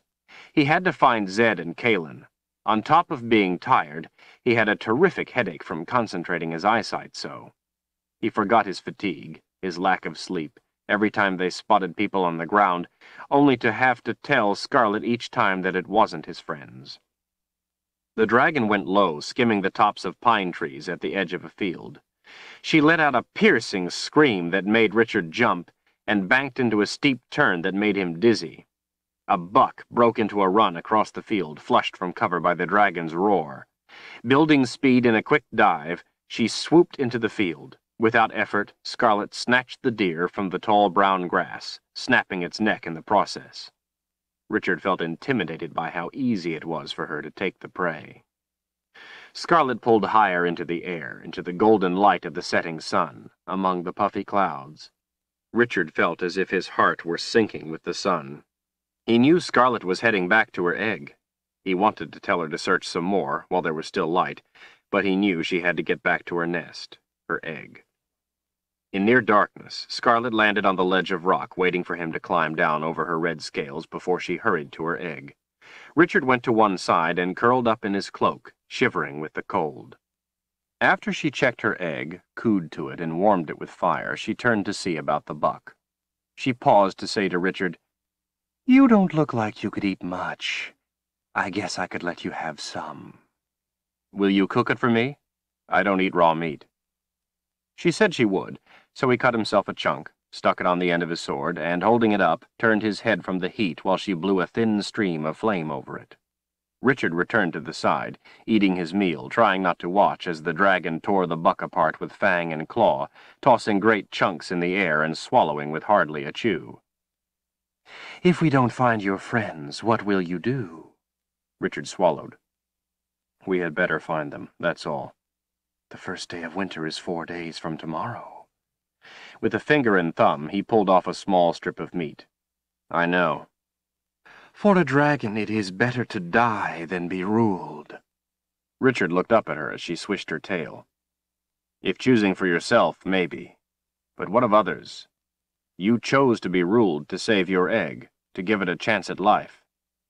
Scarlet grunted without answering and turned once more to her egg, stroking her talons over it.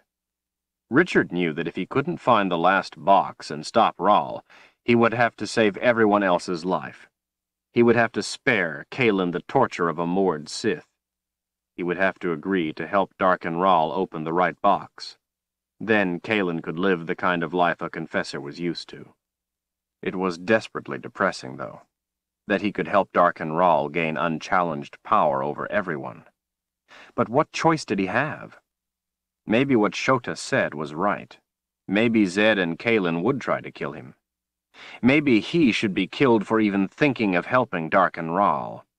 If he had to choose, though, he would not let Kahlan be hurt by a Mord Sith. He would have to help Rahl. Richard lay back down, too sick at his choices to finish his meal.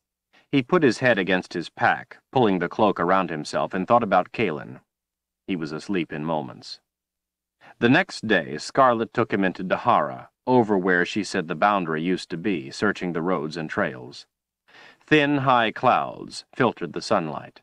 Richard hoped his friends wouldn't be this close to Darken Rahl, but if Zedd had sought the Nightstone before Rahl had destroyed it, and knew he had been at the People's Palace, they would be heading there. The dragon swept low over people they saw, giving them a fright, but they weren't the ones he sought. Near midday, Richard saw them. Zedd, Chase, and Kahlan were riding horses on a trail near the main road. He yelled at Scarlet to take them down. The dragon rolled into a banking turn, diving toward the ground, a streak of red. The three riders saw them coming, stopped, and dismounted. Scarlet spread her crimson wings, stopping their descent, and set them in a clearing next to the trail. Richard jumped off, running as he hit the ground. The three stood, holding the reins to their horses. Chase held a mace in his other hand.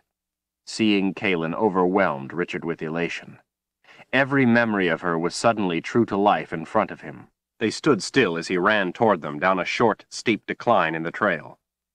Richard watched the ground so he wouldn't trip over roots. When he looked up, Wizard's fire was wailing toward him. He froze in surprise. What was Zedd doing? The ball of liquid fire was bigger than any he had seen before. It illuminated the trees all around with its blue and yellow flame, shrieking as it advanced. Richard watched, wide-eyed, as it came, tumbling, twisting, expanding. With the fright of what was about to happen, Richard's hand went to the hilt, feeling the word truth press into the flesh of his palm. With a strong pull, he drew the sword, sending metallic ringing into the air. Released, the magic raced instantly through him. The fire was almost there. As he had done when he had been with Shota, he held the sword up, gripping the hilt in one hand, the point in the other, arms locked, holding it before him as a shield. Wrath took him at the thought of Zedd betraying them. It couldn't be Zedd. The impact drove him back a step. Heat and fire was all around him. The anger of the wizard's fire exploded, scattering back into the air from where it came, and then it was gone. Zedd! What are you doing? Are you crazy? It's me, Richard! He advanced, angry. Angry that Zedd would do this, angry from the magic of the sword. The heat of his rage pounded through his veins. Zedd, in his simple robes, looking as thin and frail as ever, stood his ground. Chase, bristling weapons, looking as dangerous as ever, stood his. Zedd took Kahlan's arm in his stick-like hand and pulled her protectively behind himself. Chase started forward, the look in his eyes as dark as his clothes. Chase, Zedd cautioned in a low voice. Don't be a fool. Stay where you are. Richard looked from one grim face to another. What's the matter with you three? What are you doing here? I told you not to come after me. Darken Rahl has sent men to capture you. You must turn back. Zedd, his white hair in its usual disarray, turned a little to Kahlan but kept his eyes on Richard. Do you know what he's saying? Kahlan shook her head, pulling some of her long hair back. No, I think it's High D'Haran. I don't speak High D'Haran. High D'Haran? What are you talking about? What are... With a cold wave of understanding, he remembered. It was the enemy web Darken Rahl had put on him. They didn't recognize him. They thought he was their worst enemy. They thought he was Darken Rahl. Another thought came to him. Bumps ran up his arms to the back of his neck. Zedd, at least, thought he was Darken Rahl and had used wizard's fire against him. Zedd wasn't the traitor. That left only Kahlan. Could it be she saw him for who he really was? Choked with fear at the thought, he advanced toward her as his stare locked on her green eyes. Kahlan's back stiffened, her hands at her sides, her head held up. Richard recognized the stance. It was one of warning. Serious warning. He knew what her touch would do to him. He remembered Shota's warning that he might beat Zedd, but that Kahlan would not fail. Zedd tried to stay between them. Richard hardly noticed him as he pushed the old man out of the way. Zedd came up behind him and put his thin fingers on the back of Richard's neck. They gave a pain something like the Agiel had given. Fire burned through the nerves of his arms and all the way down his legs. Before all the time spent at the mercy of Denna, the wizard's fingers would have paralyzed him with pain. But Denna had spent a long time training him, forcing him to tolerate pain, to deal with this much and more. Zedd was a match for what Denna had been able to do, but Richard pulled resolve from deep within himself and put the pain from his mind, letting the anger of the sword take its place. He gave Zedd a look of warning. The wizard didn't back off. Richard gave him another shove. He pushed harder than he intended to, and Zedd tumbled to the ground. Kahlan stood frozen in front of him. Who do you see me as? the Seeker whispered. Darken Rahl or Richard? She trembled slightly, seemingly unable to move. Richard's eye was caught by something. His view flicked down for an instant, and he saw that he had the sword point at her throat, at the hollow of her neck. He hadn't been aware of putting it there. It was as if the magic had taken it there of its own accord. But he knew that wasn't true. He had put it there. That was why she was trembling. A drop of blood grew against her skin under the sword's point. If she was the traitor, he had to kill her. The blade had turned white. So had Kahlan's face. Who do you see? he whispered again. What have you done to Richard? Her whisper was ragged with rage. If you have harmed him, I swear I will kill you. He remembered the way she had kissed him. It was not the kiss of a traitor. It was a kiss of love. He realized there was no way he could kill her, even if his fear was true. But he knew now it wasn't. With tears in his eyes, he slid the sword into its scabbard. I'm sorry, Kahlan. May the good spirits forgive me for what I almost did. I know you can't understand me, but I'm sorry. Darken Rahl is using the wizard's first rule on me, trying to turn us against one another. He is trying to make me believe a lie. And I almost did. I know you and Zedd would never betray me. Forgive me for thinking it. What do you want? Zedd asked. We can't understand you. Zedd. He ran his fingers through his hair in frustration. How can I make you understand? He grabbed the wizard's robes in his fists. Zedd, where's the box? I have to have the box before Rahl finds it. We can't let him get it. Zedd frowned. Richard knew this was doing no good. None of them could understand him. He went to the horses and started searching through the packs. Look all you want. You'll never find it, the wizard smiled. We don't have the box. You are going to die in four days. Richard sensed something move behind him. He spun around. Chase had the mace raised. A stream of fire shot past between them. Scarlet kept the fire up until Chase stepped back. Some friends you have, the dragon grumbled. Darken Rahl put a wizard's web on me. They don't recognize me. Well, if you stay with them much longer, they are going to kill you. Richard realized that they wouldn't have the box, not if they were coming to D'Hara to save him. They wouldn't have risked taking the box to Rahl. The three of them silently watched him and the dragon. Scarlet, say something to them. See if they can understand you. The dragon's head swept closer to the three. This is not Darken Rahl, but your friend, hidden by a wizard's web. Can any of you understand me? The three stood mute. Aggravated, Richard stepped closer to Zedd. Zedd, please try to understand me. Don't seek the Nightstone. If you do, Rahl will trap you in the underworld. Try to understand. None of the three grasped a word he was saying. He had to get the box first. Then he would come back and protect them from the men Rahl had sent. Reluctantly, he climbed back up onto Scarlet. She kept a wary eye to the three, puffing a little smoke and flame in warning. Richard wanted desperately to stay with Kahlan, but he couldn't. He had to get the box first. Let's get out of here. We have to go find my brother. With a roar of flame, warning the three to stay back, Scarlet took to the air. Richard held her spikes tight. Her red scaled neck stretched out as she climbed into the sky among the drifting white clouds, weaving between them. He watched his three friends, watching back, until he could see them no more. He felt desperately helpless. He wished he could have seen Kahlan's smile just once. Now what? Scarlet asked over her shoulder. We have to find my brother. He should be with an army of about a thousand men, somewhere between here and the Rang'Shada. They shouldn't be as hard to find. They couldn't understand my words. The web must affect me too, since I'm with you. It must be a web for people, not dragons, for I see the truth. If these three wanted to kill you because of a wizard's web, surely the others will too. I can't protect you against a thousand men. I have to try. I'll think of something. Michael is my brother. I'll think of a way to make him see the truth. He's on his way with the army to help me. I need his help very badly.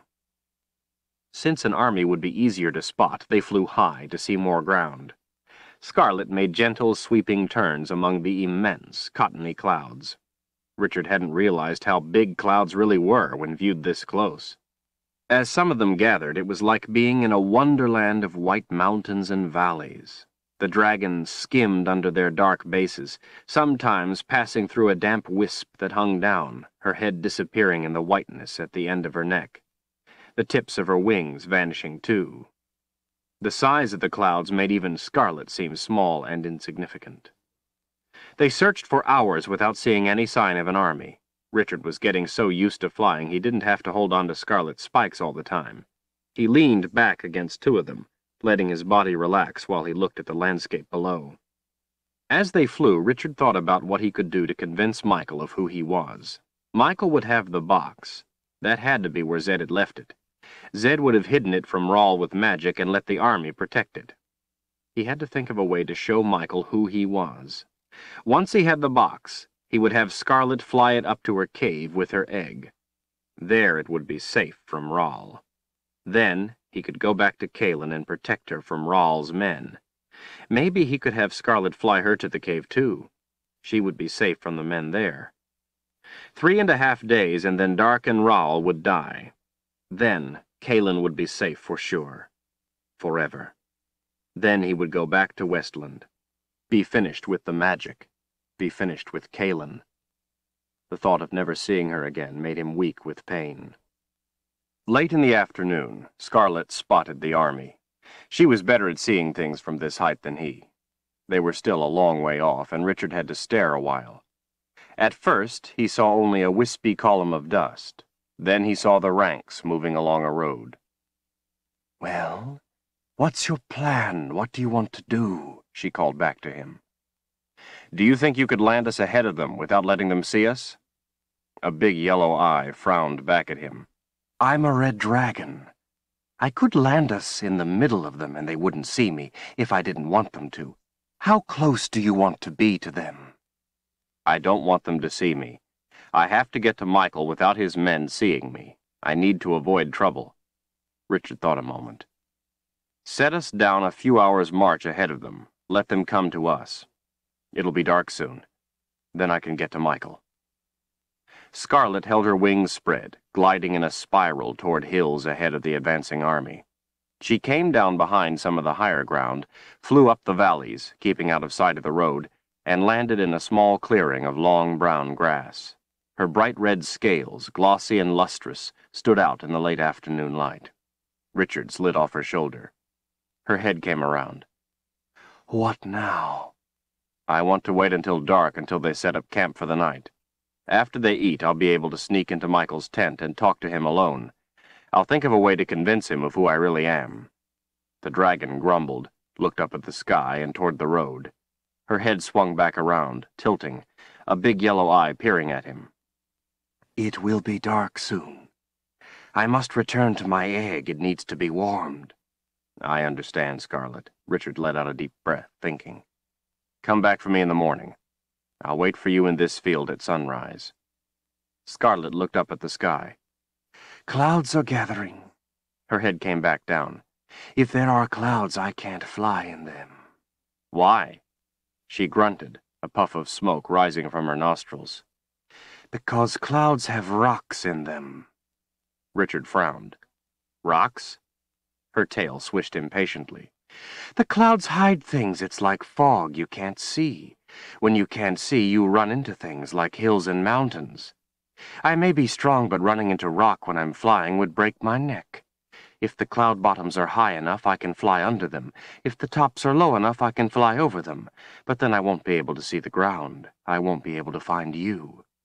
What if there are clouds and I can't find you, or what if something else goes wrong? Richard rested his hand on the hilt of his sword looking off toward the road.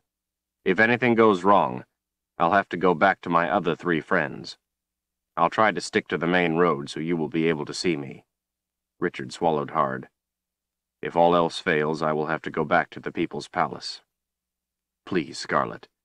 If I can't stop Rahl with what I do here, I must be in the People's Palace three days from tomorrow. Not much time. I know. Three days from tomorrow, and then I'm done with you. Richard smiled. That's our bargain. Scarlet peered up once more.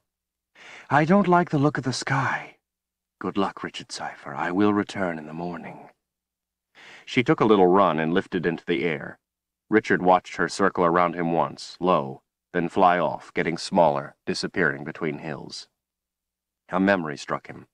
The memory of having seen her before, it had been the day he had first met Kahlan, right after the snake vine had bit him. He had seen her fly overhead, just as she had done now, and disappear behind hills. He wondered what she had been doing in Westland that day.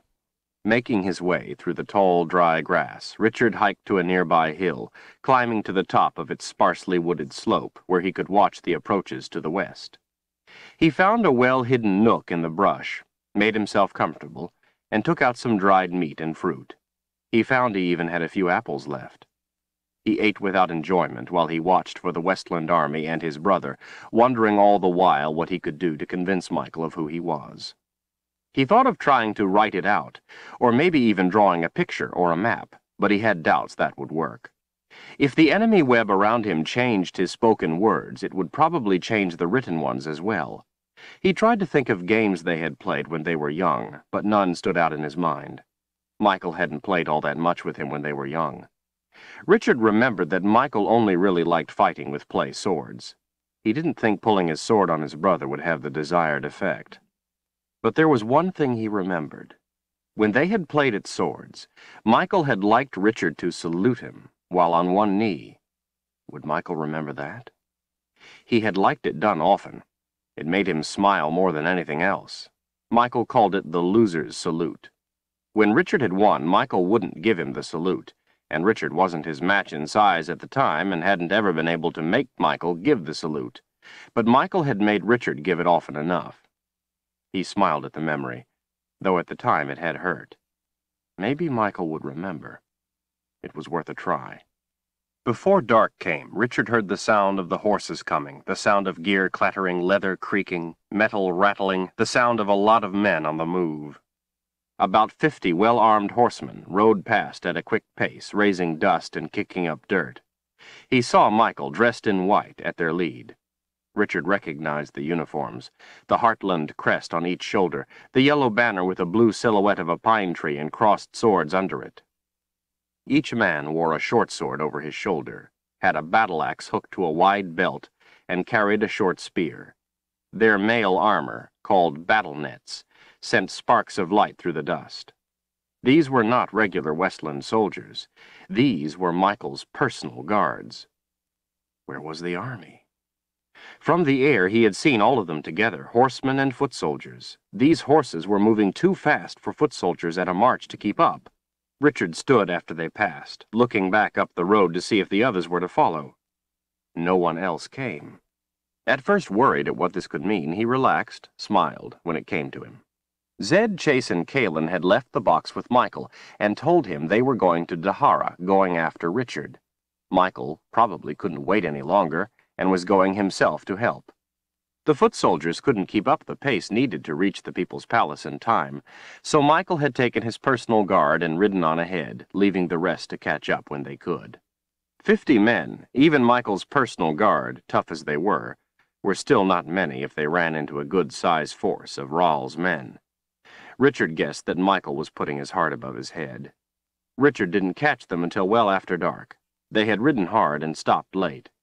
They had gotten farther ahead of him than he had expected, and it was well past dinner when he finally reached their camp. The horses had been tended to and picketed for the night. Some men were already in their bedrolls. Guards were posted, and hard to spot in the dark, but Richard knew where to expect them as he looked down from a hilltop watching the camp's small fires. It was a dark night.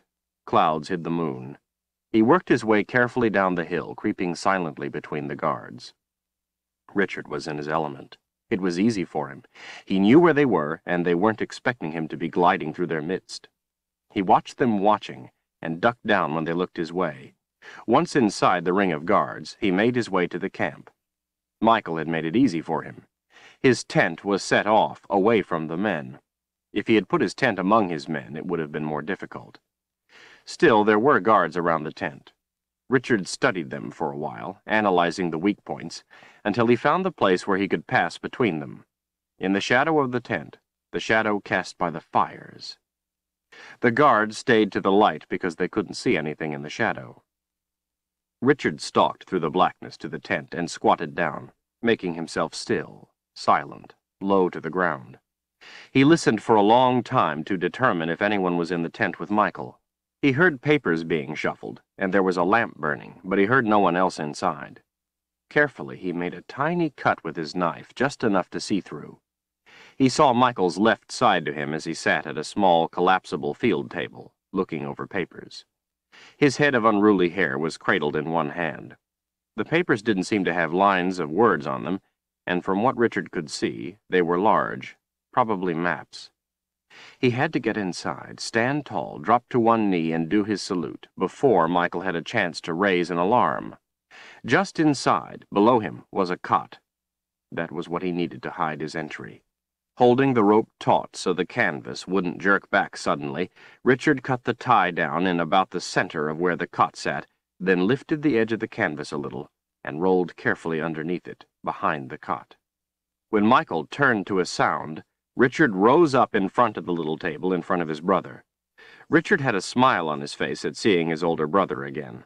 Michael's head snapped to him. The color left his soft cheeks.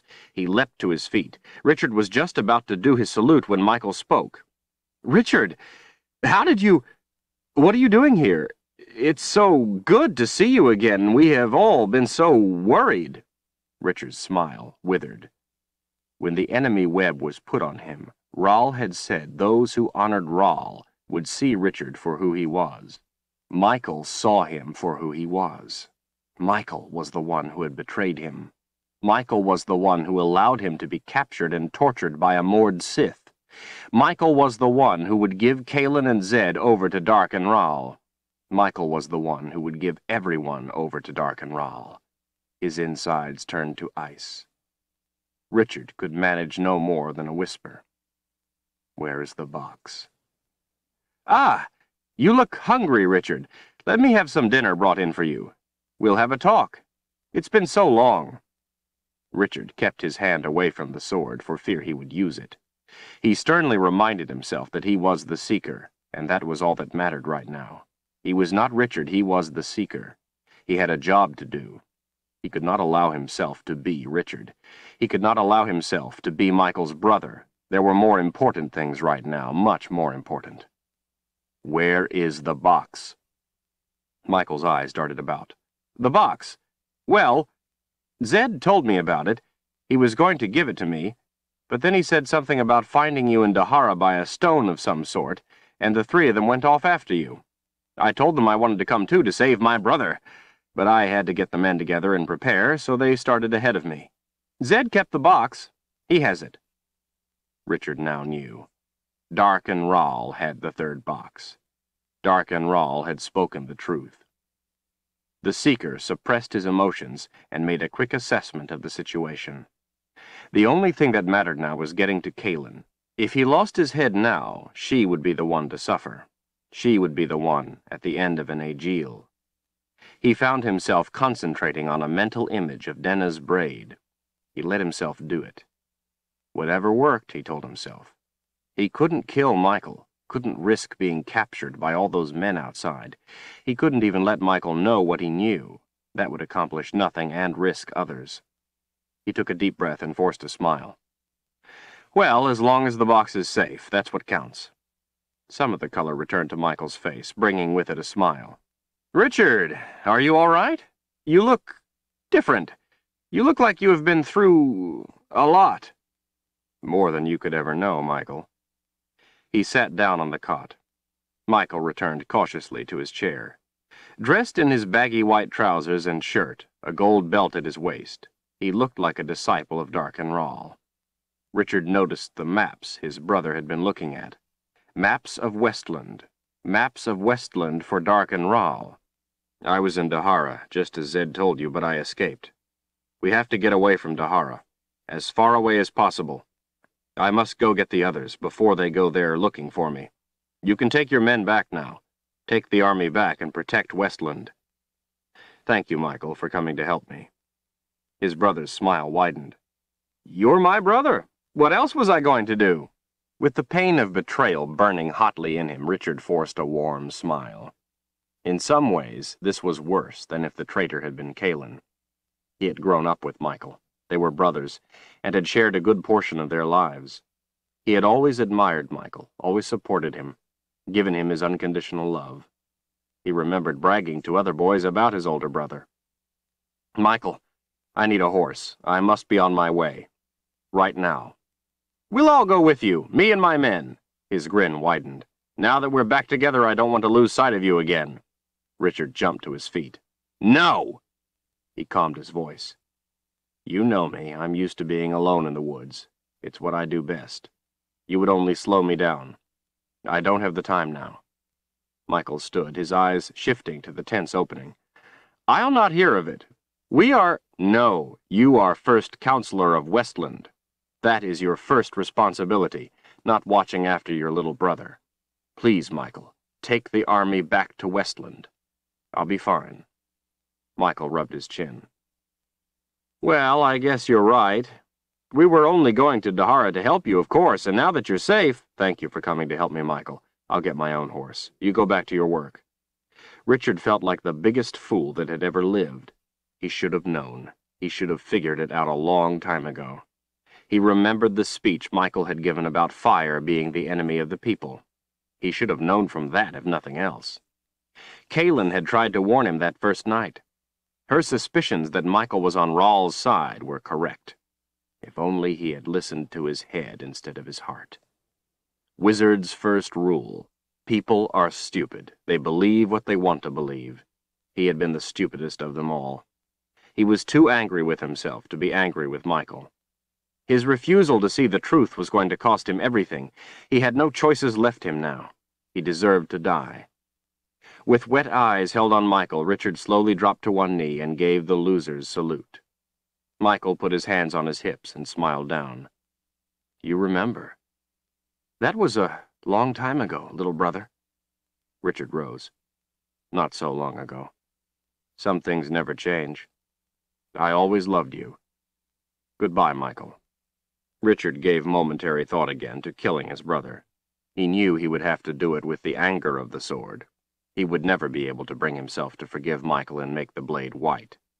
For himself, maybe, but for what he had done to Kahlan and Zedd, never. Killing Michael wasn't as important as helping Kahlan.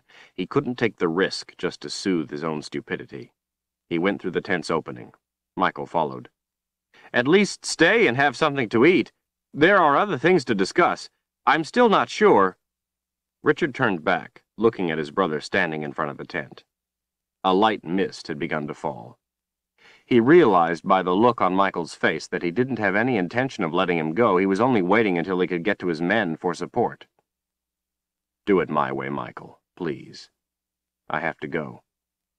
You, men, he called to the guards. I want my brother to stay with us for his own protection.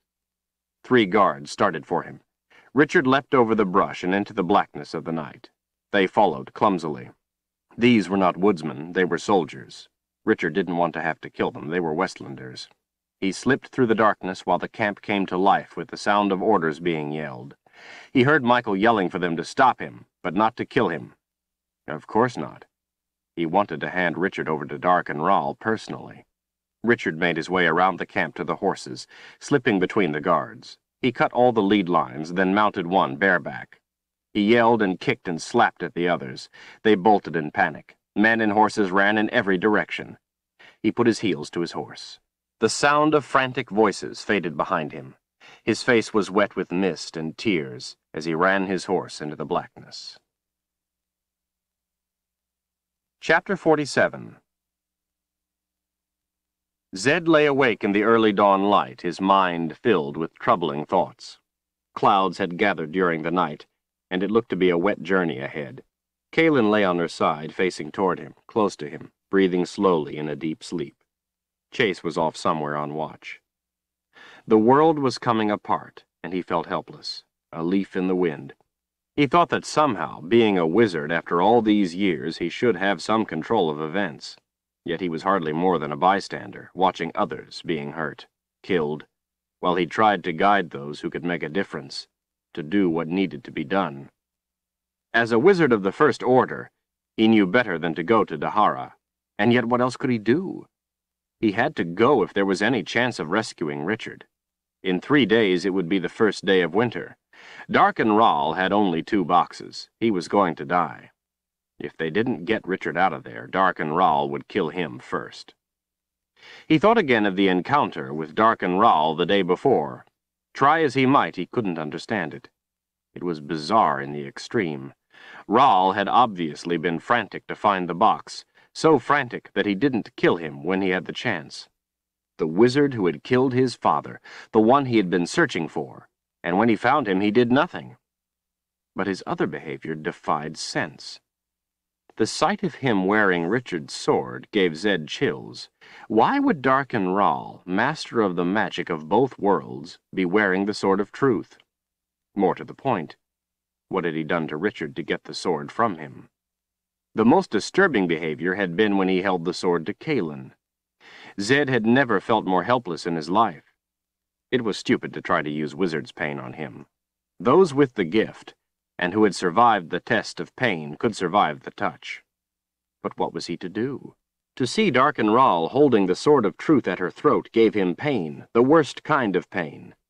For a moment, he had been as sure Rahl was going to kill her, and then the next moment, before Zedd had a chance to do anything, futile as it would have been, Rahl got tears in his eyes and put the sword away. Why would Darken Rahl bother to use the sword if he wanted to kill her, or any of them for that matter? He could kill any of them with a snap of his fingers. Why would he want to use the sword? And why then stop? Worse, though, was that he had made the blade turn white. When Zedd had seen that, he had almost parted company with his skin. The prophecy spoke of the one who would turn the sword of truth white, spoke with great caution. That it would be Darken Rahl gave him a fright to his very core. That it might have been Richard who would turn the sword white had caused him a dread all its own, but for it to be Rahl... The veil, the prophecies called it, the veil between the world of life and the underworld. If the veil was torn by the magic of Orden through an agent, the prophecies foretold, only the one who had turned the sword of truth white could restore it. Unless he was able to, the underworld would be loosed on the world of the living. The word agent had terrible significance that worried Zedd greatly. It could mean that Darken Rahl was not acting on his own, but was an agent an agent of the underworld. That he had gained mastery of the subtractive magic, the underworld magic, implied that he was. It also implied that even if Rahl failed and was killed, the magic of Orden would still tear the veil. Zedd tried not to think of what these prophecies meant. The idea of the underworld being loosed made his throat clench shut. Better for him to be dead first. Better for everyone to be dead first. Zedd rolled his head to the side, watching Kahlan sleep. The Mother Confessor. The last of the ones created by the old wizards. His heart ached for her pain. Ached because he hadn't been able to help her when Rahl held the sword at her throat. Ached for what she felt for Richard, and for what he couldn't tell her. If only it had not been Richard. Anyone but Richard. Nothing was ever easy. Zedd sat up in a rush. Something was wrong. It was too light out for Chase not to be back. With a finger to Kahlan's forehead, Zedd brought her wide awake. Kahlan reflected his worry in her face. What is it? she whispered. Zedd sat still, feeling for life around him. Chase isn't back, and he should be. She looked about. Maybe he fell asleep. Zedd lifted an eyebrow. Well, maybe there is a good reason. Maybe it's nothing. Our horses are gone. Kahlan came to her feet, checking her knife. Can you sense where he is? Zedd flinched. There are others about. Others touched by the underworld. He jumped to his feet. As he did, Chase, having been pushed, stumbled and fell face first into the camp. His arms were tied securely behind his back, and there was blood on him. A lot of blood. He groaned in the dirt. Zedd felt the presence of men around him. Four men. He recoiled at what he felt of them. The big man who had pushed Chase stepped forward. His short blond hair stood up in spikes, and a black streak ran back through it. His cold eyes, his smile, sent a chill through the wizard. Kahlan was in a half-crouch. Demmin Nass, she hissed. He hooked his thumbs in his belt. Ah, you've heard of me, Mother Confessor. His wicked smile widened. I've certainly heard of you. Your friend here has killed five of my best men. I'll execute him later, after the festivities. I'd like him to have the enjoyment of watching what we do to you. Kahlan looked about, as three other men, not as big as Demmin Nass, but bigger than Chase, stepped out of the woods. They were surrounded, but that was not a problem for a wizard. Each of the men was blond-haired, heavily muscled, and covered in sweat despite the chill to the air. Chase had obviously given them trouble. For now, their weapons were put away. They had no fear of their control of the situation. Their confidence irritated Zedd. Their grins made him furious. The early light made the four pairs of blue eyes all the more penetrating. Zedd knew very well that this was a quad, and he knew very well what it was that quads did to confessors. Very well. His blood boiled at the knowing. There was no way he was going to let that happen to Kahlan. Not as long as he was alive. Demmin Nass and Kahlan stared at one another. Where is Richard? What has Rahl done with him? she demanded. Who? She gritted her teeth. The Seeker. Demmin smiled. Well now, that is Master Rahl's and my business, not yours. Tell me, she glared.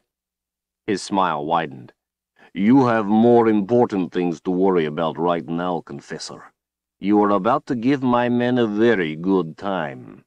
I want you to keep your mind on that, and make sure they enjoy themselves. The Seeker does not concern you. Zedd decided that it was time to stop this before something more happened. He brought his hands up and released the most powerful paralysis web he could marshal. The camp lit with a loud crack of green light as it flashed in four directions at once, toward each of the blue-eyed men. The green light hit each man with a hard thud. Before the wizard had time to react, things went terribly wrong. As fast as the green light hit them, it reflected back from each. Too late, Zedd realized that they were protected by a spell of some sort, an underworld spell that he hadn't been able to see. From four directions at once, the green light hit him. His own web paralyzed him in place. He was frozen tight as stone, helpless.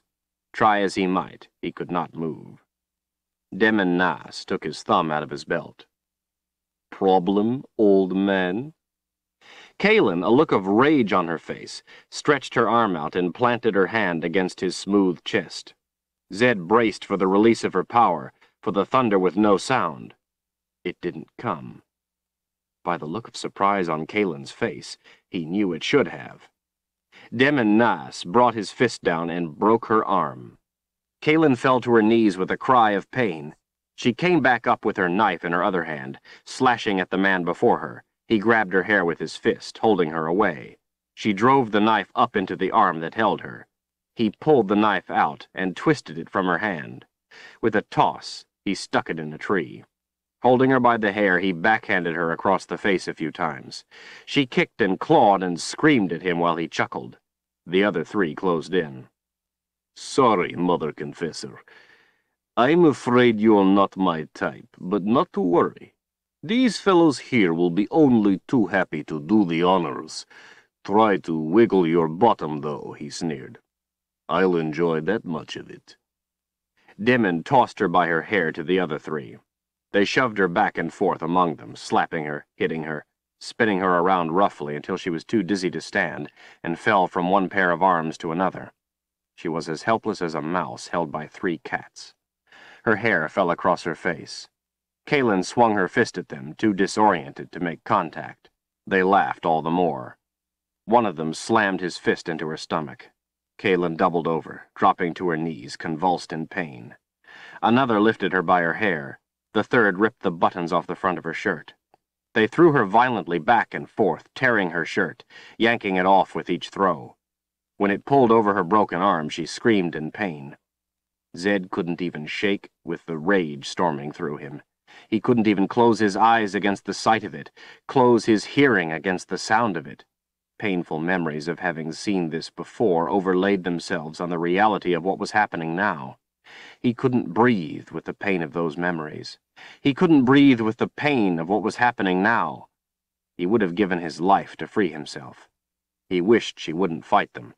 It was only going to make it worse. But he knew confessors always fought it. Fought it with everything they had and what she had, he knew, was not going to be enough. From the prison of his body, as if frozen into stone, Zedd railed against his helplessness with everything he had, every spell, every trick, every power he possessed. It was not enough. He felt tears running down his cheeks. Kahlan screamed when one of the men tossed her by her broken arm into the powerful arms of the other two. With her lips pulled back over gritted teeth, she twisted and kicked against them while they held her tight by her arms and hair. The third man unbuckled her belt and tore open the buttons. She spat at him, screamed curses at him. He laughed as he yanked and pulled her pants down her legs, stripping them inside out over her feet. The other two had their arms full holding her. She was almost more than they could handle. Had her arm not been broken, they might not have been able to hold her. One of them twisted it brutally, making her scream. The two holding her jerked her head back by her hair, while the third put his lips and teeth to her neck, biting her. Pawing her with one hand, he undid his belt and unfastened his pants with the other. He put his mouth over hers, suffocating her screams while his thick fingers moved from her breasts to the darkness between her legs. His pants dropped. His leg forced her thighs open. She grunted against his mouth with the effort of trying to prevent what he was doing, but she could not. His thick fingers groped and wormed into her. Her eyes opened wide. Her face was red with rage. Her breast heaved with ire. Put her on the ground and hold her down, he growled. Kahlan's knee came up into his groin. He doubled over with a groan while the other two laughed. There was fire in his eyes as he straightened. His fist cut her lip open. Blood gushed over her chin. Chase, his arms still tied securely behind him, crashed head first into the man's middle. They both fell to the ground, the pants around the man's ankles tripping him up, and before he could react, Chase clamped his thighs around the man's thick neck. His blue eyes bulged. The boundary warden rolled onto his side, pulling the head back sharply. There was a loud pop, and the man went limp. Demmin Nass kicked Chase in the ribs and head until he didn't move anymore. Seemingly from mid-air, fur and fangs landed on Nass. The wolf growled savagely as he tore at the big man. They tumbled to the ground, rolling over in the dirt through the fire. A knife flashed through the air. No! Kahlan screamed. Brophy, no! Get away! It was too late. The knife slashed into the wolf with a sickening thud as the fist holding it slammed against the ribs. Over and over, Nass tore the wolf open. In moments, it was over. Brophy lay sprawled on the ground, his fur matted with blood. His legs jerked a little, then were still. Kahlan hung by her arms and hair, crying and sobbing the wolf's name. Nass came to his feet, panting from the effort of the short but fierce fight. Blood ran from wounds on his chest and arm. Anger flared in his eyes. Make her pay, he hissed to the two men holding her. Do her good. Kahlan struggled and twisted against them. What's the matter, Demmin? she screamed. Not man enough to do it yourself? Have to have real men do it for you? Please, Kahlan, Zedd begged silently in his mind. Please keep your mouth shut. Please don't say anything else. Nass's face heated to red. His chest heaved. He glared at her. At least these are real men. At least they have what it takes to handle a woman. You probably don't. You only have enough for little boys. What's the matter, little boy? Afraid to show a real woman what you have? I'll be laughing at you while real men do what you can't. Nass took a step closer, his teeth gritted. Shut up, bitch. She spat in his face. That's what your father would do if he knew you couldn't handle a woman. You're a disgrace to your father's name. Zedd wondered if Kahlan had lost her mind. He had absolutely no idea why she was doing this. If she wanted to provoke Nass to do worse, this would do it. Nass looked as if he might explode, but then his face relaxed, his smile returned. He looked around and saw what he wanted. Over there, he pointed. Hold her face down over that log. He put his face close to hers. You want it from me? All right, bitch, you'll get it from me, but you'll get it my way. Now we'll see how good you can squirm. Kahlan's face was crimson with fury. I think your talk is all that's big. I think you're going to embarrass yourself. Your men and I will have a good laugh. Once again, they will have to do the job for you. Her mouth spread into a defiant smile. I'm waiting, little boy. Do it to me like your father did it to you, so we can all have a good laugh, thinking about you on your knees under him. Show me how he did it to you. The veins on his forehead threatened to burst. His eyeballs bulged. Nass's hand sprang to her throat, tightening, lifting her. He shook with rage. His grip tightened, choking her. Commander Nass, one of the men cautioned in a low voice. You're going to kill her. Demmin looked up, glaring at the man, but then relaxed his grip. He looked back to Kahlan. What does a bitch like you know of anything? I know you're a liar. I know your master wouldn't let a little boy like you know what had been done with the Seeker. You know nothing. You couldn't tell me because you don't know, and you're so worthless you couldn't even admit it. So that was it. Zedd understood. Kahlan knew she was going to die, and was willing to trade whatever worse Nass could do to her for knowing if Richard was all right. She didn't want to die without knowing if he was safe. The enormity of what was happening made tears roll down Zedd's face. He heard Chase stir at his feet. Nass released her throat and motioned to the two men to let go of her. In a sudden burst, he struck her with his fist. She landed flat on her back. He leaned over, lifting her by her hair as if she weighed nothing. You know nothing. Your fist says it all. Your master might tell your father, she sneered, but he wouldn't tell your father's little girl anything. All right. All right, I'll tell you. It will make it more fun when I'm on you to have you know what we do to little pests like the Seeker. Then maybe you'll understand you waste your time fighting us. Kahlan stood naked in front of him, her face red with anger.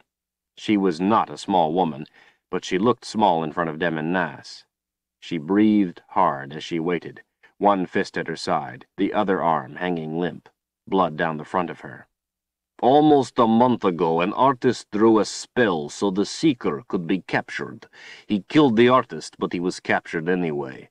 Captured by a Mord Sith. The color drained from Kahlan's face. She turned white as a lily. Zedd felt as if he had been stabbed through the heart. If it had been possible, he would have collapsed to the ground in agony. No, she whispered, her eyes wide. Yes, he mocked and a particularly nasty Mord Sith at that, one by the name of Denna.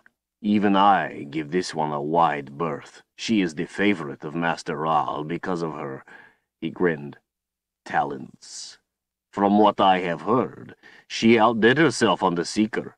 I even saw her myself one day at dinner, covered from head to foot with his blood. Kahlan shook slightly, her eyes wet, and Zedd was sure she turned even whiter. But he is still alive, she whispered in a broken voice. Demmin gave a self-satisfied smile, happy with the telling at seeing her reaction. As a matter of fact, Mother Confessor, the last I saw of the Seeker, he was on his knees in front of Master Rahl, with Denna's Agiel at the back of his head. I don't think he even knew his own name. Master Rahl wasn't happy at the time. When Master Rahl is unhappy, people always die.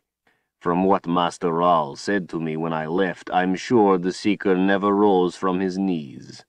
His corpse is rotten by now. Zedd wept that he couldn't comfort her, that she couldn't comfort him. Kahlan went dead calm. Her arms rose slowly into the air, her fists to the sky, her head rolled back. She let out an unearthly scream. It went through Zedd like a thousand needles of ice. It echoed against the hills, through the valleys, against the trees all around, making them vibrate. Zedd's breath was taken away. Nass and the other two men stumbled back a few paces. If he had not already been frozen to stone, he would be now, at the fear of what she was doing. Kahlan should not be able to do this. She took a deep breath her fists getting tighter, tears streaming from her face. Kahlan screamed again, long, piercing, otherworldly.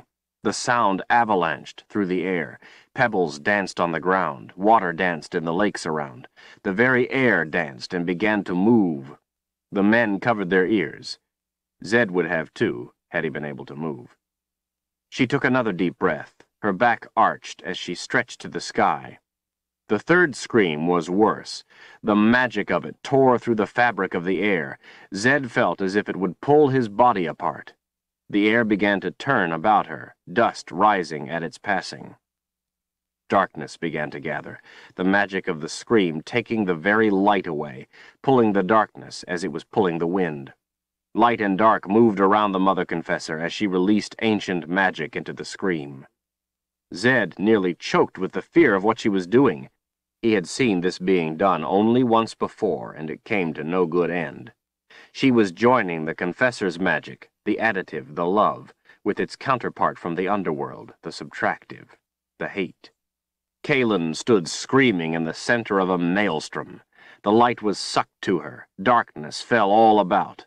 Where Zedd stood, it was black as night. The only light was around Kahlan, night around day. Lightning tore violently across the blackness of the sky, flashing rapidly in every direction, forking, doubling, over and over until the sky burned. Thunder rolled through the countryside, coalescing into a continuous fury, mixing with the scream, becoming part of it. The ground shook. The scream went beyond sound to something else entirely. All about, the ground cracked open in jagged, ferocious tears. Shafts of violet light shot upward from the cracks. The bluish-purple curtains of light vibrated, danced, and with gathering speed were pulled into the vortex, sucked to Kahlan. She was a glowing form of light in a sea of darkness. She was the only thing in existence. All else was nothingness, devoid even of light.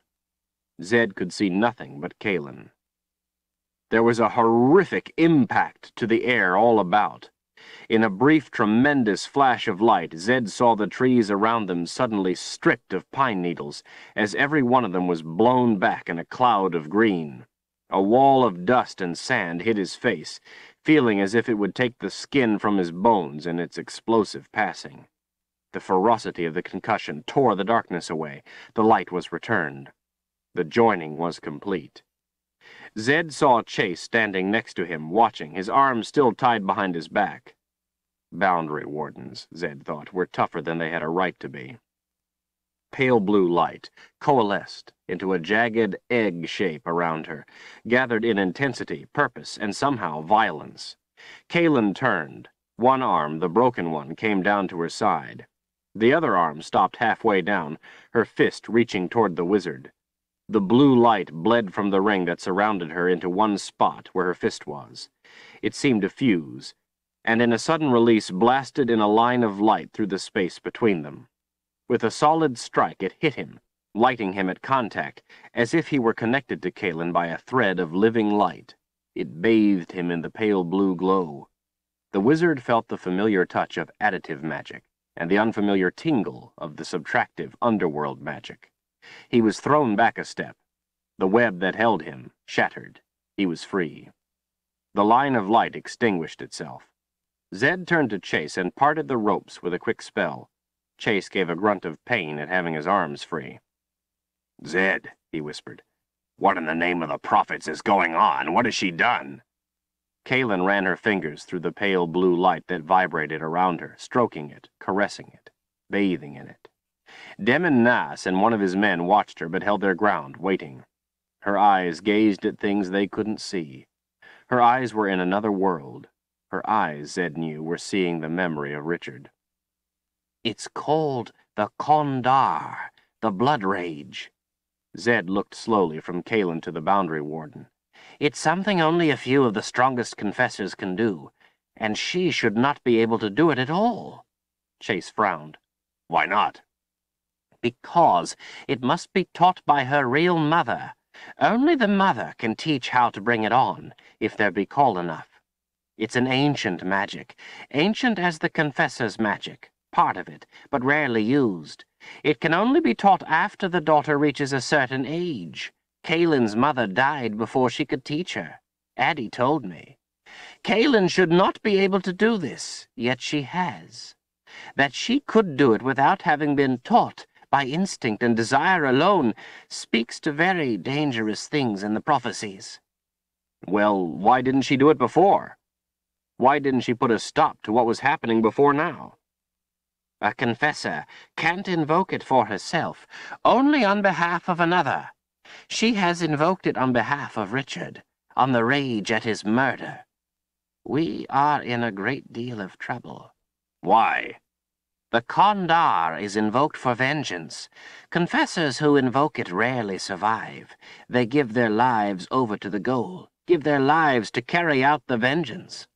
Kahlan is going to use her power on Darken Rahl. Chase stared in shock. You told me her power can't touch him, can't take him. It couldn't before. I don't know if it can now, but I doubt it. Nonetheless, she is going to try. She is in the grip of the Con Dar, the blood rage. She doesn't care if she dies. She is going to try. She is going to touch Darken Rahl, even if it's futile, even if it kills her. If anyone gets in her way, she will kill them, without a second thought. He put his face closer to Chase to make his point. That includes us. Kahlan was curled almost into a ball against the ground, her head bowed, her hands on opposite shoulders, the pale blue light tight around her. She stretched slowly to her feet, pushing through the light, as if she were emerging from an egg. She stood naked, blood still throbbing from her wounds. Blood still wet and fresh, dripped from her chin. But her face showed the pain of wounds other than the ones on her body. And then even that expression was gone, and she showed nothing but a confessor's face. Kahlan turned a little to one of the men who had held her. The other one was nowhere to be seen. She calmly lifted a hand toward him. He was a dozen feet away. There was an impact to the air, thunder with no sound. Zedd felt the pain in his bones. Mistress, the man called out as he fell to his knees. What do you command of me? What do you wish of me? She regarded him coolly. I wish for you to die for me, right now. He convulsed and fell over face first into the dirt, dead. Kahlan turned and stepped to Demmin Nass. He had a smile on his face. His arms were folded. Kahlan's broken arm hung at her side. She put her other hand against his chest with a sharp slap. The hand stayed there as their eyes locked together. He towered over her. Very impressive, bitch. But not only have you used your power, I am also protected by Master Rahl's spell. You cannot touch me with your power. You still have a lesson to learn, and I'm going to teach you, as I have never taught anyone before. His hand came up and grabbed her tangled, matted hair. Bend over. Kahlan's face showed no emotion. She said nothing. There was an impact to the air, thunder with no sound. Again, Zedd felt the ache of it in his bones. Demmin Nass's eyes went wide. His mouth fell open. Mistress he whispered. Chase leaned over. How did she do that? She wasn't even touching the first one, and confessors can only use their power once, and then must rest and recover it. Not any more. She is in the Con Dar. Stand there and wait, she said to Nass. With graceful smoothness, Kahlan walked to the wizard. She stopped and lifted her broken arm to him. Her eyes had a glaze to them. Fix this for me, please. I need it. Zedd took his eyes from hers and looked down at the arm. He reached out and took it gently, speaking softly to distract her mind from the pain while he gripped above and below the break, pulling, setting the bone. She didn't cry out or even flinch. He wondered if she even felt it. Tenderly, his fingers surrounded the damage, letting the warmth of the magic flow into her, taking the cold pain into himself, feeling it, suffering with it, tolerating it with resolve. His breathing stopped momentarily with the sharpness of the hurt. He felt all of her hurt.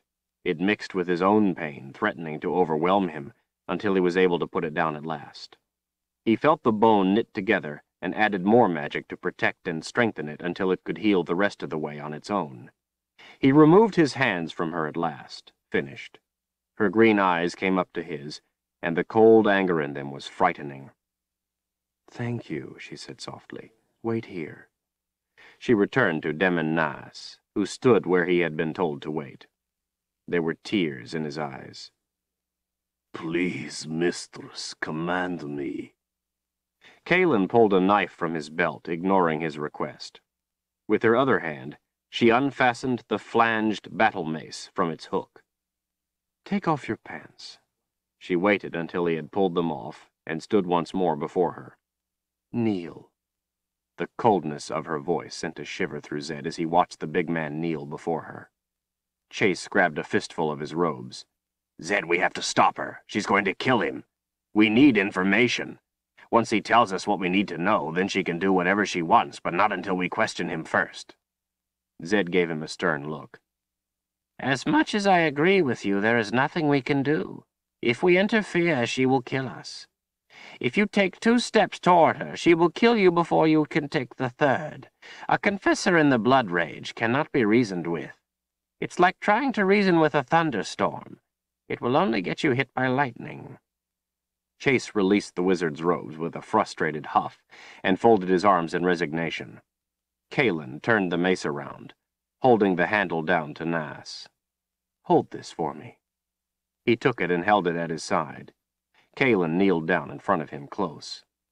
Spread your legs, she ordered in an icy voice. She reached down between his legs, gripping him in one hand. He flinched, grimaced. Don't move, she warned. He became still. How many of the little boys you've molested have you killed? I don't know, mistress. I don't keep count. I've done it for many years since I was young. I don't always kill them. Most live. Make a good guess. He thought a moment. More than eighty. Less than one hundred twenty. Zedd could see a glint off the knife as she put it under him.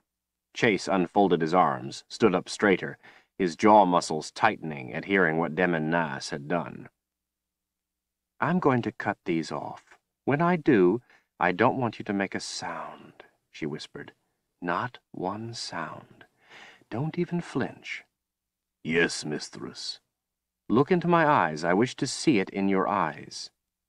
Her arm with the knife strained and jerked up. The blade came up red. Demmin's knuckles around the mace were white. The mother confessor rose to her feet in front of him. Hold out your hand. Demmin held a shaking hand before her. She put the bloody sack in his palm. Eat them. Chase smiled as he watched. Good for her, he whispered to no one in particular. A woman who knows the meaning of justice. She stood before him, watching until he finished. She tossed the knife aside. Give me the mace. He handed it up. Mistress, I am losing a lot of blood. I don't know if I can remain upright. It will displease me greatly if you don't. Just hold on. It won't be long. Yes, mistress. Was what you told me about Richard the Seeker true? Yes, mistress. Kahlan's voice was deadly calm. All of it? Demmin thought a moment to be sure. All that I told you, mistress. There is some you did not tell me? Yes, mistress. I did not tell you that Mord Sith Denna also took him as her mate. I presume so that she might hurt him more. There was an eternity of silence. Kahlan stood motionless over Demmin. Zedd could hardly breathe with the pain, could hardly breathe past the lump in his throat. His knees shook. Kahlan's voice came so soft, Zedd could hardly hear it. And you are sure he is dead? I did not see him killed, mistress, but I am sure. Why is that? It looked to me as if Master Rahl was in the mood to kill him, and even if he didn't, Denna would have. That is what Mord Sith do. Mates of Mord Sith do not live this long. I was surprised he was still alive when I left him. He looked to be in bad shape. I have not seen a man have the Agiel put to the base of his skull that many times and still be alive. He cried your name. The only reason Denna hadn't allowed him to die before that day was because Master Rahl wanted to talk to him first. While I did not see it with my own eyes, mistress, I am sure. Denna held him with the magic of his sword. There could be no escape for him. She had him for a lot longer than is usual. She hurt him more than is usual. She held him on the cusp between life and death longer than is usual. I have never seen a man last as long as he had. For some reason, Master Rahl wanted the Seeker to suffer a long time, which is why he chose Denna. None enjoy it more than her. None have her talent for prolonging the pain. The others don't know how to keep their pets alive that long. If nothing else, he would be dead now from being the mate of a Mord Sith. He could not have survived until now. Zedd sank to his knees his heart breaking with agony. He cried with the pain. He felt as if his world had ended. He didn't want to go on. He wanted to die. What had he done? How could he have allowed Richard to be pulled into this? Richard, of all people. Now he knew why Rahl hadn't killed him when he had had the chance. He wanted Zedd to suffer first. That was the way of a Rahl. Chase squatted down next to him and put his arm around him. I'm sorry, Zedd, he whispered. Richard was my friend, too. I'm so sorry. Look at me. Kahlan said, the mace held high in both her hands. Nass's eyes came up to hers. She brought the mace down with all her strength. With a sickening sound it buried in his forehead, stuck solid, tearing from her hands as he went down limp and fluid as if he had no bones. Zedd forced himself to stop crying and come to his feet as she walked toward them, picking up a tin bowl from a pack along the way. She handed the bowl to Chase. Fill this half full with poison berries from a bloodthroat bush. Chase looked at the bowl, a little confused. Now? Yes. He noticed the warning in Zedd's eyes and stiffened. All right. He turned, starting to leave, but turned back, taking his heavy black cloak off, putting it around her shoulders and covering her nakedness. Kahlan? He stared at her, finally unable to bring forth the words, and went off to his task. Kahlan gazed fixedly, vacantly, at nothing. Zedd put his arm around her and sat her down on a bedroll. He retrieved what was left of her shirt, ripping it into strips, which he wet with water from a skin. As she sat without protest, he cleaned the blood off her, applied salve to some of her wounds and magic to others. She endured it without comment. When he finished, he put his fingers under her chin, lifting her eyes to his. Zedd spoke softly. He did not die for nothing, dear one. He found the box. He has saved everyone. Remember him for doing what no other could have. Light mist from the thick clouds that hugged the ground began to dampen their faces. I will remember only that I love him, and that I could never tell him. Zedd closed his eyes against the pain, the burden of being a wizard. Chase returned, offering her the bowl of poison berries. She asked for something to crush them with. With a few quick strokes, Chase whittled a stout stick into a shape that satisfied her, and she went to work. She stopped as if she thought of something and looked up at the wizard, her green eyes ablaze. Darken Rahl is mine. It was a warning, a threat. He nodded to her. I know, dear one. She went back to crushing, a few tears running down her face. I'm going to bury Brophy, Chase said softly to Zedd. The others can rot. Kahlan crushed the red berries into a paste, adding a little ash from the fire. When she was finished, she had Zedd hold a little mirror for her while she applied it in the pattern of the Con Dar, twin lightning bolts, the magic guiding her hand. Starting from the temple on each side, in a mirror image of each other, the top part of each bolt zigzagged over the eyebrow, the center lobe of each passed over an eyelid, with the bottom zigzag over the cheekbones finally terminating in a point at the hollow of each cheek. The effect was frightening, and meant to be. It was a warning to the innocent, a vow to the guilty. After she had brushed the tangles from her hair, she pulled her confessor's dress from her pack, took the cloak off, and slipped on the dress. Chase returned. Kahlan handed him his cloak, thanking him. Wear it, Chase said. It's warmer than yours. I am the Mother Confessor. I will wear no cloak. The boundary warden didn't argue. The horses are gone, all of them. She gave him an indifferent look. Then we will walk. We will not stop at night. We will keep going. You may come if you wish, if you do not slow me down. Chase raised an eyebrow at the unwitting insult, but let it drop. Kahlan turned and started off without picking up any of her things. Chase looked over at Zedd, letting out a noisy breath. He bent to collect his things. I'm not leaving without my weapons. We better hurry before she gets too far ahead. She won't wait for us. The wizard picked up Kahlan's pack, stuffing gear into it. We better at least grab some of our supplies. He smoothed a wrinkle on the pack. Chase, I don't think we are going to return from this. The Con Dar is a suicide venture. You have a family. There is no need for you to go. Chase didn't look up. What's a Mord Sith? he asked quietly. The wizard swallowed hard, his hands gripping the pack so firmly they shook. Mord Sith are trained from a young age in the art of torture and the use of a merciless weapon of pain called an Agiel. That was the red thing hanging from Darken Rahl's neck. Mord Sith are used against those with magic. They have the power to take a person's magic and use it against them. Zedd's voice broke. Richard would not have known that. He had no chance. The only purpose in life for a Mord Sith, the only thing they live for, is to torture to death those with magic. Chase rammed a fistful of blanket into the pack. I'm going. Zedd nodded his understanding. I will be glad for your company. Are these Mord Sith a danger to us? Not to you. You have no magic. And not to wizards. I have protection. What about Kahlan? Zedd shook his head.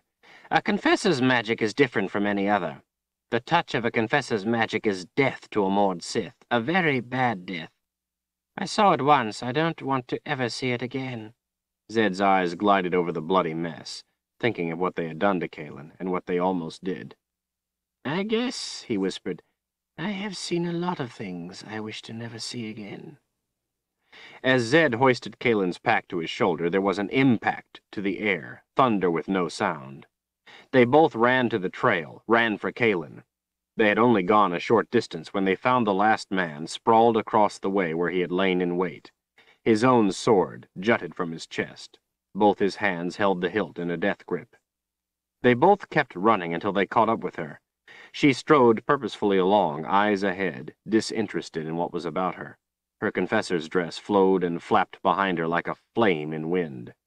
Zedd had always thought confessors looked beautiful in their dresses, especially the white of the Mother Confessor. But he saw it now for what it really was. Battle armor. Chapter 48 Water from the drizzle collecting on Richard's face ran down his nose, hanging in a drip at the end, tickling. He angrily wiped it off.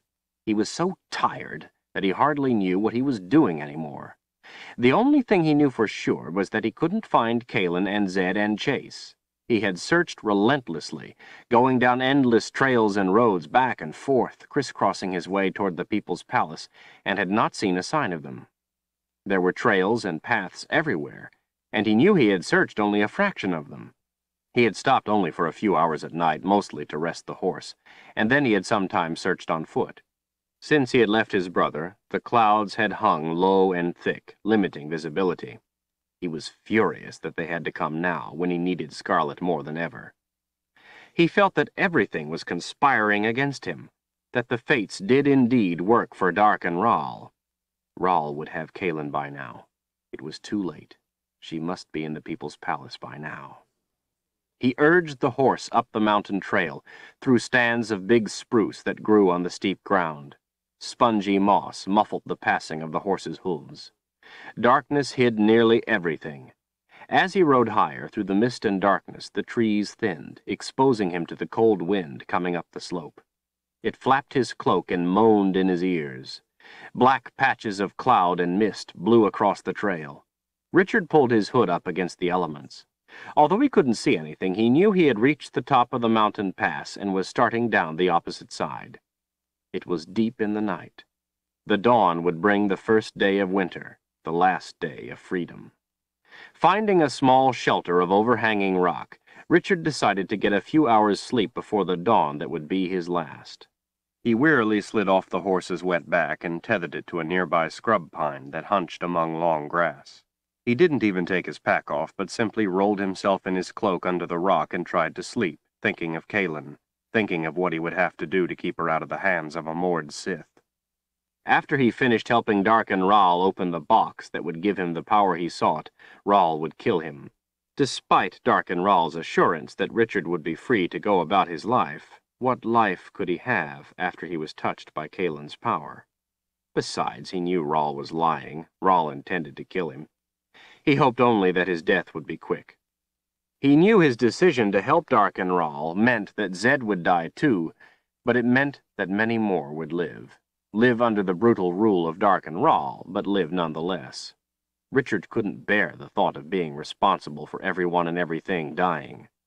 Rahl had told the truth about Richard being betrayed, and he probably was telling the truth about knowing which box would kill him. Even if he was lying, Richard couldn't risk everyone on that one chance. Richard had run out of options. He had no choice but to help Darken Rahl. His ribs still hurt from what Denna had done to him. It was still hard to lie down and still hurt to breathe. His sleep brought the nightmares he had had every night since leaving the People's Palace, the nightmares of the things Denna had done to him, the nightmares he had promised her he would have. He dreamed of hanging helpless while Denna hurt him, of being powerless to stop her, of never being able to escape. He dreamed of Michael standing there watching. He dreamed of seeing Kahlan being tortured, and Michael watching that, too. He came awake, drenched in sweat, shaking with fear, heard himself whimpering with the terror of the dreams. Sunlight was slanting sideways under the overhang of the rock. The orange sun was just breaking above the horizon to the east. Richard stood and stretched the cramps from his muscles, surveying the dawn on the first day of winter. He was high on a mountain. The surrounding peaks thrust themselves above a blanket of clouds below that stretched off before him to the eastern horizon, like a sea of gray tinged in orange. The sea of clouds was unbroken except for one thing, the People's Palace. Touched by the sunlight in the far distance, it rose proud on its plateau, standing above the clouds, waiting for him. A cold feeling ran through his gut. It was a long way off. He had misjudged how far he was from it. It was a lot farther than he had thought. He had no time to waste. When the sun was at its zenith, the boxes could be opened. As he turned, movement caught his eye. The horse let out a terrified neigh. Howls split the morning silence. Hardhounds. Richard drew his sword as they poured over the rock. Before he could start for the horse, the hounds took it down. In a dead run, more came for him. Frozen in shock for only an instant, he leapt up onto the rock he had slept under. The hounds, teeth snapping, bounded up the rock toward him. He cut down the first wave, then retreated farther up the rock as more hounds came for him. Richard swung the sword, cutting through them as they advanced, snarling and howling. It was like a sea of tan fur, coming for him in waves. Frantically he slashed and stabbed at them, trying to back away at the same time. Hounds came over the rock behind. He jumped to the side as the two groups crashed together, tearing at each other for the chance to be the first to get at his heart. Richard climbed higher, fighting the beasts back, killing any that got close enough. It was a futile effort, he knew. There were more than he would be able to hold back. He released himself into the anger of the sword's magic, fighting with fury as he advanced into their ranks. He couldn't fail Kahlan, not now. The air seemed filled with yellow teeth, all coming for him. Blood from the killing was everywhere. The world turned to red.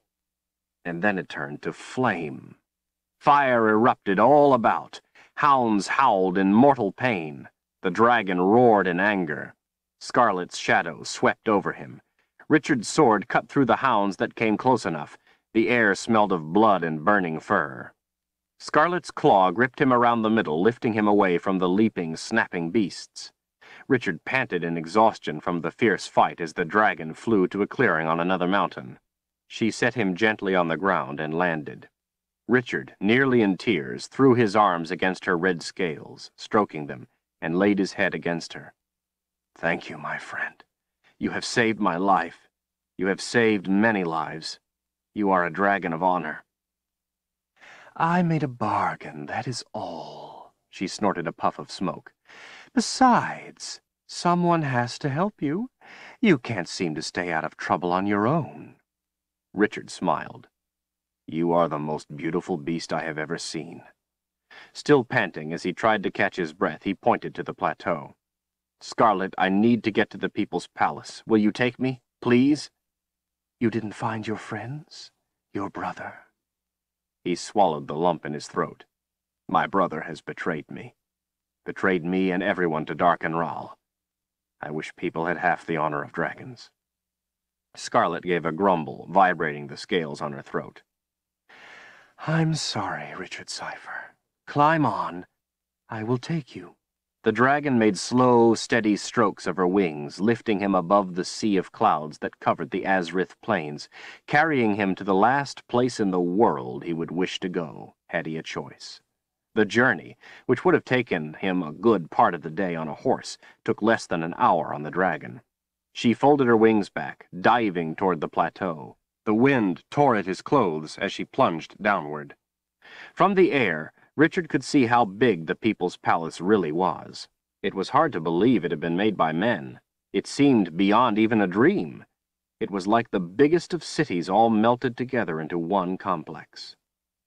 Scarlet flew once around the plateau, past towers, walls, and roofs. They flashed past in endless variety, making him dizzy. She lifted over the outer wall and swooped down into a vast courtyard, fluttering her wings to stop their descent. There were no guards, no people to be seen. Richard slid down her red scales, landing on his feet with a thump. She swept her head about, then tilted it down, gazing at him. Her ears swiveled forward. Are you sure you want me to leave you here? Richard nodded, casting his eyes to the ground. Scarlet snorted. Then the six days are at an end. Our bargain is at an end. The next time I see you, you will be fair game. Richard smiled up at her. Fair enough, my friend. But you'll not get the chance. Today I am going to die. Scarlet watched him with one yellow eye. Try not to let that happen, Richard Cypher. I would still like to eat you. Richard's smile widened as he rubbed a glossy scale. Take care of your little dragon when it hatches. I wish I had had a chance to see it. It will be beautiful too, I know. I realize you hate flying men about, because it's against your will, but thanks for letting me know the joy of flying. I considered it a privilege. She nodded. I like flying too. She let out a puff of smoke. You are a rare man, Richard Cypher. I have never seen one the match of you. I am the Seeker, the last Seeker. She gave another nod of her big head. Take care, Seeker. You have the gift. Use it. Use everything you have to fight. Don't give in. Don't let him rule you. If you are to die, die fighting with everything you have, everything you know. That is the way of a dragon. If it were only that easy. Richard looked up at the red dragon. Scarlet, before the boundary came down, did you carry Darken Rahl into Westland? She gave a nod. A number of times.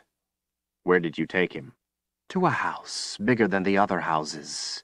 It was made of white stone with slate roofs. One time, I took him to another, a simple house. He killed a man there. I heard the screams. And once to another simple house. Michael's house, and his father's, and his own. With the pain of hearing it, Richard looked down at his feet, nodding. Thanks, Scarlet. He fought back the lump in his throat and looked back up. If Darken Rahl ever tries to rule you again, I hope your little dragon will be safe, and you will be able to fight to the death. You are too noble to be ruled. Scarlet gave a dragon's grin and lifted into the air. Richard watched as she circled overhead, looking down at him. Her head turned to the west, and the rest of her followed. Richard watched a few minutes as she became smaller in the distance. He turned to the palace. Richard eyed the guards at an entrance, prepared for a fight, but they only gave a polite nod. A guest returning. The vast halls swallowed him. He knew the general direction of the garden room where Rahl kept the boxes and headed that way. For a long time he didn't recognize the halls, but after a time some of them started looking familiar. He recognized the arches and columns, the devotion squares. He passed the hall where Denna's quarters were. He didn't look down it as he walked past the intersection. His mind was in a daze, overpowered by the decision he had made. He was overwhelmed by the very idea of being the one who would deliver the power of Orden to Darken Rahl. He knew he would be saving Kahlan from a worse fate, and many others from death, but he still felt like a traitor. He wished it could be anyone but him who would help Rahl, but no one else could. Only he had the answers Rahl needed. He stopped at a devotion square with a pool and watched the fish gliding through the water as he stared at the ripples. Fight with everything he knew, Scarlet had said. What would that gain him? What would that gain anyone? The same in the end, or worse. He could gamble with his own life, but not with everyone else's, not with Kahlan's. He was here to help Darken Rahl, and that was what he had to do. His mind was made up. The bell for devotion tolled.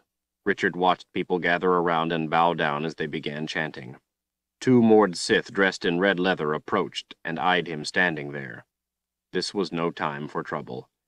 He went to his knees, touched his forehead to the tile, and began chanting the devotion. Since he had already decided, there was no reason to think, and he let his mind go empty. Master Rahl guide us, Master Rahl teach us, Master Rahl protect us. In your light we thrive, in your mercy we are sheltered, in your wisdom we are humbled, we live only to serve, our lives are yours. He chanted over and over, letting himself go, letting his worry go. His mind calmed as he sought the peace within and joined with it. A thought caught the words in his throat. If he was going to give a devotion, it was going to be one that meant something to him. He changed the words. Kahlan, guide me. Kahlan, teach me. Kahlan, protect me. In your light I thrive. In your mercy I am sheltered. In your wisdom I am humbled. I live only to love you. My life is yours. The shock of realization made him sit bolt upright on his heels, his eyes wide. He knew what he must do. Zedd had told him, told him that most of the things people believed were wrong. Wizard's first rule. He had been the fool long enough, listened to others enough. He avoided the truth no longer. A smile spread on his face. He stood. He believed with all his heart. Excited, he turned, stepping among the people chanting the devotion on their knees. The two Mord Sith rose. They stood, grim-faced, shoulder to shoulder, blocking his way. He jerked to a halt. The one with blonde hair and blue eyes brought her Agiel up in a menacing posture, waving it in front of him. No one is allowed to miss a devotion. No one. Richard returned the threatening glare. I am the Seeker. He lifted Denna's Agiel in his fist. Mate to Denna. I am the one who killed her. Killed her with the magic by which she held me. I have said my last devotion to Father Rahl. The next move you make will determine if you live or die. Choose. An eyebrow lifted over a cold blue eye. The two Mord Sith glanced at each other, then stepped aside. Richard marched off to the Garden of Life to Darken Rahl. Zedd warily scanned the edges as they ascended the road up the side of the plateau, the surroundings brightening the higher they went. The three of them emerged from the fog into mid-morning sunlight. Ahead, a drawbridge began lowering, the catch on the gears clattering as the span lowered across a chasm. Chase loosened the short sword in the scabbard over his shoulder when the lowering bridge revealed a couple of dozen soldiers waiting on the other side. Not one of the soldiers brought a weapon to hand, nor did they move to block the way, but stood at ease to the side, seemingly disinterested in the three. Kahlan gave them no notice as she strode past. Chase did. He looked like a man about to preside over a slaughter. The guards nodded and smiled politely. The boundary warden leaned a little closer to Zedd, but kept his eyes on the well-armed soldiers. I don't like this. It's too easy. Zedd smiled. If Darken Rahl is to kill us, he must first let us get to where we are to be killed. Chase frowned over at the wizard. That doesn't make me feel any better. Zedd put his hand on Chase's shoulder. No loss of honor, my friend. Go home before the door closes behind us forever. Chase stiffened. Not until it is done. Zedd nodded and walked a little faster to stay close to Kahlan. When they gained the top of the plateau, they were confronted by a huge wall stretching off to either side. The battlements at the top were alive with men. Kahlan didn't pause, but marched toward the gate. Straining with the weight, Two guards pushed the immense doors back as she approached. She didn't lose a step as she went through the opening in the wall. Chase glared at the captain of the guards. You let anyone in? The captain gave a surprised stare. She is expected by Master Rahl. Chase grunted and followed after. So much for our sneaking up on him. One does not sneak up on a wizard of Rahl's talents. Chase grabbed Zedd's arm. Wizard? Rahl is a wizard? Zedd frowned at him. Of course. How do you suppose he is able to command magic the way he does? He is descended from a long line of wizards. Chase seemed annoyed. I thought wizards were only supposed to help people, not rule them. Zedd let out a deep breath. Before some of us decided to no longer interfere with the affairs of man, wizards used to rule. There was a rift. The Wizard Wars, as they were known. A few on their side survived and continued to follow the old ways, continued to take power for themselves, continued to rule people. Darken Rahl is a direct descendant of that line, the House of Rahl. He was born with the gift, not all are, but he uses it only for himself. He is a person who does not bear the burden of conscience. Chase fell silent as they ascended a hillside of steps, passing into the shade between fluted columns and through an opening surrounded by carved stone vines and leaves. They entered the halls. Chase's head swiveled about, astonished by the size, the beauty, the sheer overwhelming volume of polished stone about them. Kahlan walked down the center of the vast hall, seeing none of it, the folds of her dress flowing fluidly behind her, the soft sound of her boots on the stone whispering into the cavernous distance. People dressed in white robes strolled the halls. A few sat on marble benches, and others knelt at squares with a stone and bell, meditating. All wore the same perpetual smile of the divinely deluded, the peaceful countenance of those self-assured in their fantasy of certainty and understanding. Truth was only a shifting fog to them, to be burned off by the light of their convoluted reasoning followers, disciples of Darken Rahl, one and all. Most paid the three no attention, giving them no more than a vacant nod. Zedd caught a glimpse of two Mord Sith, proud in their red leather, sauntering up a side hall toward them. When they saw Kahlan, saw the twin red lightning bolts of the Con Dar painted across her face, the two blanched, reversed course, and quickly vanished. The route they followed took them to an intersection of enormous halls built in the pattern of a wheel. Stained glass windows that formed the hub, high overhead, let in sunlight that streamed in colored shafts through the cavernous central area. Kahlan stopped and turned her green eyes to the wizard. Which way? Zedd pointed down a hall to the right. Kahlan started off without hesitation. How do you know where we're going? Chase asked. Two ways. First, the People's Palace is built on a pattern I recognize, the pattern of a magic spell. The entire palace is one giant spell drawn on the face of the ground. It's a power spell, meant to protect Darken Rahl, keep him safe here, amplify his power. It's a spell drawn to protect him from other wizards. I have very little power here. I am next to helpless. The core of it is a place called the Garden of Life. Darken Rahl will be there. Chase gave a troubled look. What's the second? Zedd hesitated. The boxes. Their covers are removed. I can sense them. They, too, are in the Garden of Life. Something was wrong. He knew what it was to sense one of the boxes, and two should be twice as strong. But the feeling wasn't. It was three times as strong. The wizard directed the Mother Confessor down the proper halls as they came to them, and up the proper stairways as they appeared. Each hall, each different level, had stone of unique color or type. In some places, the columns stood several levels high. Balconies between them looked down on the hall. Stairways were all marble, each of a different color. They passed huge statues, standing like stone sentinels at the walls to each side. The three walked for several hours, working their way higher into the center of the People's Palace. It was impossible to go in a straight course. There was none. At last, they came to closed doors, carved in a country scene clad in gold. Kahlan stopped and looked to the wizard. This is the place, dear one, the Garden of Life. The boxes are in here. Darken Rahl will be, too. She gave him a deep stare. Thank you, Zedd. And you too, Chase. Kahlan turned to the door, but Zedd put his hand gently on her shoulder and turned her back around. Darken Rahl has only two boxes. He will be dead soon, without your help. Her eyes were cold fire in the heart of the sharp red lightning bolts drawn on her resolute face. Then I have no time to waste. She pushed the doors open and strode into the garden of life. Chapter 49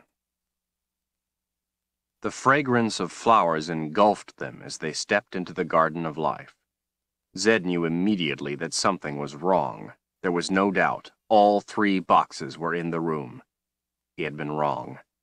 Rahl did have all three. He sensed something else, too, something out of place, but with his power diminished, he couldn't put his trust in the feeling. With Chase at his heels, Zedd stayed close behind Kahlan as she walked along the path among the trees, past the vine-covered walls and colorful flowers. They came to grass. Kahlan stopped. Across the lawn was a circle of white sand, sorcerer's sand.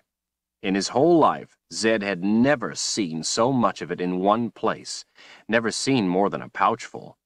This much was worth ten kingdoms tiny flecks of prismatic light reflected up at him. With rising trepidation, Zedd wondered what Rahl needed with that much sorcerer's sand, what he did with it. He found it hard to take his eyes from the lure of it. Beyond the sorcerer's sand sat a sacrificial altar. There on the stone altar were the three boxes of Orden. Zedd's heart felt as if it skipped a beat. To see for sure that all three were there together. Each had its cover removed, each was black as midnight. In front of the boxes, with his back to them, stood Darken Rahl. Zedd raged at seeing the one who had harmed Richard. The sunlight, coming straight down from the glass roof, lit the white robes and long blonde hair, making them glow. Rahl stood, gazing at the boxes, his prizes. Zedd felt his face heat. How had Rahl found the last box? How had he gotten it? He dismissed the questions. They were irrelevant. The question was what to do now. With all three, Rahl could open one. Zedd watched Kahlan as she stared across at Darken Rahl. If she could, in fact, touch Rahl with her power, they would be saved, but he doubted that she had the necessary power. In this palace, especially in this room, Zedd could feel that his own power was virtually useless. The whole place was one giant spell against any wizard but a Rahl. If Darken Rahl was to be stopped, only Kahlan could do it. He felt the blood rage emanating from her, the seething fury. Kahlan started across the grass. Zedd and Chase followed, but when they had almost reached the sand opposite Rahl, she turned and placed a hand on the wizard's chest. Both of you will wait here. Zedd felt the wrath in her eyes and understood it because he shared it. He, too, felt the pain of losing Richard. When Zedd's head came up, he was staring into the blue eyes of Darken Rahl. They held each other's gaze a moment. Rahl's eyes shifted to Kahlan as she walked around the circle of sand, her countenance dead calm. Chase leaned closer and whispered, What are we going to do if this doesn't work? We are going to die. Zedd's hopes lifted when he saw the look of alarm on Darken Rahl's face. Alarm and fear at seeing Kahlan painted with the twin lightning bolts of the Kondar. Zedd smiled. Darken Rahl hadn't counted on that, and appeared to be frightened by it. The alarm turned to action. As Kahlan approached, Darken Rahl suddenly drew the Sword of Truth. It hissed coming out, and it came out white. He held it out, stopping Kahlan at its point. They were too close to be stopped now. Zedd had to help her, help her use the only thing that could save them. The wizard used every bit of strength he had, which wasn't as much as he wished, and threw a bolt of lightning across the white sorcerer's sand. He drained all his power into it. The blue lightning hit the sword, knocking it from Rahl's hands. It flew through the air, landing a good distance away. Darken Rahl screamed something to Zedd, then turned to Kahlan, speaking to her, but neither could understand him. Darken Rahl backed away as Kahlan advanced. He bumped into the altar, able to back away no farther. He ran his fingers through his hair as Kahlan stopped in front of him. Zedd's smile faded. Something was wrong. The way Rahl ran his fingers through his hair sparked his memory. The mother confessor reached out and seized Darken Rahl by the throat. This is for Richard. Zedd's eyes went wide. Ice flashed through him. He understood what was wrong. He gasped in recognition. That wasn't Darken Rahl.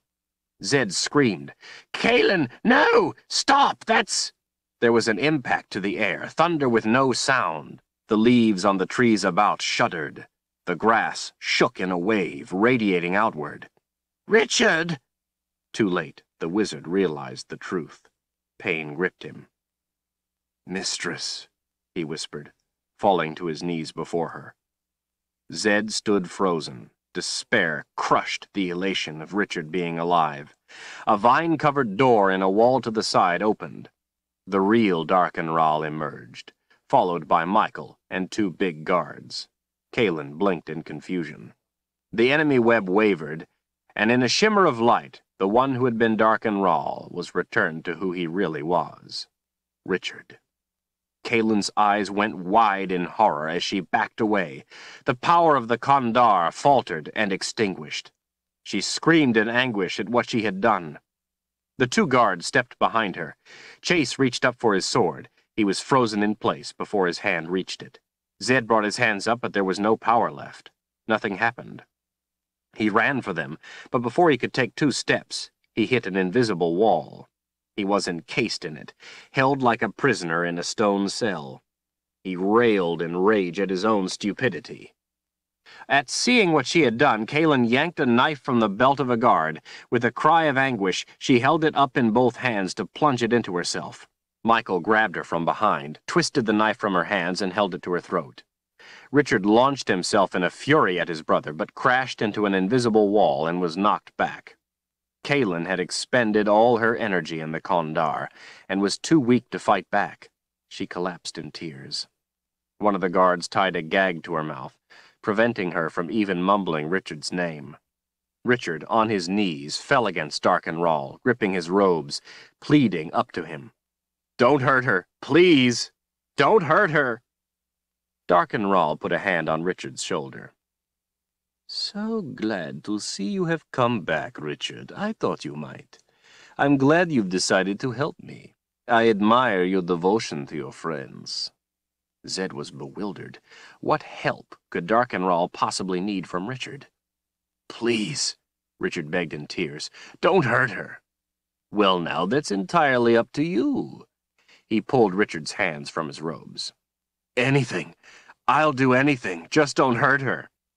A smile spread on Darken Rahl's lips. He licked the tips of his fingers. He ran his other hand through Richard's hair. I'm sorry it had to be this way, Richard. I really am. It would have been a pleasure having you around as you were. Although you don't realize it, you and I are very much alike. But I'm afraid you have fallen victim to the wizard's first rule.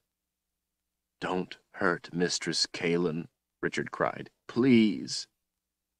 If you do as I say, I will do as I promised, and she will be treated well. I may even turn you into something pleasant.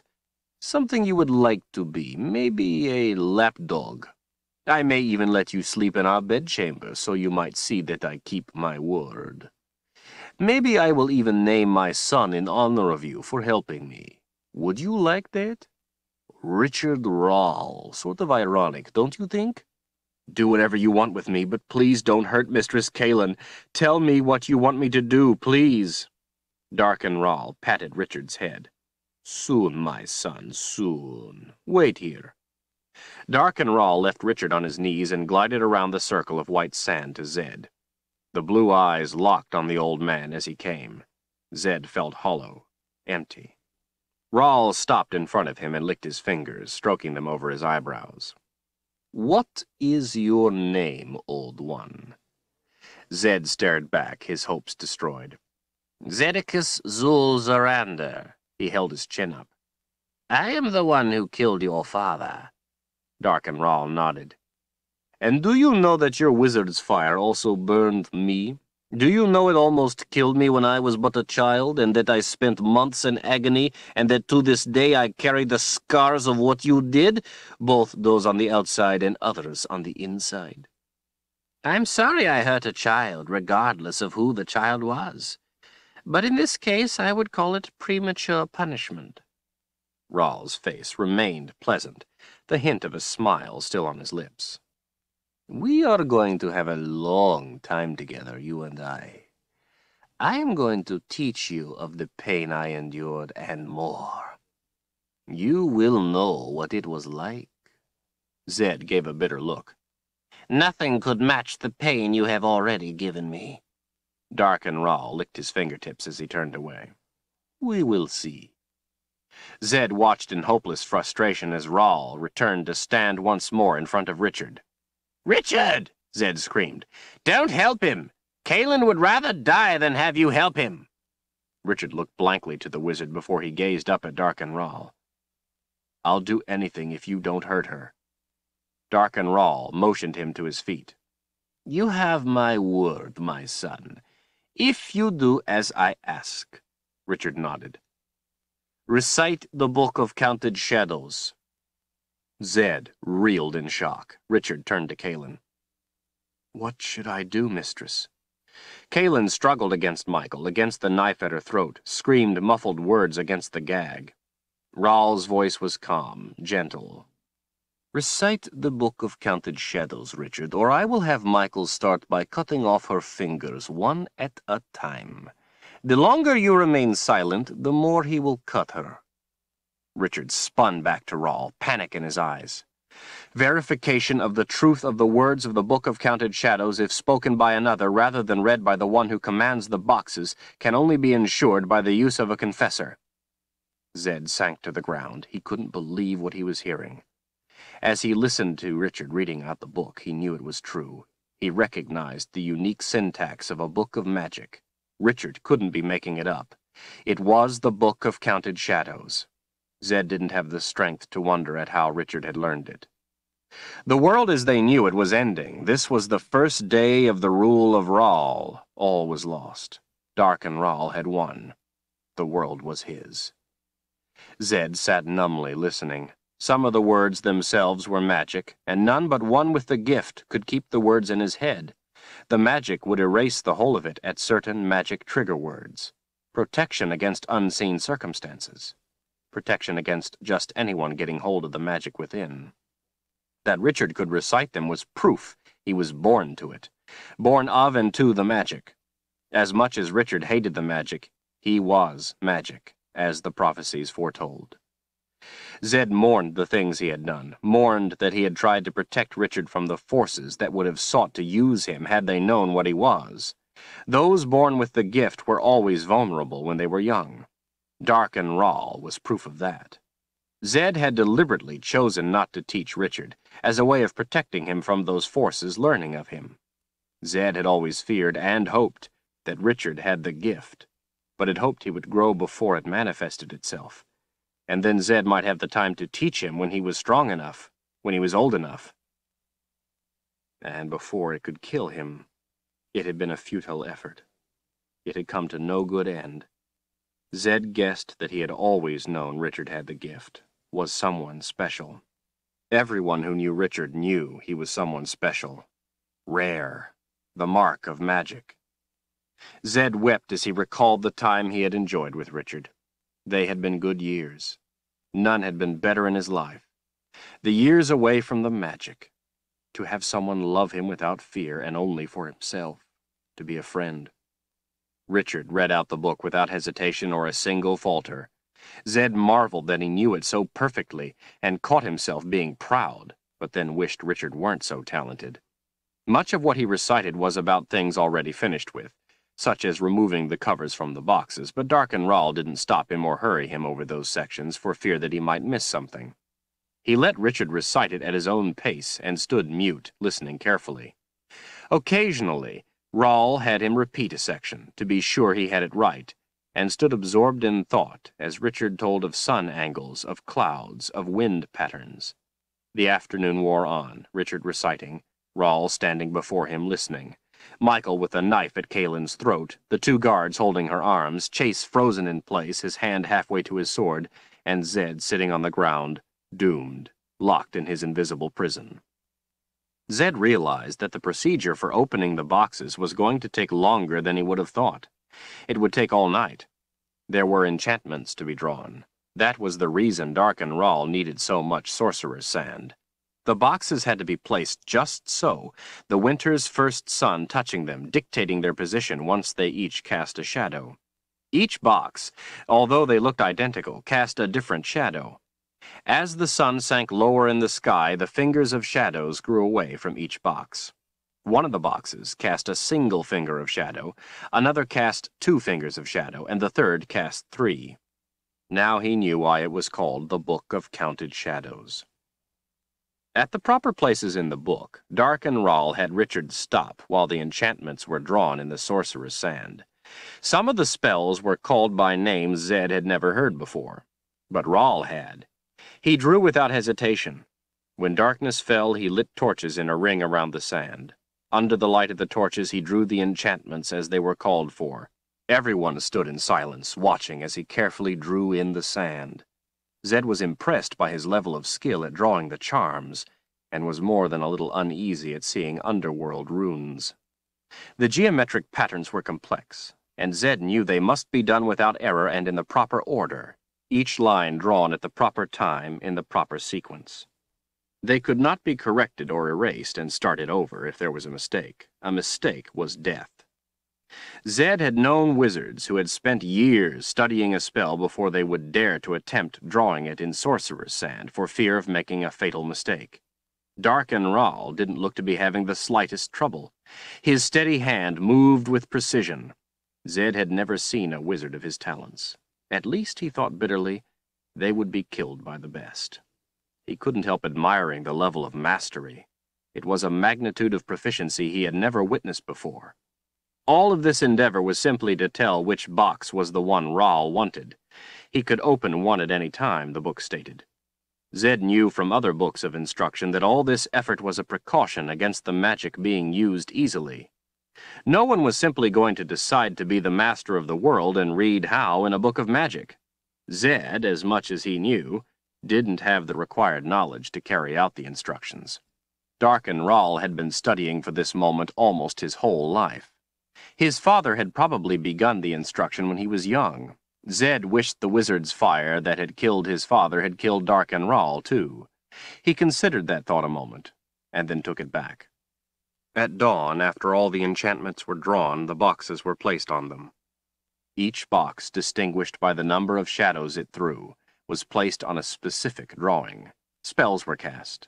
As the rays of sun from the second day of winter lit the stone, the boxes were placed on the altar once more. Zedd was amazed to see that the boxes that had thrown a particular number of shadows the day before now threw a different number. Another precaution. As directed, the boxes were rearranged, so the one throwing a single shadow was to the left, the one that threw two was in the center, and the one that threw three was to the right. Darken Rahl stared at the black boxes. Continue. Without hesitation, Richard went on. Once so arranged, Orden is at the ready to be commanded. Where one shadow is insufficient to gain the power to sustain the life of the player, and three more than can be tolerated by all life, the balance is struck by opening the box with two shadows, one shadow for yourself, and one for the world that would be yours to command by the power of Orden. One world under one command is marked by the box with two shadows. Open it to gain your reward. Darken Rahl's face turned slowly to Richard. Go on. Richard blinked. Rule as you have chosen. That is the end. There must be more. No, Master Rahl. Rule as you have chosen. That's the end. The last words. Rahl grabbed Richard's throat. Did you learn it all? The entire book? Yes, Master Rahl. Rahl's face reddened. That can't be right. That isn't the right box. The box with two shadows is the one that will kill me. I told you I learned that much. I learned which one will kill me. I have told you every word true. Every single word. Darken Rahl released his throat. I don't believe you. He looked to Michael. Cut her throat. Richard fell to his knees with a scream. Please! You gave me your word. You said if I told you, you wouldn't harm her. Please, I have told you the truth. Rahl held his hand up to Michael, but kept his eyes on Richard. I don't believe you. Unless you tell me the truth right now, I will cut her open. I will kill your mistress. No, Richard screamed. I have told you the truth. I can't tell you anything different. It would be a lie. Last chance, Richard. Tell me the truth or she dies. I can't tell you anything differently, Richard cried. Anything different would be a lie. I have told you every word true. Zedd came to his feet. He watched the knife at Kahlan's throat. Her green eyes were wide. He watched Darken Rahl. Rahl had obviously found some of the information from a source other than the Book of Counted Shadows, and that information was in conflict with the information in the book. This was not uncommon. Surely Darken Rahl must know that. When there was a conflict, the information in the instruction book for that specific magic must always take precedence. To do otherwise was always fatal. It was a safeguard to protect the magic. Zedd hoped against hope that Rahl's arrogance would make him go against the book. The smile came back to darken Rahl's face. He licked his fingertips, wiped them on his eyebrows. All right, Richard. I just had to be sure you were telling me the truth. I am. I swear on Mistress Kahlan's life. Every word I told you is true. Rahl nodded. He gave a wave of his hand to Michael. Michael relaxed the knife. Kahlan closed her eyes as tears ran down her cheeks. Rahl turned to the boxes, letting out a deep breath. At last, he whispered, the magic of Orden is mine. Zedd couldn't see it, but he knew that Darken Rahl lifted the lid on the middle box, the one with two shadows. He could tell by the light expanding from it. Golden light lifted, as if it were a great weight. It settled over Master Rahl, lighting him in a golden glow. He turned, smiling. The light about him moved with him as he moved. He lifted slightly into the air, enough to take the weight from his feet, and floated to the center of the sorcerer's sand, his arms extended, the light beginning to swirl slowly around him. He faced toward Richard. Thank you, my son, for coming back, for helping Father Rahl. You will be rewarded for helping me, as I promised. You have delivered to me that which is mine. I can feel it. It's marvelous. I can feel the power. Richard stood without emotion, watching. Zedd sank to the ground again. What had Richard done? How could he? How could he give Rahl the magic of Orden? Allow him to rule the world? He had been touched by a confessor, that was how. It wasn't his fault, he had no control. It was over. Zedd forgave him. Had he the power, Zedd would have made the wizard's life fire and put his life into it. But he had no power here, no power in the face of Master Rahl. He felt very tired, very old. He knew he would not get the chance to get much older. Darken Rahl would see to that. But it was not himself he grieved for. It was everyone else. Bathed in the golden light, Darken Rahl slowly rose a few feet off the ground above the white sorcerer's sand, a satisfied grin on his face, his blue eyes sparkling.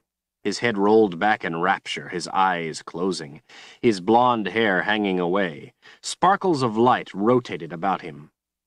The white sand turned a golden color, continued turning darker to a burnt brown. The light around Rahl darkened to amber. His head came down his eyes coming open, his smile fading. The sorcerer's sand crisped to black. The ground trembled.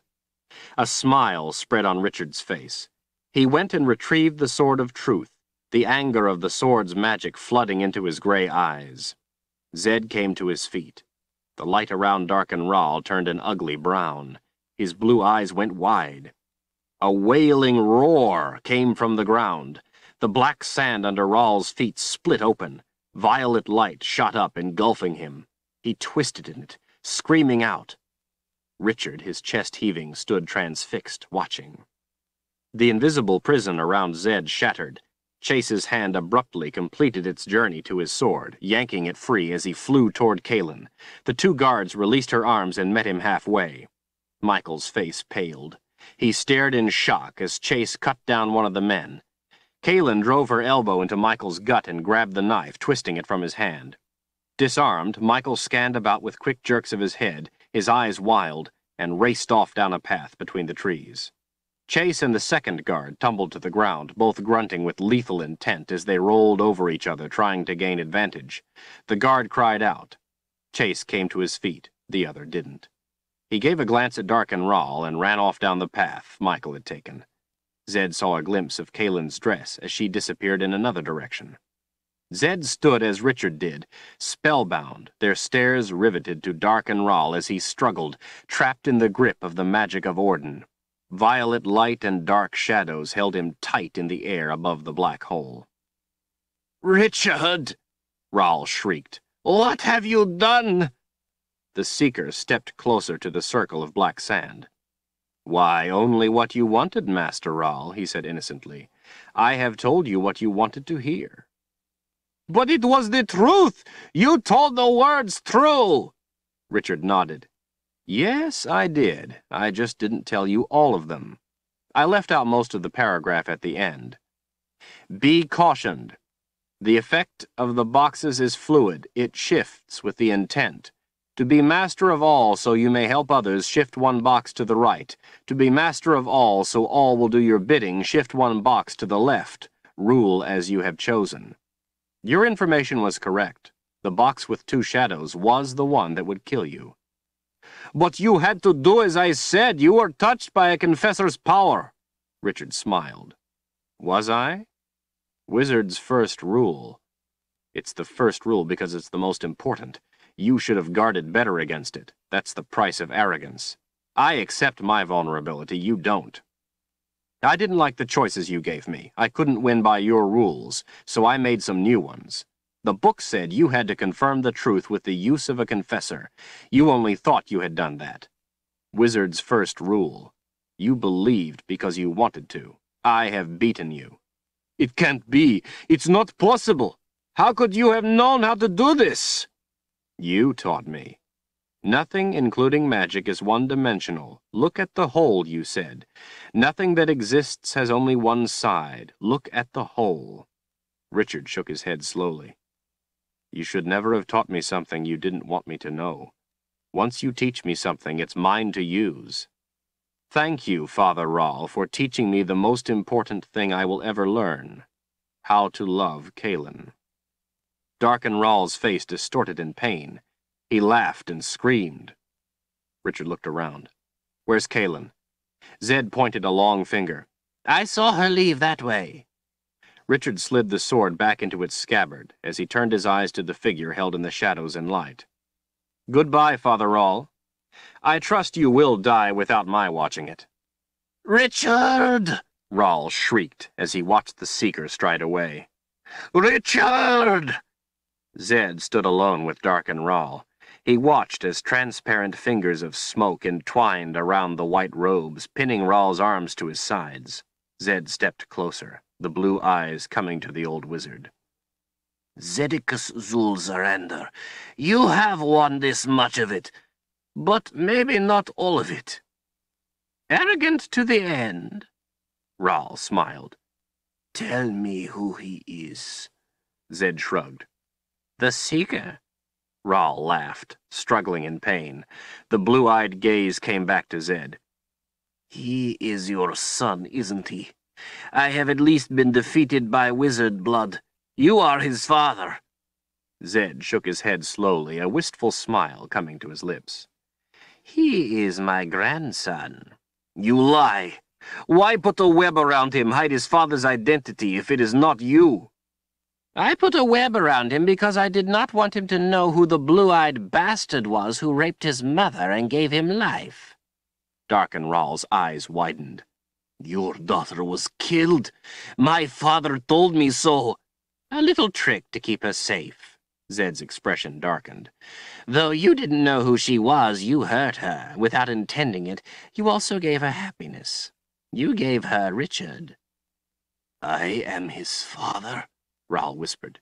When you raped my daughter, I knew I couldn't harm you, and my first thought was to comfort her, protect her, so I took her to Westland. She met a young man, a man widowed with a baby son. George Cypher was a good, kind man. I was proud to have him as my daughter's husband. George loved Richard as his own, but he knew the truth except about me, who I was. That was hidden by the web. I could have hated Richard for his father's crimes, but chose instead to love him for himself. He turned out to be quite a man, don't you think? You have been defeated by the heir you wanted, an heir born with the gift. That is rare. Richard is the true seeker. From the Rahl blood he has the rage of the anger, the capacity for violence, but it's balanced with Zorander blood, the capacity for love, understanding, and forgiveness. Darken Rahl shimmered in the shadows of the magic of Orden. He twisted in pain as he became transparent as smoke. to think. The Zorander and Rahl bloodlines joined in one. Yet he is still my heir, in a way, he managed. I have one. Zedd shook his head. You have lost in more ways than one. Vapor, smoke, shadows, and light spun in a roar. The ground shook violently. The sorcerer's sand, now black as pitch, was sucked into the vortex. The whole of it rotated over the abyss, the sounds of the world of life and the underworld mixing in a terrible howl. Darken Rahl's voice came hollow, empty, dead. Read the prophecies, old man. Things may not yet be as final as you think. I am an agent. A point of blinding light ignited in the center of the spinning mass. Zedd shielded his eyes. Beams of white-hot light shot upward through the windows overhead, into the sky, and downward into the blackness of the abyss. There was a piercing shriek. The air shimmered with the heat, light, and sound. A flash lit everything around to white, and then there was silence. Cautiously, Zedd took his hands from his eyes. It was gone. The whole of it was gone. Winter sunlight warmed the ground where only moments before the black abyss had been. The sorcerer's sand was gone. The bare circle of earth it had covered was whole. The rupture between worlds healed. At least, Zedd hoped it was. The wizard felt his power seeping back into his bones. The ones who had drawn the spell against him were gone. The effect of the spell was gone. He stood before the altar, spread his arms into the sunlight, and closed his eyes. I recall the webs. I am who I was before, Zeddicus Zu'l Zorander, wizard of the First Order. Let all know it once more, and the rest, too. The people of D'Hara were linked to the House of Rahl, a link forged in magic long ago by those who would rule. A link that chained the people of D'Hara to the House of Rahl and the House of Rahl to them.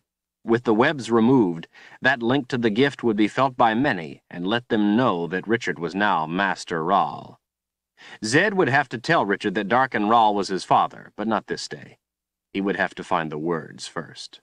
There were many things to tell him, but not this day. Richard found her kneeling before one of the deserted devotion pools. The gag was still tied around her neck. Left there when she had pulled it from her mouth. Kahlan hunched over in tears, her long hair cascading off her shoulders as she leaned forward, the knife gripped in both fists, the point held to her chest. Her shoulders shook with her sobs. Richard came to a stop next to the folds of her white dress. Don't do that, he whispered. I must. I love you. Kahlan gave a little moan. I have touched you with my power. I would rather die than be your mistress. It is the only way to release you. She gave a tearful shudder. I would like you to give me a kiss and then leave me. I don't want you to see it. No. Her eyes snapped up to his. What did you say? she whispered. Richard put his fists on his hips. I said no. I'm not going to kiss you with those silly things painted on your face. They nearly scared the life out of me. Her green eyes stared in disbelief. You can deny me nothing once I have touched you with my power. Richard squatted down close to her. He untied the gag from her neck. Well, then you have ordered me to kiss you. He dunked the cloth in the water. And I told you I won't do it with this thing painted on your face. He began wiping the lightning bolts from her skin. So I guess the only solution is to get rid of it. She knelt, frozen while he cleaned the red off her face. Richard looked into her wide eyes when he finished. He tossed the rag aside and knelt in front of her, slipping his arms around her waist. Richard, I touched you with the magic. I felt it. I heard it. I saw it. How could the power not have taken you? Because I was protected. Protected how? By my love for you. I realized I love you more than life itself, and I would rather give myself into your power than live without you. Nothing the magic could do to me could be worse than living without you. I was willing to give it all over to you. I offered the power everything I have all of my love for you. Once I realized how much I loved you, was willing to be yours on any terms, I understood that there could be nothing for the magic to harm.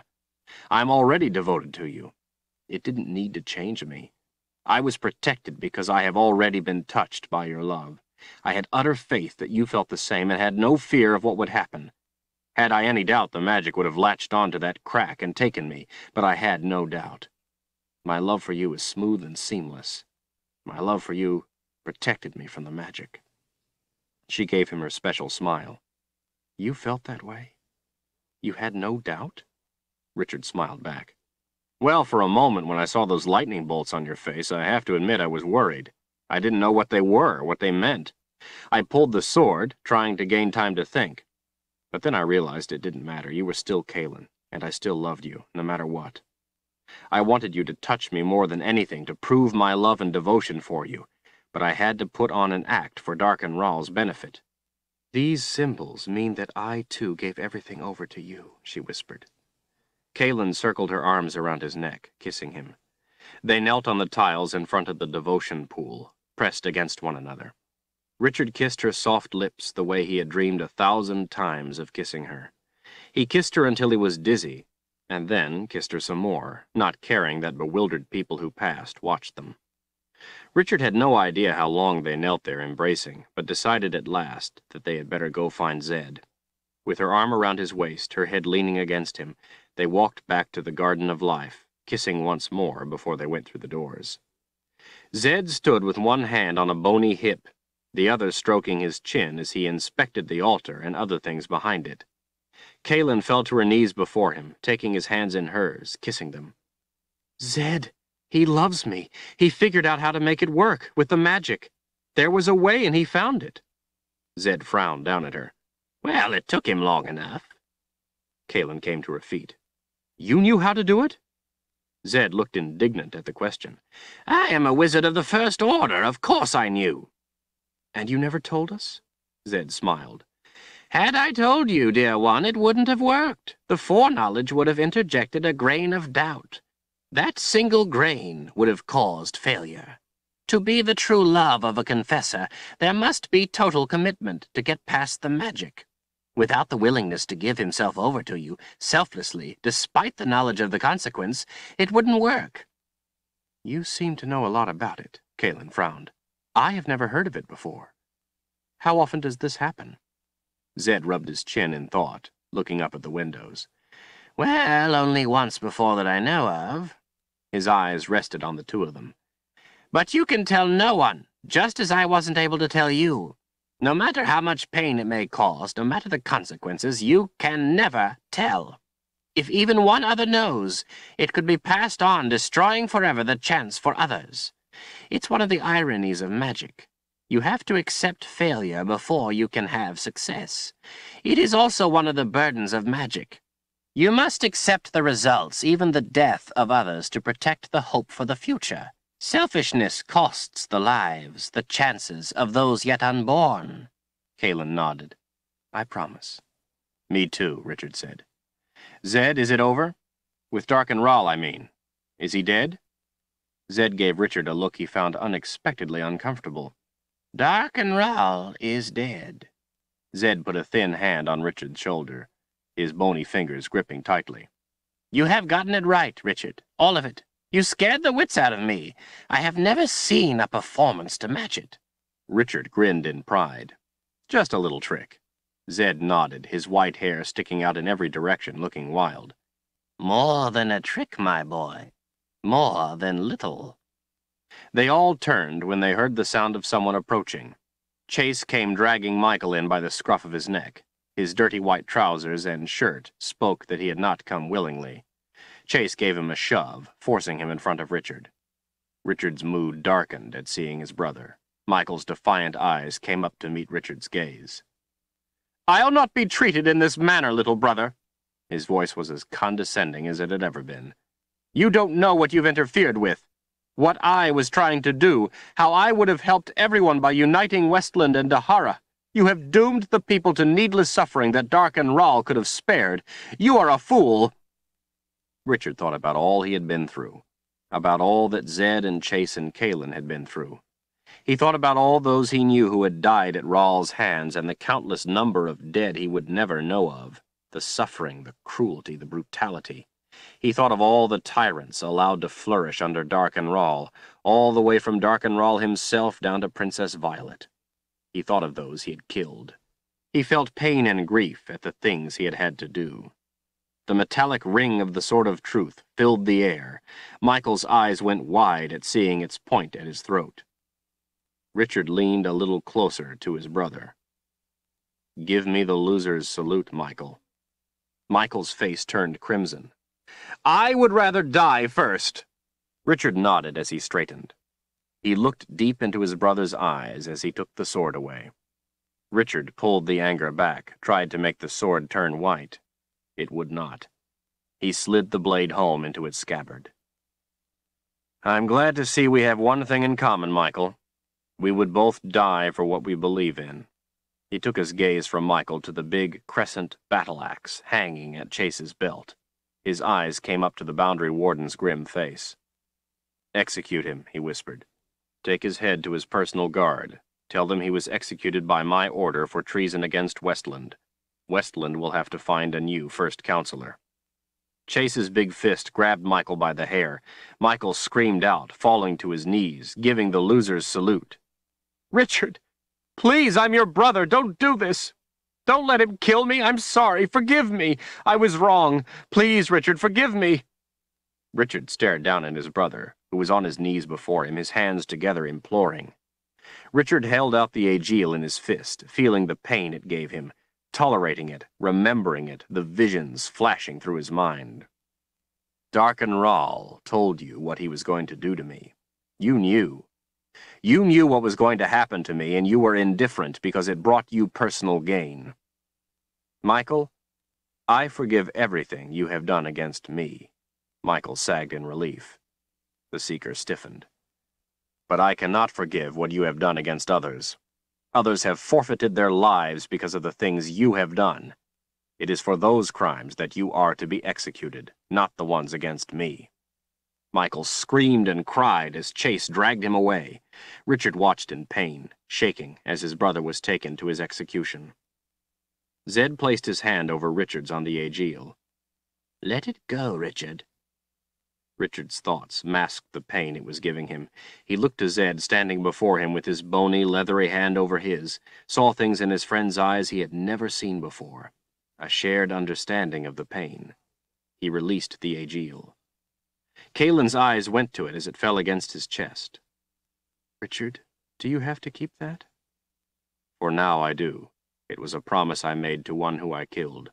One who helped teach me how much I love you. Darken Rahl thought this would defeat me. Instead, it taught me how to defeat him. If I discard it now, I would be denying what is inside me, what I am. Kahlan put her hand on his arm.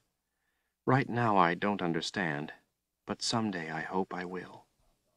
Richard looked around the Garden of Life, thinking about Darken Rahl's death and about his father's death. He had seen justice done.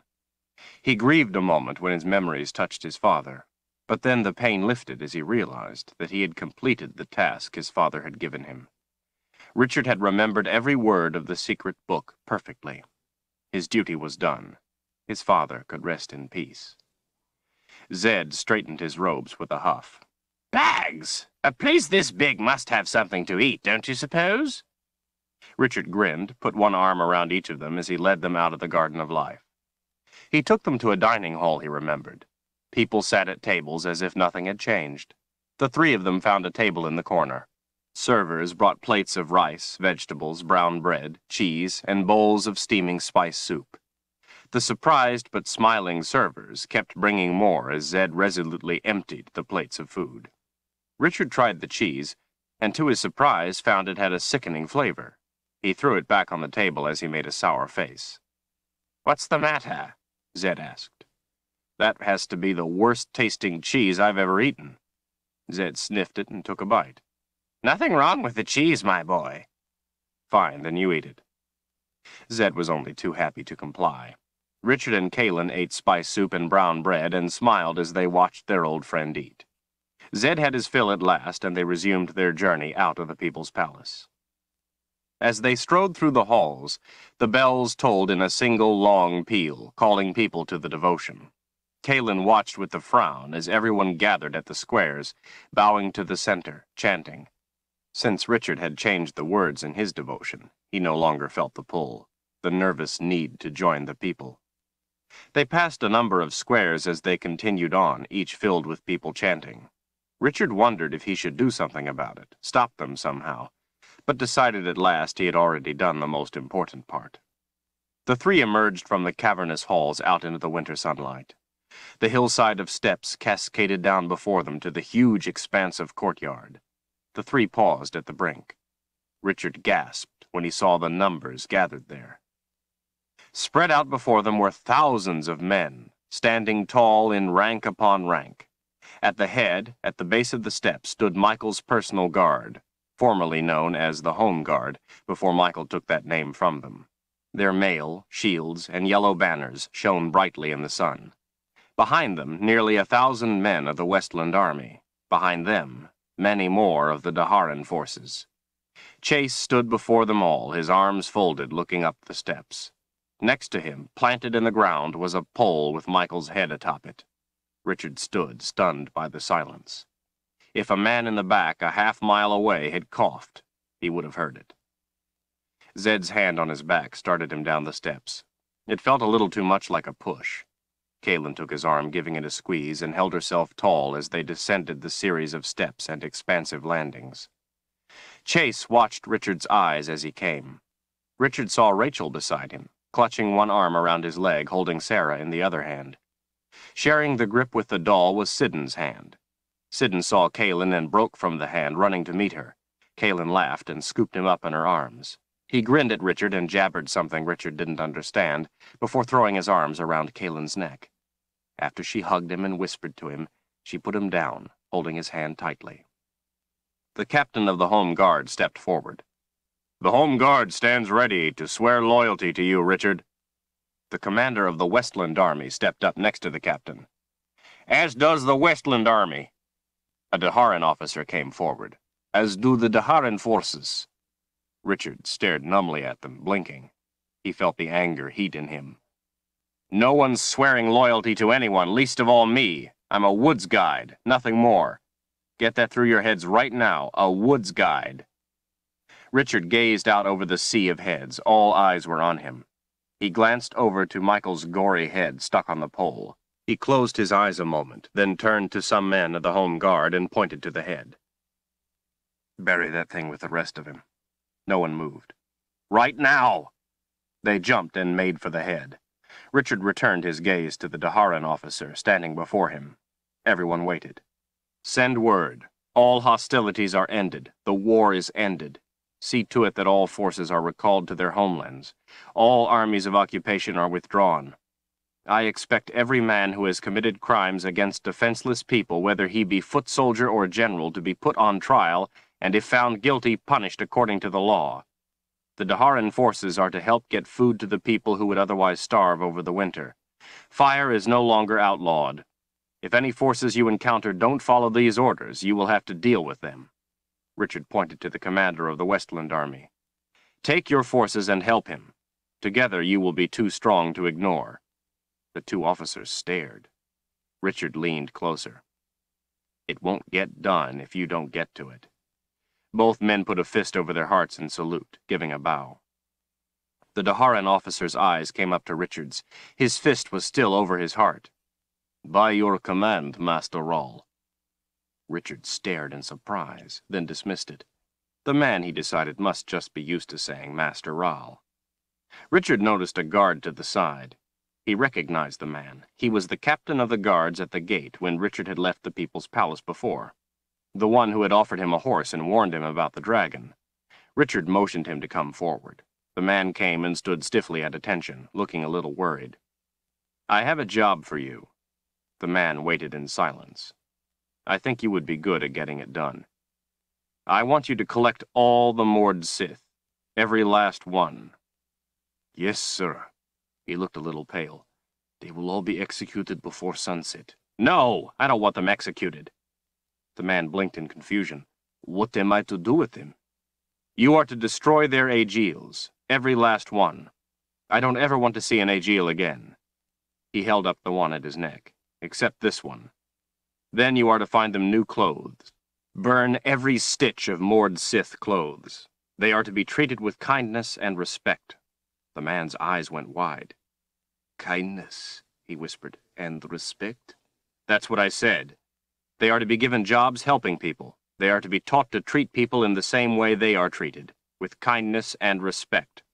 I don't know how you are to do that. You'll just have to figure it out yourself. You look like a bright fellow. All right? He frowned. And what if they refuse to change? Richard glared at the man. Tell them that if they choose to stay on the same path instead of taking another, then they will find the seeker with the white sword at the end of the road. The guard smiled, put his fist to his heart in salute, and gave a smart bow. Zedd leaned forward. Richard, the Agiel are magic. They can't simply be destroyed. Then help him, Zedd.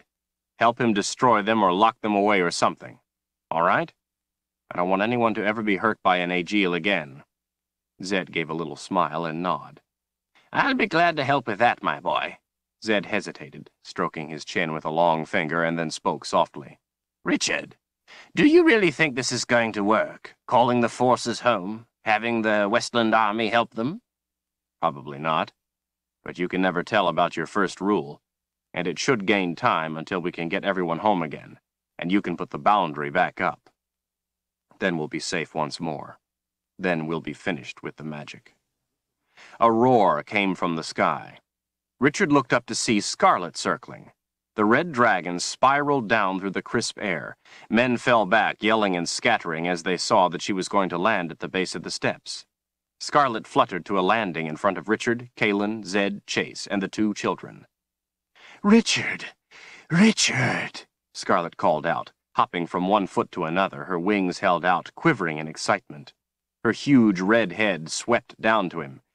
My egg hatched. It's a beautiful little dragon, just as you said it would be. I want you to come see it. It's so strong. I bet it flies within a month. Scarlet seemed suddenly to notice all the men. Her head scanned about, surveying them. Her big yellow eyes blinked. Her head swept down to Richard. Are we having trouble here? Do we need some dragon fire? Richard grinned. No, everything is fine. Well, then climb up and I'll take you to see the little one. Richard put his arm around Kahlan's waist. If you'll take Kahlan too, I would love to come. Scarlet eyed Kahlan up and down. If she is with you, she is welcome. Richard, Kahlan said, what about Siddin? Weselan and Savidlin will be worried sick over him. Her green eyes gazed deep into his. She leaned closer and whispered, And we have unfinished business in the spirit house. I believe there is still an apple there we have yet to finish. Her arm tightened around his waist, and a little twist of a smile came to her lips. The shape of the smile caught his breath in his throat. With difficulty, Richard tore his eyes from her and looked up at Scarlet. This little one was stolen from the Mud People when you took Darken Rahl there. His mother will be anxious to have him back as you were to have your young one returned. After we see your little dragon, could you take us there? Scarlet's big eye peered down at Siddin. Well, I guess I can understand his mother's worry. Done.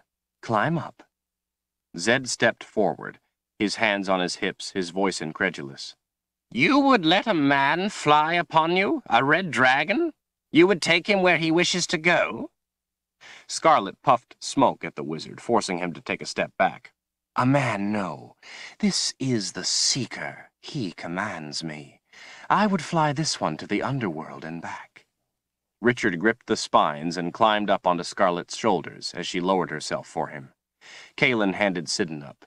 Richard put him in his lap and took Kahlan's hand as she swung her leg over Scarlet behind him. She put her arms around his waist, her hands against his chest and her head against his shoulder, squeezing tightly. Richard leaned a little toward Zedd.